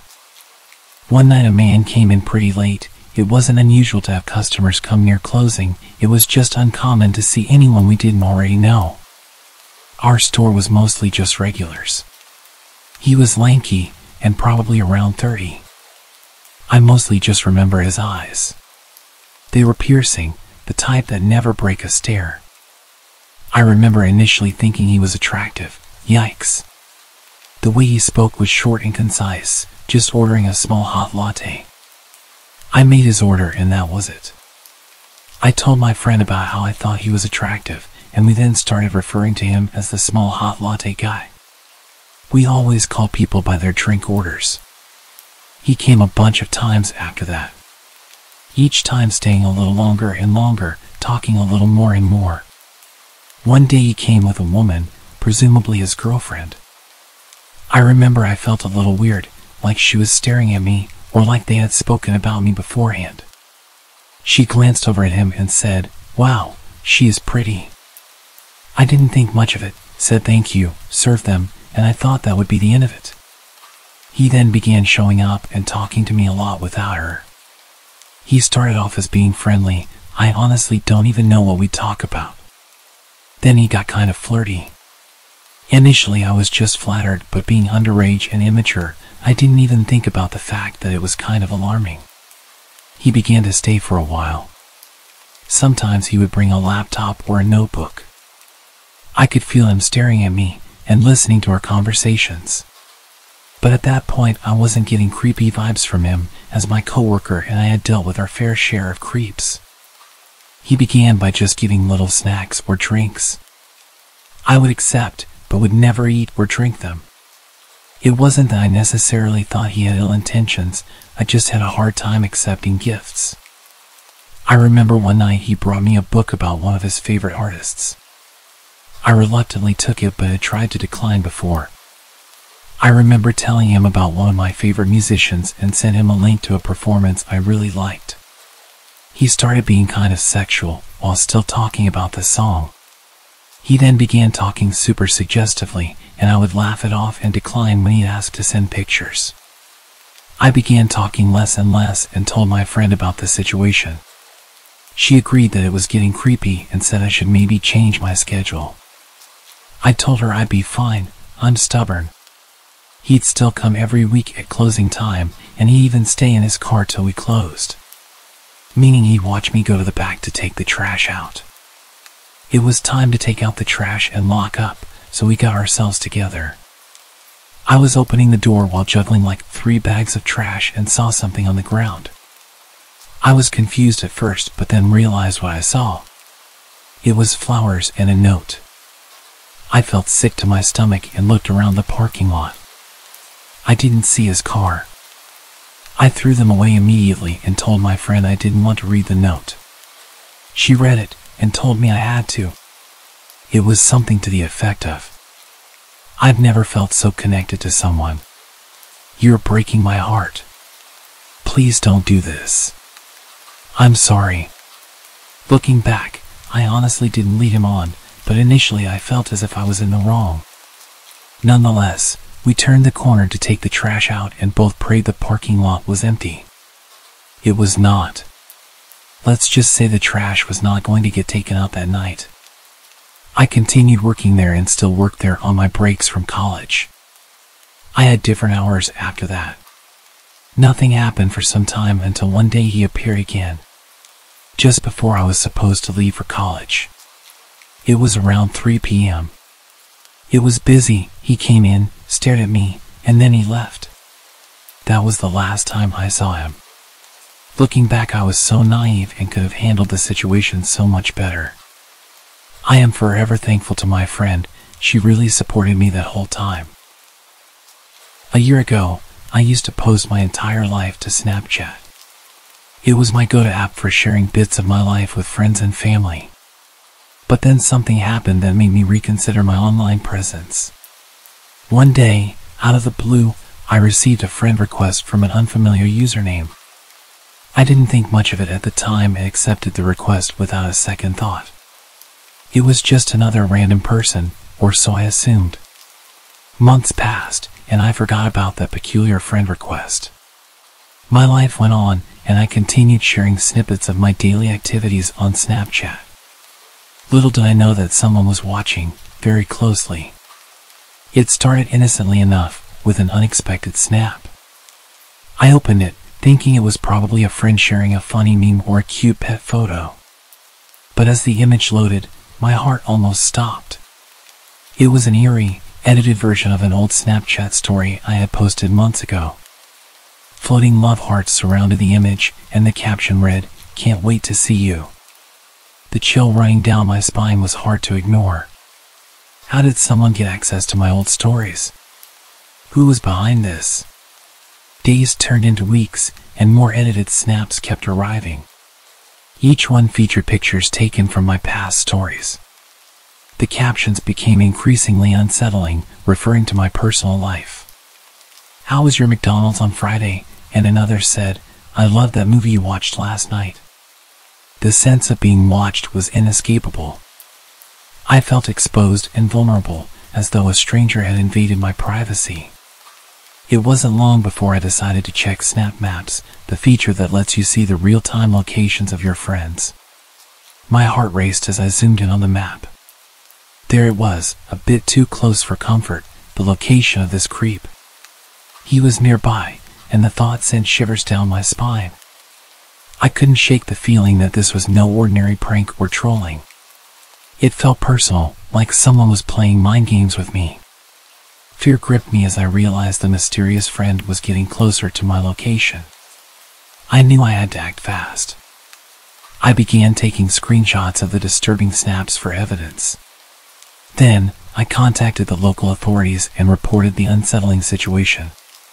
The investigation that followed uncovered the identity of the creep. To my shock, it turned out to be someone I met at a party months ago. I'd been warned about how creepy and weird he was. He would just invite himself to parties and nobody wanted to be rude and kick him out, so we just tolerated him. To be fair, I had no issue with him and spoke with him a little bit throughout the night, but didn't see much of him. I guess being nice to the social outcast when everyone else kept him at arm's length was enough for him to become obsessed with me. They didn't end up charging him with anything, but they told him to leave me alone and explained to me that I could get a restraining order, but I didn't see the point. This happened a couple of months ago, December of last year. I started working a new job in the mall and had to work for most of Boxing Day. I was done at 10 and transit seemed to have ended at 7. I'm a student who didn't go home for the holidays due to this job and never had to deal with holiday transit hours. I decided to call an Uber and the driver picked me up right in front of the mall. We had a casual conversation during the drive back and he learned about where I worked and how I'm living on my own for the time being since my roommates went to their hometowns. Fast forward to the next day at work around 6 p.m. This driver walks into the store and tries to strike a conversation with me, but I told him I had to get back to work. He also asked if we could hang out later, to which I said no, and he left. At the end of that shift, I walked out of the store, planning to take transit. As soon as I stepped out of the store, the driver immediately pulled up next to me and offered to give me a free ride back home. After going back and forth with me declining and him saying it's free, I decided to walk away and caught a bus home. I was pretty overwhelmed by the fact that he showed up to my workplace and waited three hours until I was done with work to offer me a ride home. I've reported this to Uber and they notified me that they suspended this driver, provided me with a full refund, and gave me a link to provide to the police if I plan on filing a report. Silly of me to give away information like that to a stranger, but I hope to never meet that driver again. He was about twice my age. He knows where my home is and my name. Lesson learned.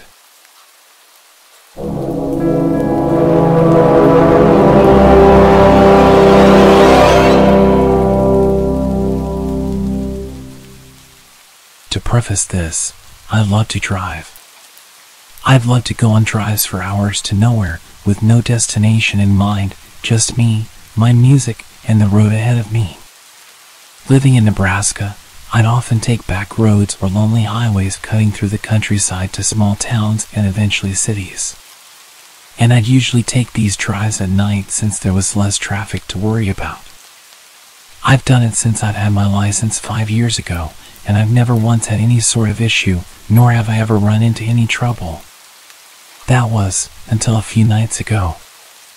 For reference, I'm a relatively small 22 year old female, and as I've stated before, I often take these drives completely and utterly alone. They're a good way to clear my head when I'm stressed, upset, or overwhelmed, or for me to get a plan together to sort personal issues out. I've also done these long and lonely drives to get away from the toxicity of my household when I used to live with my parents as a means of coping with their alcoholism.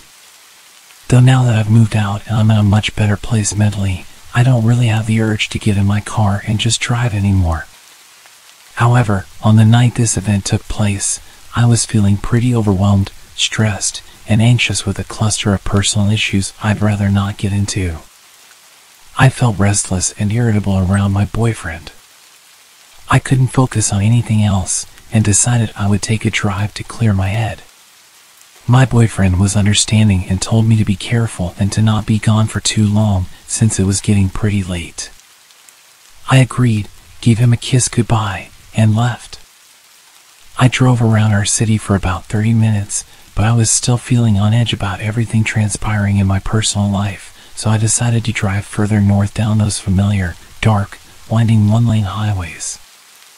I kept the car at a steady 65 miles per hour, taking the turns at a slower pace in case a deer jumped out around the bend. I kept driving and was just admiring the vast empty darkness of the snow-capped fields and barren trees.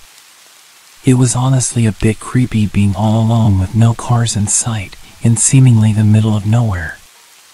The few houses miles back from the road were lightless, and the dead cornfields withered away, snow started to cover them entirely. It was like something out of a horror movie, and I half expected to see a ghost pop up in my rearview mirror or see someone clamber out from the patches of trees dotting the horizon.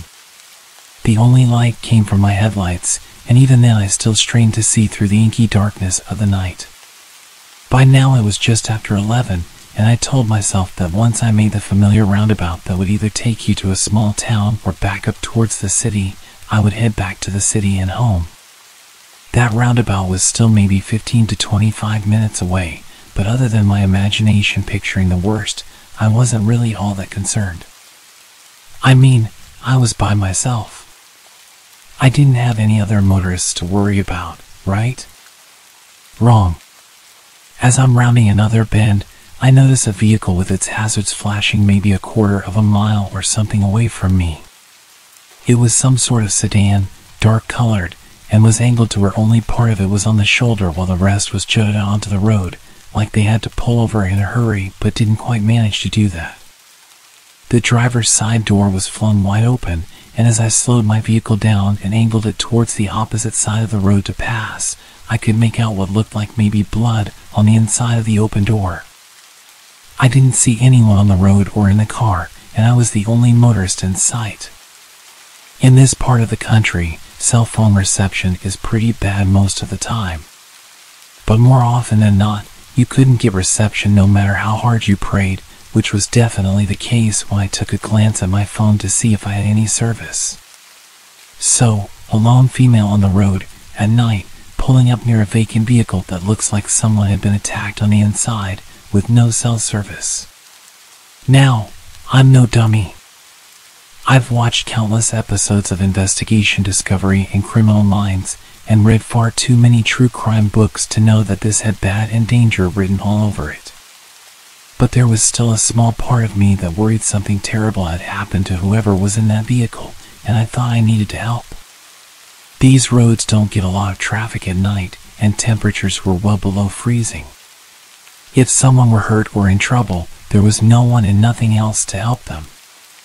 Still, I erred on the side of caution.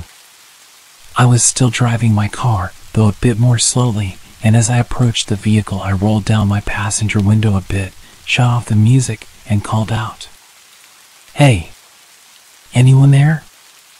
Are you okay? I didn't hear a response. I worried they were passed out somewhere, but I wasn't about to get out and look for them.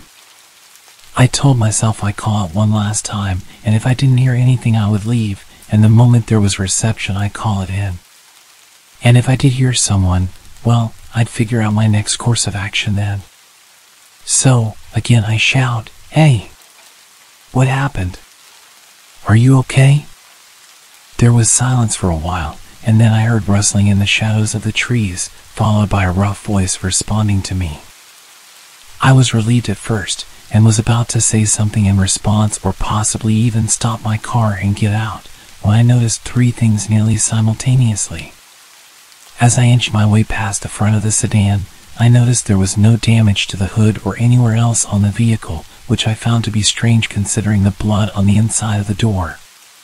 In my rearview mirror, I caught a glance of someone coming out from behind the sedan and they were making their way towards my car, fast. The person didn't have any blood on them, nor did they appear injured in any way, and they were wearing a mask, not like a face mask for COVID or a ski mask or anything normal, but one of those masks you would see in the Purge movies. And they were holding something in their hand. I don't know what it was. I couldn't get a good look, but from its length and shape, my guess was maybe a tire iron or a crowbar or something.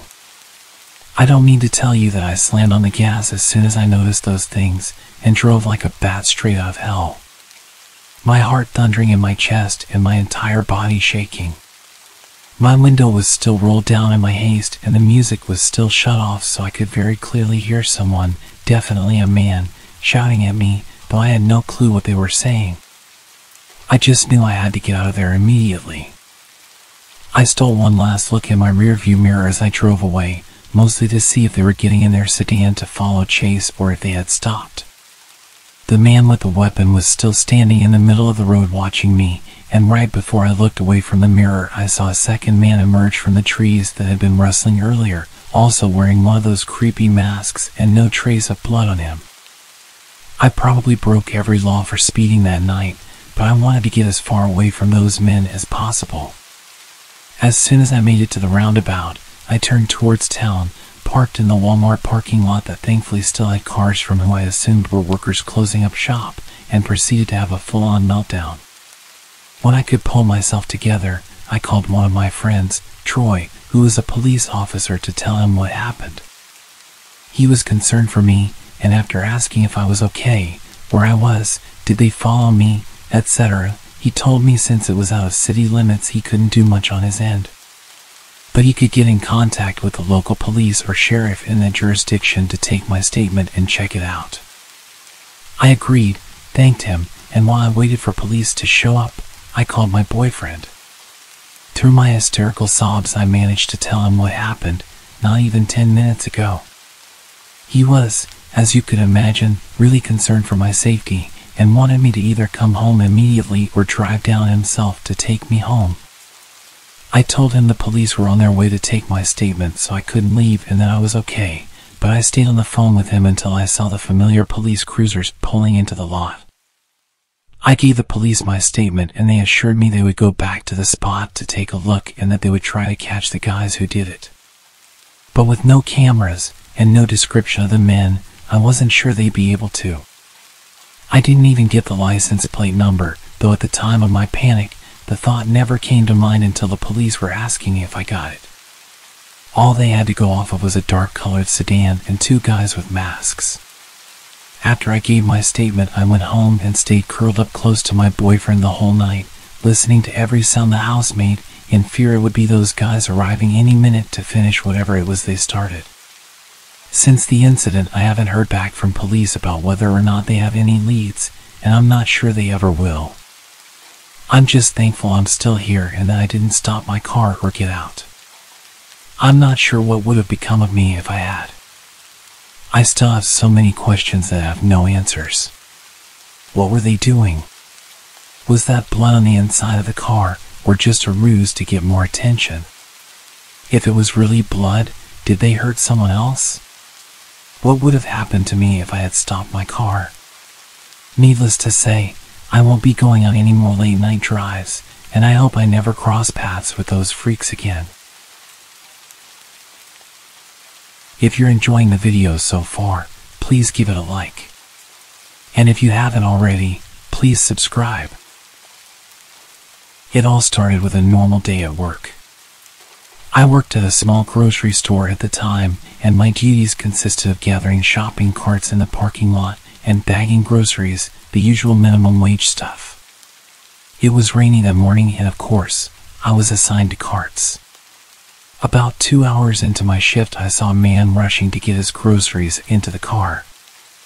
I ran over to him and started helping him with his bags. Mind if I help you get out of the rain? Yes. Thank you so much. As he was closing his trunk, he looked at me with a very surprised look on his face. He lowered his eyebrows, skinned me from head to toe, and smirked. Are you a new hire? No, I've been here for a couple of months. Oh, you are very pretty, he said in a weirdly sensual tone. Thank you. Have a good day. I shut it down. I was not interested. As I was walking back to the store to hide until he left, I could feel him watching me while I walked away. Nevertheless, I continued to work, not really thinking about it. After my lunch, I was at the register bagging groceries and I noticed that same man from earlier walk in. I pretended I didn't see him and just kept bagging. He came up to the register and got a single chocolate bar. I didn't give him a bag. He stands towering over me and says, Are you going to bag my item? Oh, sorry. I didn't know you wanted a bag for one thing. I put his chocolate bar in a bag and told him to have a good day. When are you off work, sweetheart? Ah, man, I'm not comfortable giving that information out. He returned with, That's okay. You've been here, what, five hours? You probably get off around seven, right? He smiled, winked at me, and walked away. Disgusted, I went to my manager and told her what happened. She told me not to work the lot anymore and to ask someone to walk me to my car. So by the end of my shift, I had a male coworker walk me to my truck and we scanned the parking lot looking for this man's car. We didn't see him, so my coworker went back inside and I started my truck. I called my mom to tell her about what happened, and once she answered, I left the parking lot.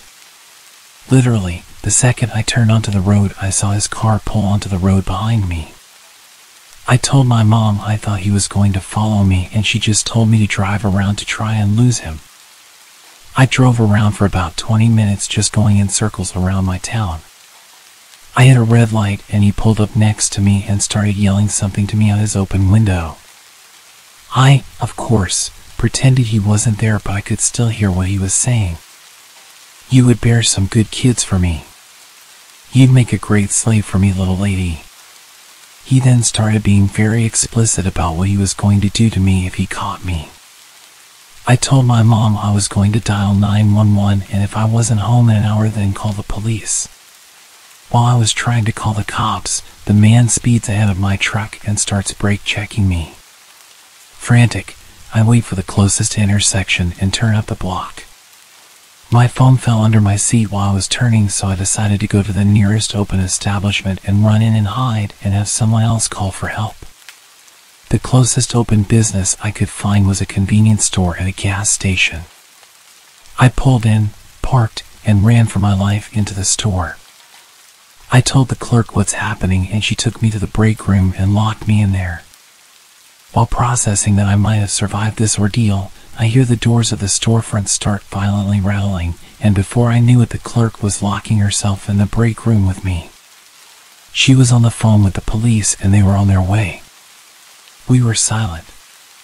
Cowering in a dark room, I found myself feeling guilty for wrapping another woman into our worst fear.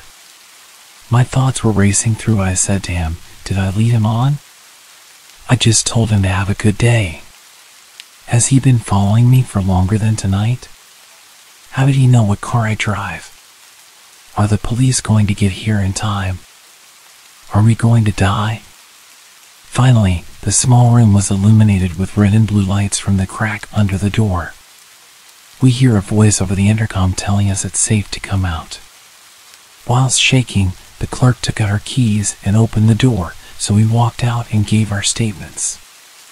After the police leave, I turned to my unexpected savior and profusely thanked her. We cry, hug, and she walks me to my car.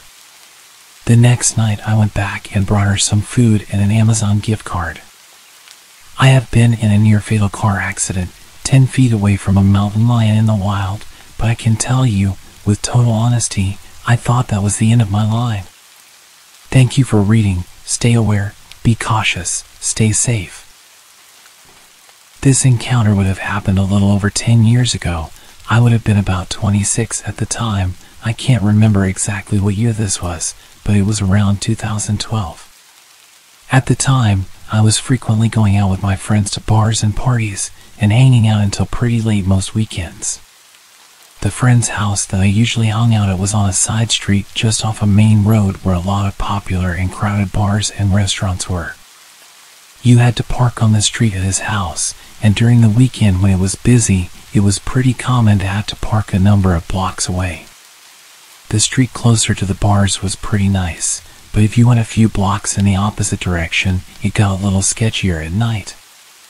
After a night of hanging out, I had to walk back to my car pretty late, which was parked a number of blocks away towards the slightly sketchier area. This was during the winter, so I was wearing some kind of heavy sweater or pullover and beanie hat. This detail is only important as you couldn't really gather much idea about what I looked like from a distance in the dark, aside from my general height and build. There wasn't much through traffic as you got further away from the bars, and the roads were pretty dark without any streetlights. As I was walking down the sidewalk, a car started slowly creeping down the street, matching my pace as it pulled up beside me and then stopped. The window of the car rolled down, and driving the car was an attractive young woman who said that I looked cold and that I should let her give me a ride to where I was going. She seemed very friendly. I indicated that I wasn't parked far away and appreciated the offer, but was going to just keep walking. She then tried really hard to convince me to get in the car with her since it was so cold. No small talk to establish any information about me to make sure I wasn't a weirdo, just asking me to get in the car pretty aggressively. Based on what I was wearing and how dark it was, there was no way she really could have had much idea about what I actually looked like to possibly find me attractive, and even if she did, I don't know many women who would pick up a male stranger after midnight when they're alone in their car. There were about 10 bars nearby she could have gone to if she just wanted to pick up a guy. There was no reason I could think of that she would have to resort to driving around offering to pick up strangers. She continued to drive alongside me and offered me a ride again, which I declined and kept going. I picked up my pace and she eventually drove off. As soon as she was a few blocks away, I quickly got to my car and made sure there was nobody lurking around or close by. The whole scenario felt off and didn't make sense to me. I asked my friends about it later, and all of the women agreed they wouldn't offer a random guy a ride especially at night time, in that kind of scenario, even if the guy looked like Ryan Gosling or Channing Tatum. My suspicion is that there was someone laid down in the back seat of the car out of view with a weapon waiting to rob anyone who accepted the ride. I couldn't really figure out any reason she would be offering rides like that to complete strangers in the middle of the night, as it would be very unsafe for her to just pick up random strangers. I just assumed there had to be something nefarious going on in that car, and I do wonder what would have happened if anyone just hopped in the car with her.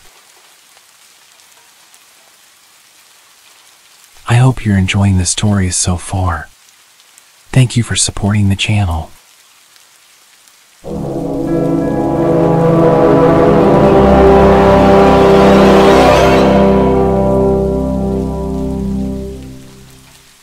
Back when I was 18 years old, I was house sitting with a girl I was studying with. The family we were house sitting for went to the same church as her, but I didn't really know them well myself. It was more to keep her company in a huge house. This was 1997 when the average teen like me didn't have a cell phone. During that week, there was a short break in the school calendar, which is why this family was away and why the streets in the area were quieter than usual. My apartment, as well as the house we sat for, was not far from the university. My apartment was actually a three minute walk from it, and the house a further five minutes by car. So, being a student neighborhood, it was particularly quiet this week. The first weird thing that happened during the week I was at this house was that I dreamed I was driving through a dark forest on a hilly dirt road with no lights anywhere except for those from my car's headlights. As I started to go down a hill, the headlights suddenly cut out and everything went dark. The car slowed down to a stop and died. I woke up. In the morning, I went out to my car and it wouldn't start. It had been working perfectly the day before. I had to call a guy to come fix it. It was the starter motor. Well, that was the first creepy thing that happened that week. About a day later, it was Friday. I planned on driving back home to my parents who lived in a smaller town about 45 minutes away. I packed up my stuff at the big house and was going to head over to my apartment to collect whatever else I needed for the weekend. That trip between the house and apartment was, as I mentioned, only five minutes or so away. Since it was winter, it was dark by the time I left at around 7 p.m. As I was driving from the house, I noticed in my rear view mirror the headlights of the car behind me tailing me really close. Whenever I would turn, it would also turn. Back then I was cautious, but not overly so. Cautious enough to notice in such a short distance that something weird was going on behind me. But then when I pulled up to a traffic light, it wasn't there anymore. Relief. Short lived. The car was now beside me. I looked to my right, and there was a man inside. Alone. Smiling at me. Looking like a maniac. For a moment I thought, geez, I should really drive with a beanie on at night so people can't see that I'm a petite 5 foot 2 female with long blonde hair down to my waist. I also thought, well, he's in the lane to turn right, so I'm good. I pulled off, and the headlights were behind me again. What an ass, I thought. Who drives like that? Thank goodness my turn is coming up on the left soon. After another minute or two of this tailgating, I slowed down, strategically didn't indicate, and made a sudden sharp left into my driveway, opened the automatic gates, and shot inside. The gates closed behind me. I gave out a sigh of relief, thinking that the drama was over. I gathered a few things from the car to take up with me and noticed on my way over to the stairwell that there was a man at the gate that had just closed behind me. He was still on the other side and I was at the far end of the parking lot, but I could make out it was the dude from the tailgating car. He was jumping up, shaking the gate with absolute rage. Well, I was safely on this side, so I wasn't completely gripped with fear. And besides, there was a group of students making a noise nearby arriving for a party or something. I headed to the stairs and started going from ground level to the first floor. Rounding the stairs on the first floor, I noticed someone running across the parking lot towards the staircase. In hindsight, I still can't fathom why I didn't realize what had happened. I guess it's because I subconsciously knew that there was the group being let in through the pedestrian gate. As I was rounding the staircase between the second and third floors, someone suddenly touched me. I spun around. The guy. He had slipped in as part of the small crowd. He said something. I said something sassy back and told him to F off. Then I turned my back on him to continue up the stairs. I lived on the third floor. He grabbed me from behind and held my back against his chest with his left arm around my neck. I felt something being held against my right side. Aw crap. A knife. He led me down. I remember thinking that the light was broken on the bottom level. This can't end well. But I was calm. I resisted slightly, and he tightened his grip. I felt like I wasn't getting enough oxygen. I started to become a dead weight. He started to drop me. I was groin level. I elbowed. It connected. He dropped me but spun around to face me. He ripped the front of my button down top. Then he stopped. He looked at someone behind me. Someone taller than him. His eyes went wide. He turned and ran. I screamed. Then I too turned around to see who had come to help. There was no one there, but people came out of their apartments after that. The police were called. This was the second time they were there that night. Turns out the other weird thing that happened was that my dad had already called the police and they had come past an hour before. My mom had had a weird feeling all evening and had hassled my dad endlessly that something bad was going to happen to me. She had been right. As it turned out, they caught him. I identified him in a lineup. He was a serial offender in the area. He was accused of assaulting something like 14 women. One had thrown herself out the first floor of her apartment to get away from him and broken her leg. Weeks later, the police called me. Before his trial, his cell door had been left open. He was gone. Apparently, an inside job. I've had a few creepy things happen to me in my life, but this one still makes me think about how things could have gone wrong very quickly. I'm a 20 year old female, and this story takes place back when I used to live in southern Indiana in a seriously remote area. It was a weekend night, and my best friend and I were heading home after our graveyard shift at a local waffle joint. She decided to pick up her dog from her house so we could spend the night at my place. That's important later. We started heading into the rural countryside where I lived, and to get to my house, you had to travel down a long, narrow dirt road. About a mile in, we spotted a truck's headlights. As we got closer, we realized it was a nice truck, probably from around 2018. I can't say I know much about cars, so cut me some slack. The truck was parked sideways, blocking the entire path. Confused, I got out of the car and asked if the driver was okay.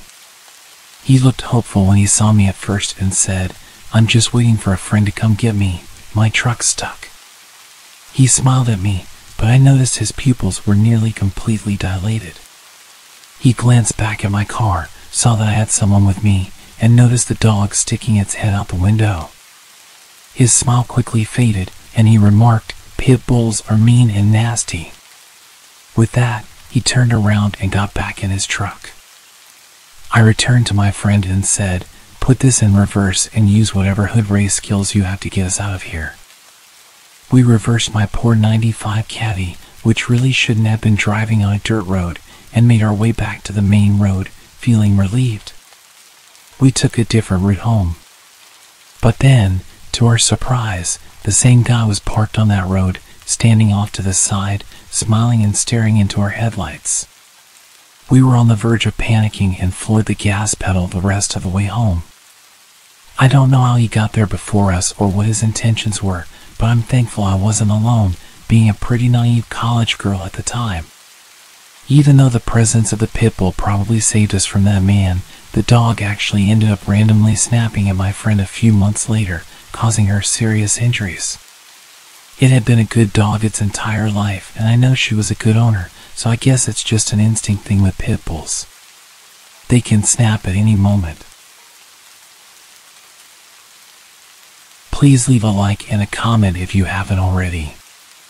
What was your favorite story?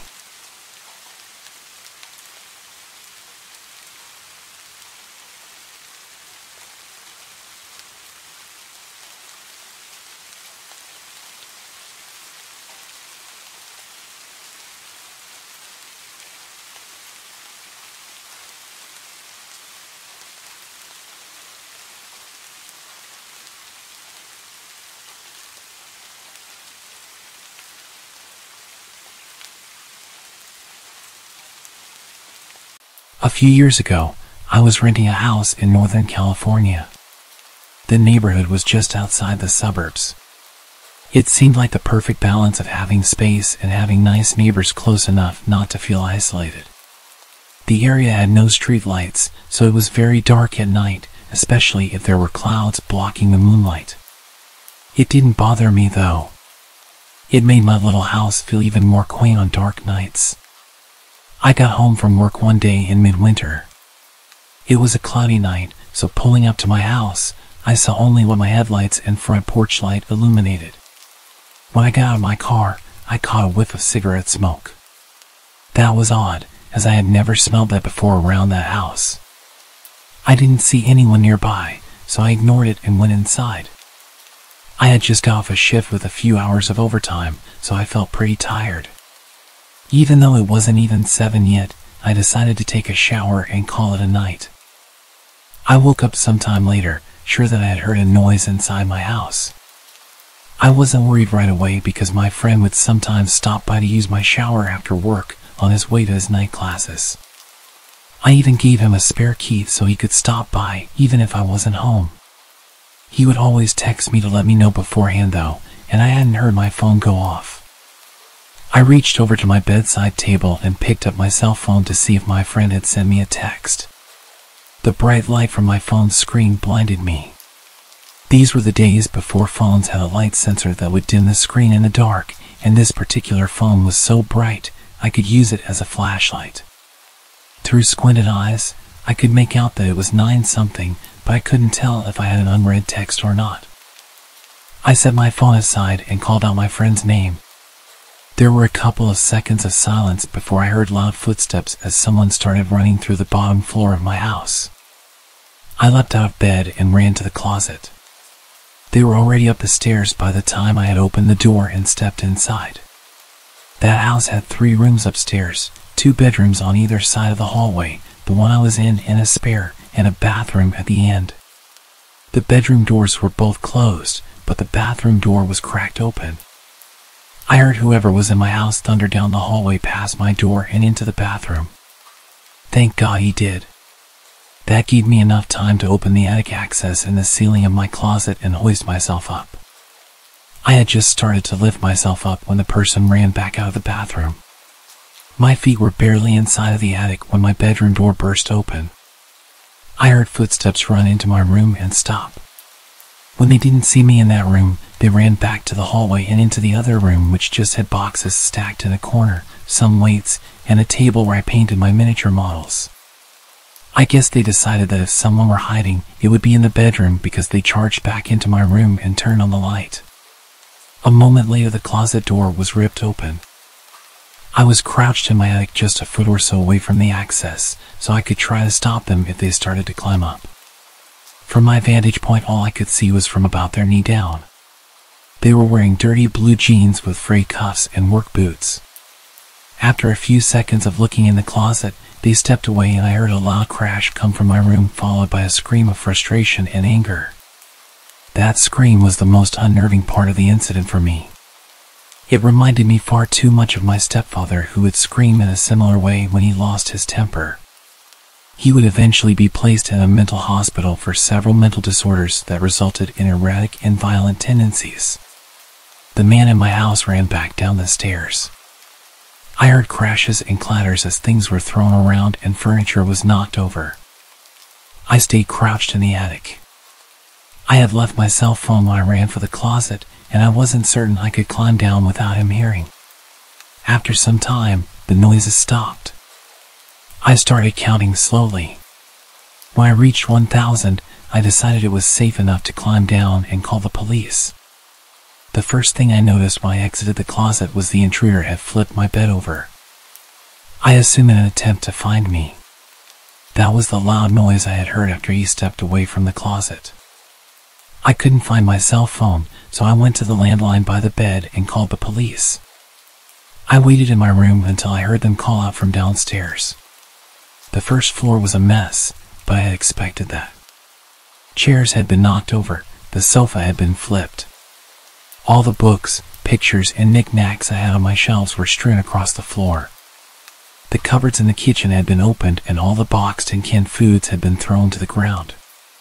As far as I could tell, though, the only thing missing was a single knife out of the wooden block in my kitchen. The police checked the house from top to bottom. They found that the side door had been forced open by something like a crowbar. They also found a few cigarette butts along my fence line along with some foil and an empty pen, which the police said people often use to smoke meth, so they think he had been watching my house for a while. I realized that he must have been out there smoking a cigarette when I got home. They collected up the evidence and told me I should stay with family or friends that night and get that door fixed as soon as possible. I opted to just not sleep. I moved a shelf over to block the broken door and spent the next couple hours cleaning things up. I would often go to the window with a flashlight and shine it along the fence line where the police found the cigarette butts and foil, but I didn't see anything. The next day I called to have the door fixed and get motion lights installed at the back and sides of my house. I ran a phone cable up into the attic and added a landline. I never wanted to be stuck up there without a phone again. Nothing else happened at that house though. I lived there another three years without incident. One more precaution I took was practicing getting out of my bed, going to my closet and climbing into the attic as quickly and quietly as possible. I even practiced doing that at my new place, except now I go to a crawl space at the back of the closet instead of the attic. I try not to think about what would have happened if I had been a bit slower getting to the attic or if he hadn't gone into the bathroom at the end of the hall first. If you're enjoying the video, please gently click the like button and subscribe if you haven't already. My roommate was out of the house for the week, so I had the place to myself. It was spring break, so my college classes were out. I had no plans and really nothing I needed to do. On Monday, I was basically trapped inside due to a huge storm blowing through our city. This was common around this time of year, but it still always seemed worse every time. The trees always looked like they were going to blow away, and the house would shake and creak nonstop. Knowing I wouldn't be able to sleep, I decided to just stay up. I turned on the Xbox and started up one of my video games and played for well over an hour, probably until 11 o'clock when the doorbell rang. I paused the game and got up, but then I remembered the whole storm situation. Who would be outside right now? I went over to the front door and looked through the peephole, but nothing. I opened the door. The wind and water hit me right away, but when I looked around, I didn't see anyone. I closed the door and thought maybe the wind had somehow rung the doorbell. I don't know, it sounds dumb now, but what was I supposed to think? I went back to my game, but only a couple minutes later, I heard a huge crash in the backyard, stuff tumbling over and breaking. I immediately knew it was our patio furniture and ran over to the back door. Everything was scattered around the yard, blowing around in the wind. I quickly put on my shoes and went outside, pushing each piece of furniture up against the back of the house. The wind was so heavy it would even hurt sometimes when the water would hit my face. I was rushing, going as fast as I could until I saw someone. They were standing at the edge of the backyard, watching me. I looked back at them for a moment, but then grabbed the last piece of furniture and ran inside to escape the rain. I looked at the back door as I dried off, but the person was gone. Between that and the doorbell ringing, I was a little bit nervous. I sat in the living room this time, just scrolling on my phone because I was tired of being interrupted. After a while, I struggled to keep my eyes open. I got a blanket and laid down on the couch. I didn't feel like going upstairs, and the storm was much louder up there. It took a while, but eventually, I drifted off and fell asleep. A few hours later, still well into the night, I woke up from a sudden burst of heavy wind outside, shaking the house. I pulled the blanket to the side and sat up, moving my feet to the floor as I prepared to go check if the furniture outside was still there. But just when my feet touched the floor, they were soaked. It woke me up immediately. I looked down and saw a puddle on the ground right next to the couch. Then I saw another, leading in a line across the floor.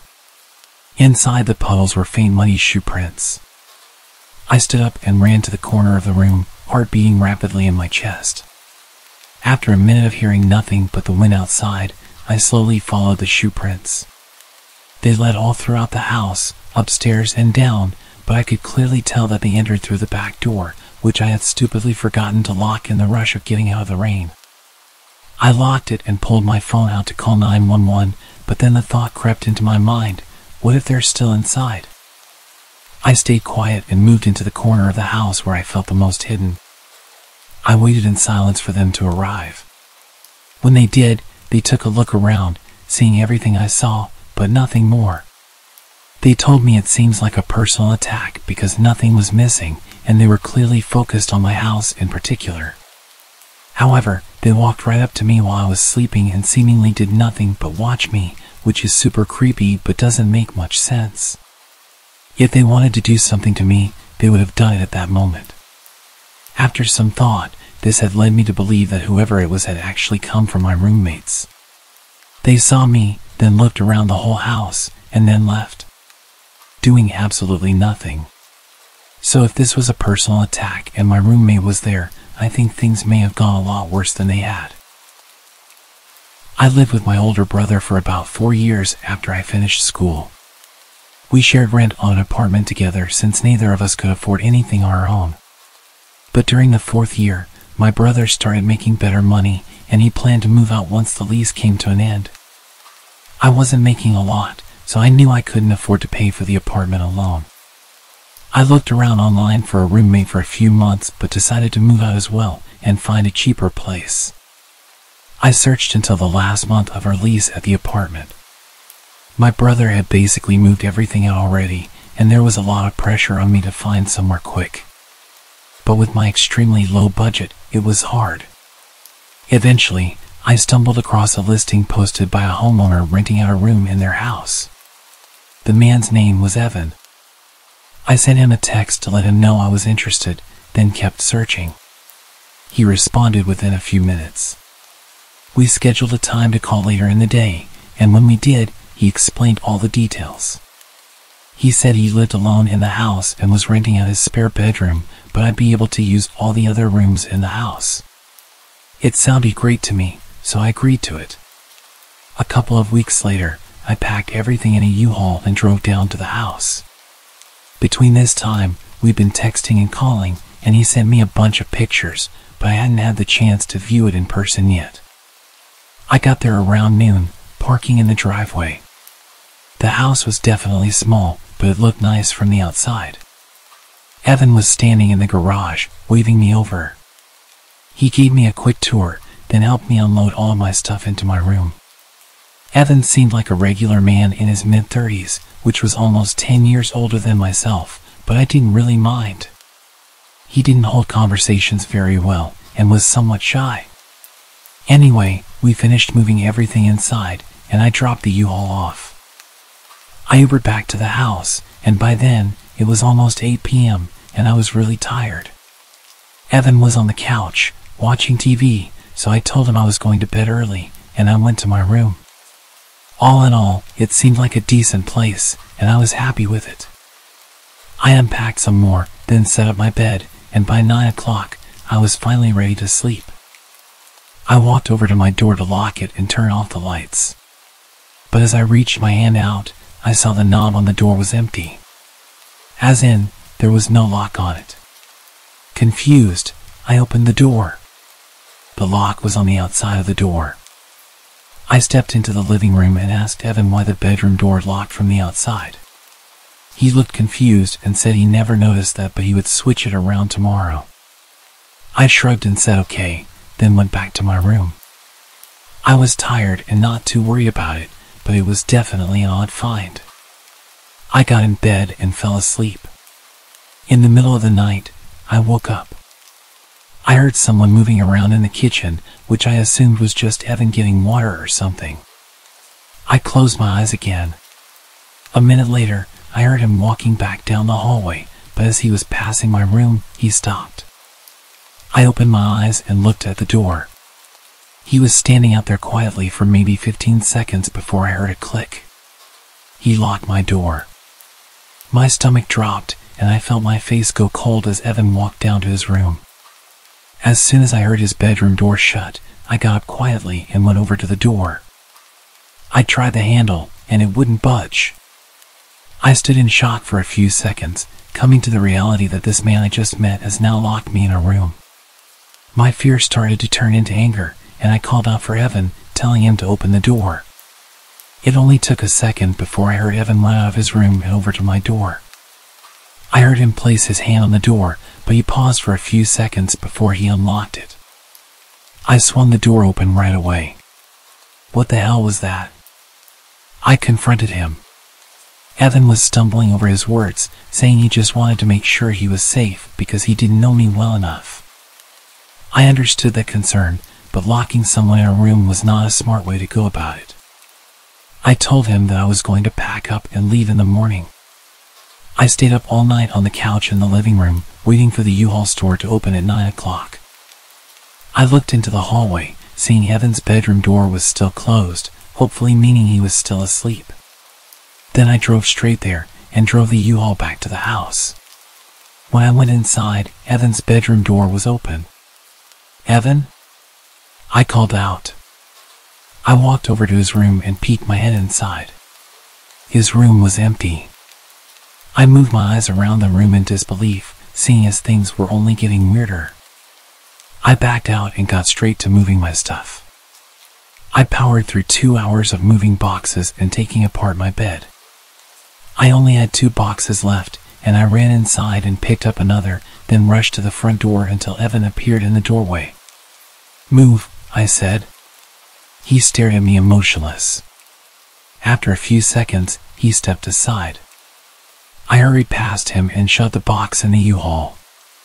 The last box was half full of random food I kept from my old pantry at the apartment. I decided to just leave it. Evan was freaking me out, and I wanted to get away from him as soon as possible. I started closing the back of the U-Haul before Evan interrupted. You forgot this, he held out the last box. Oh yeah, thanks. I grabbed it from him and climbed back into the truck. I felt him watching me as I stacked the box, and when I turned, he had his hand on the door. He started pulling it down, trying to close me in. I was able to stop him before the door was even halfway down. I shoved him to the ground, but he got up and ran.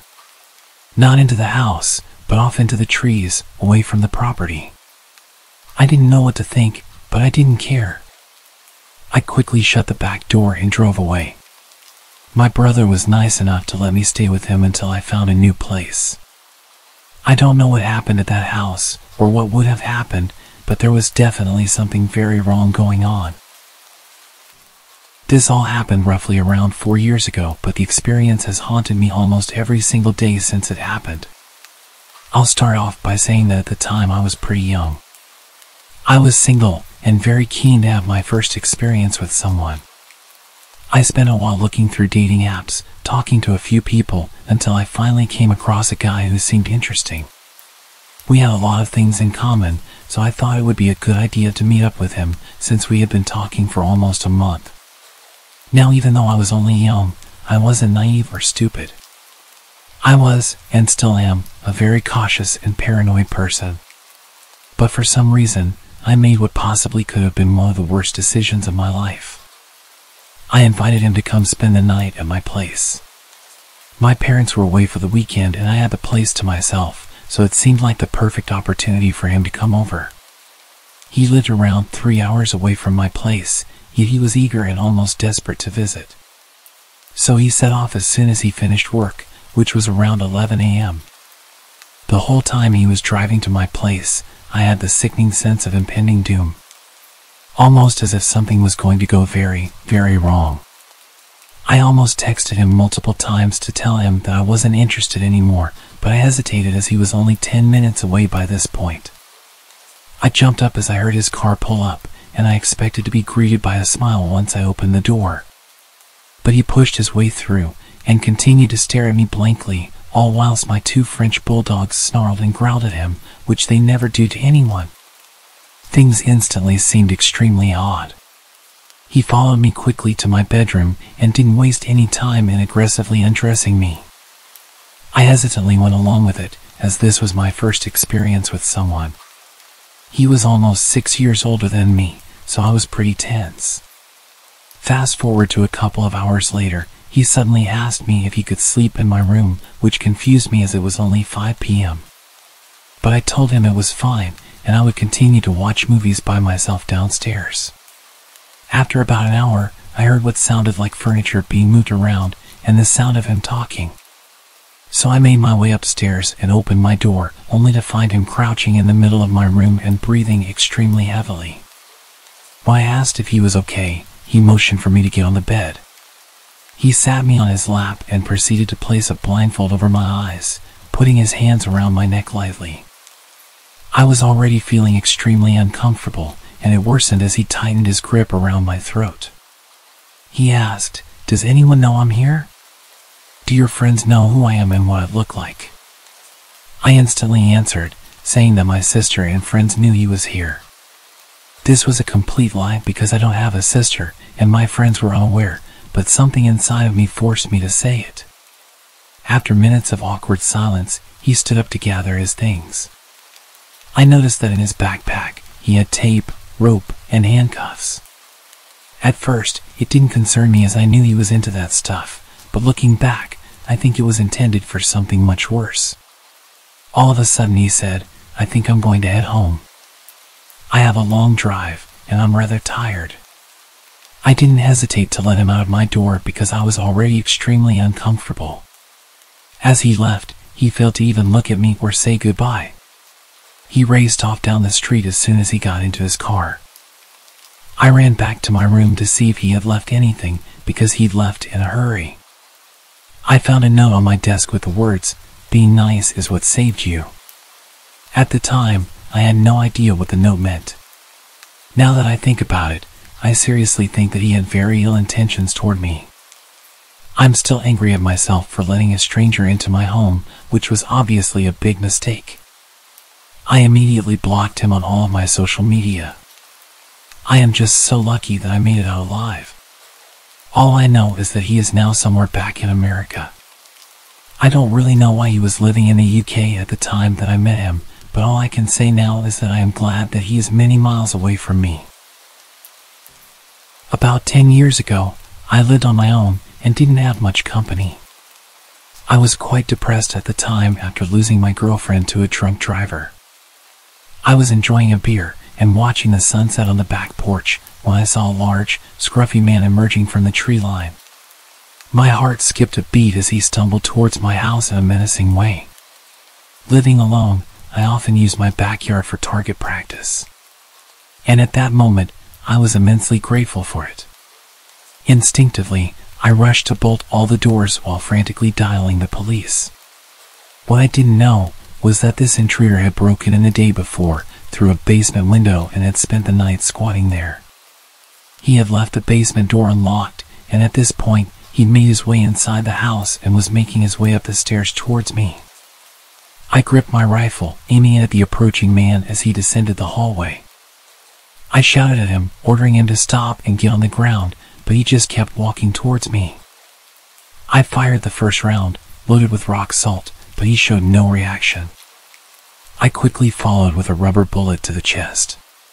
Yet the drugged up guy who was clearly out of his mind continued advancing. This guy was huge, at least twice my size, and I realized that whatever drugs he had in his body were going to push him through any pain that a rubber bullet would inflict. He was backing me into a corner. I desperately begged him to stop and warned him what would happen, but he just moaned at me like a zombie and shouted, Shoot! Do it! Then he lunged towards me.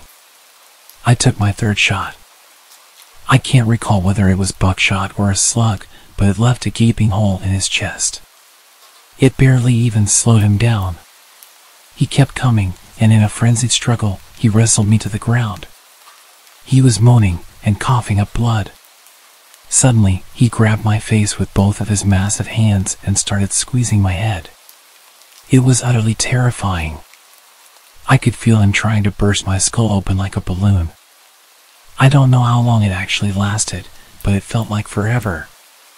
Eventually, the injury finally caught up with him, and he died on top of me. I was laying with him crushing me for a few minutes. My energy was completely drained, and I could barely breathe with his weight on top of me. His body was pushing my rifle into my chest, and it was causing me serious pain when I tilted his body to the side. I was completely drenched in his blood, and I can still remember the overwhelming smell.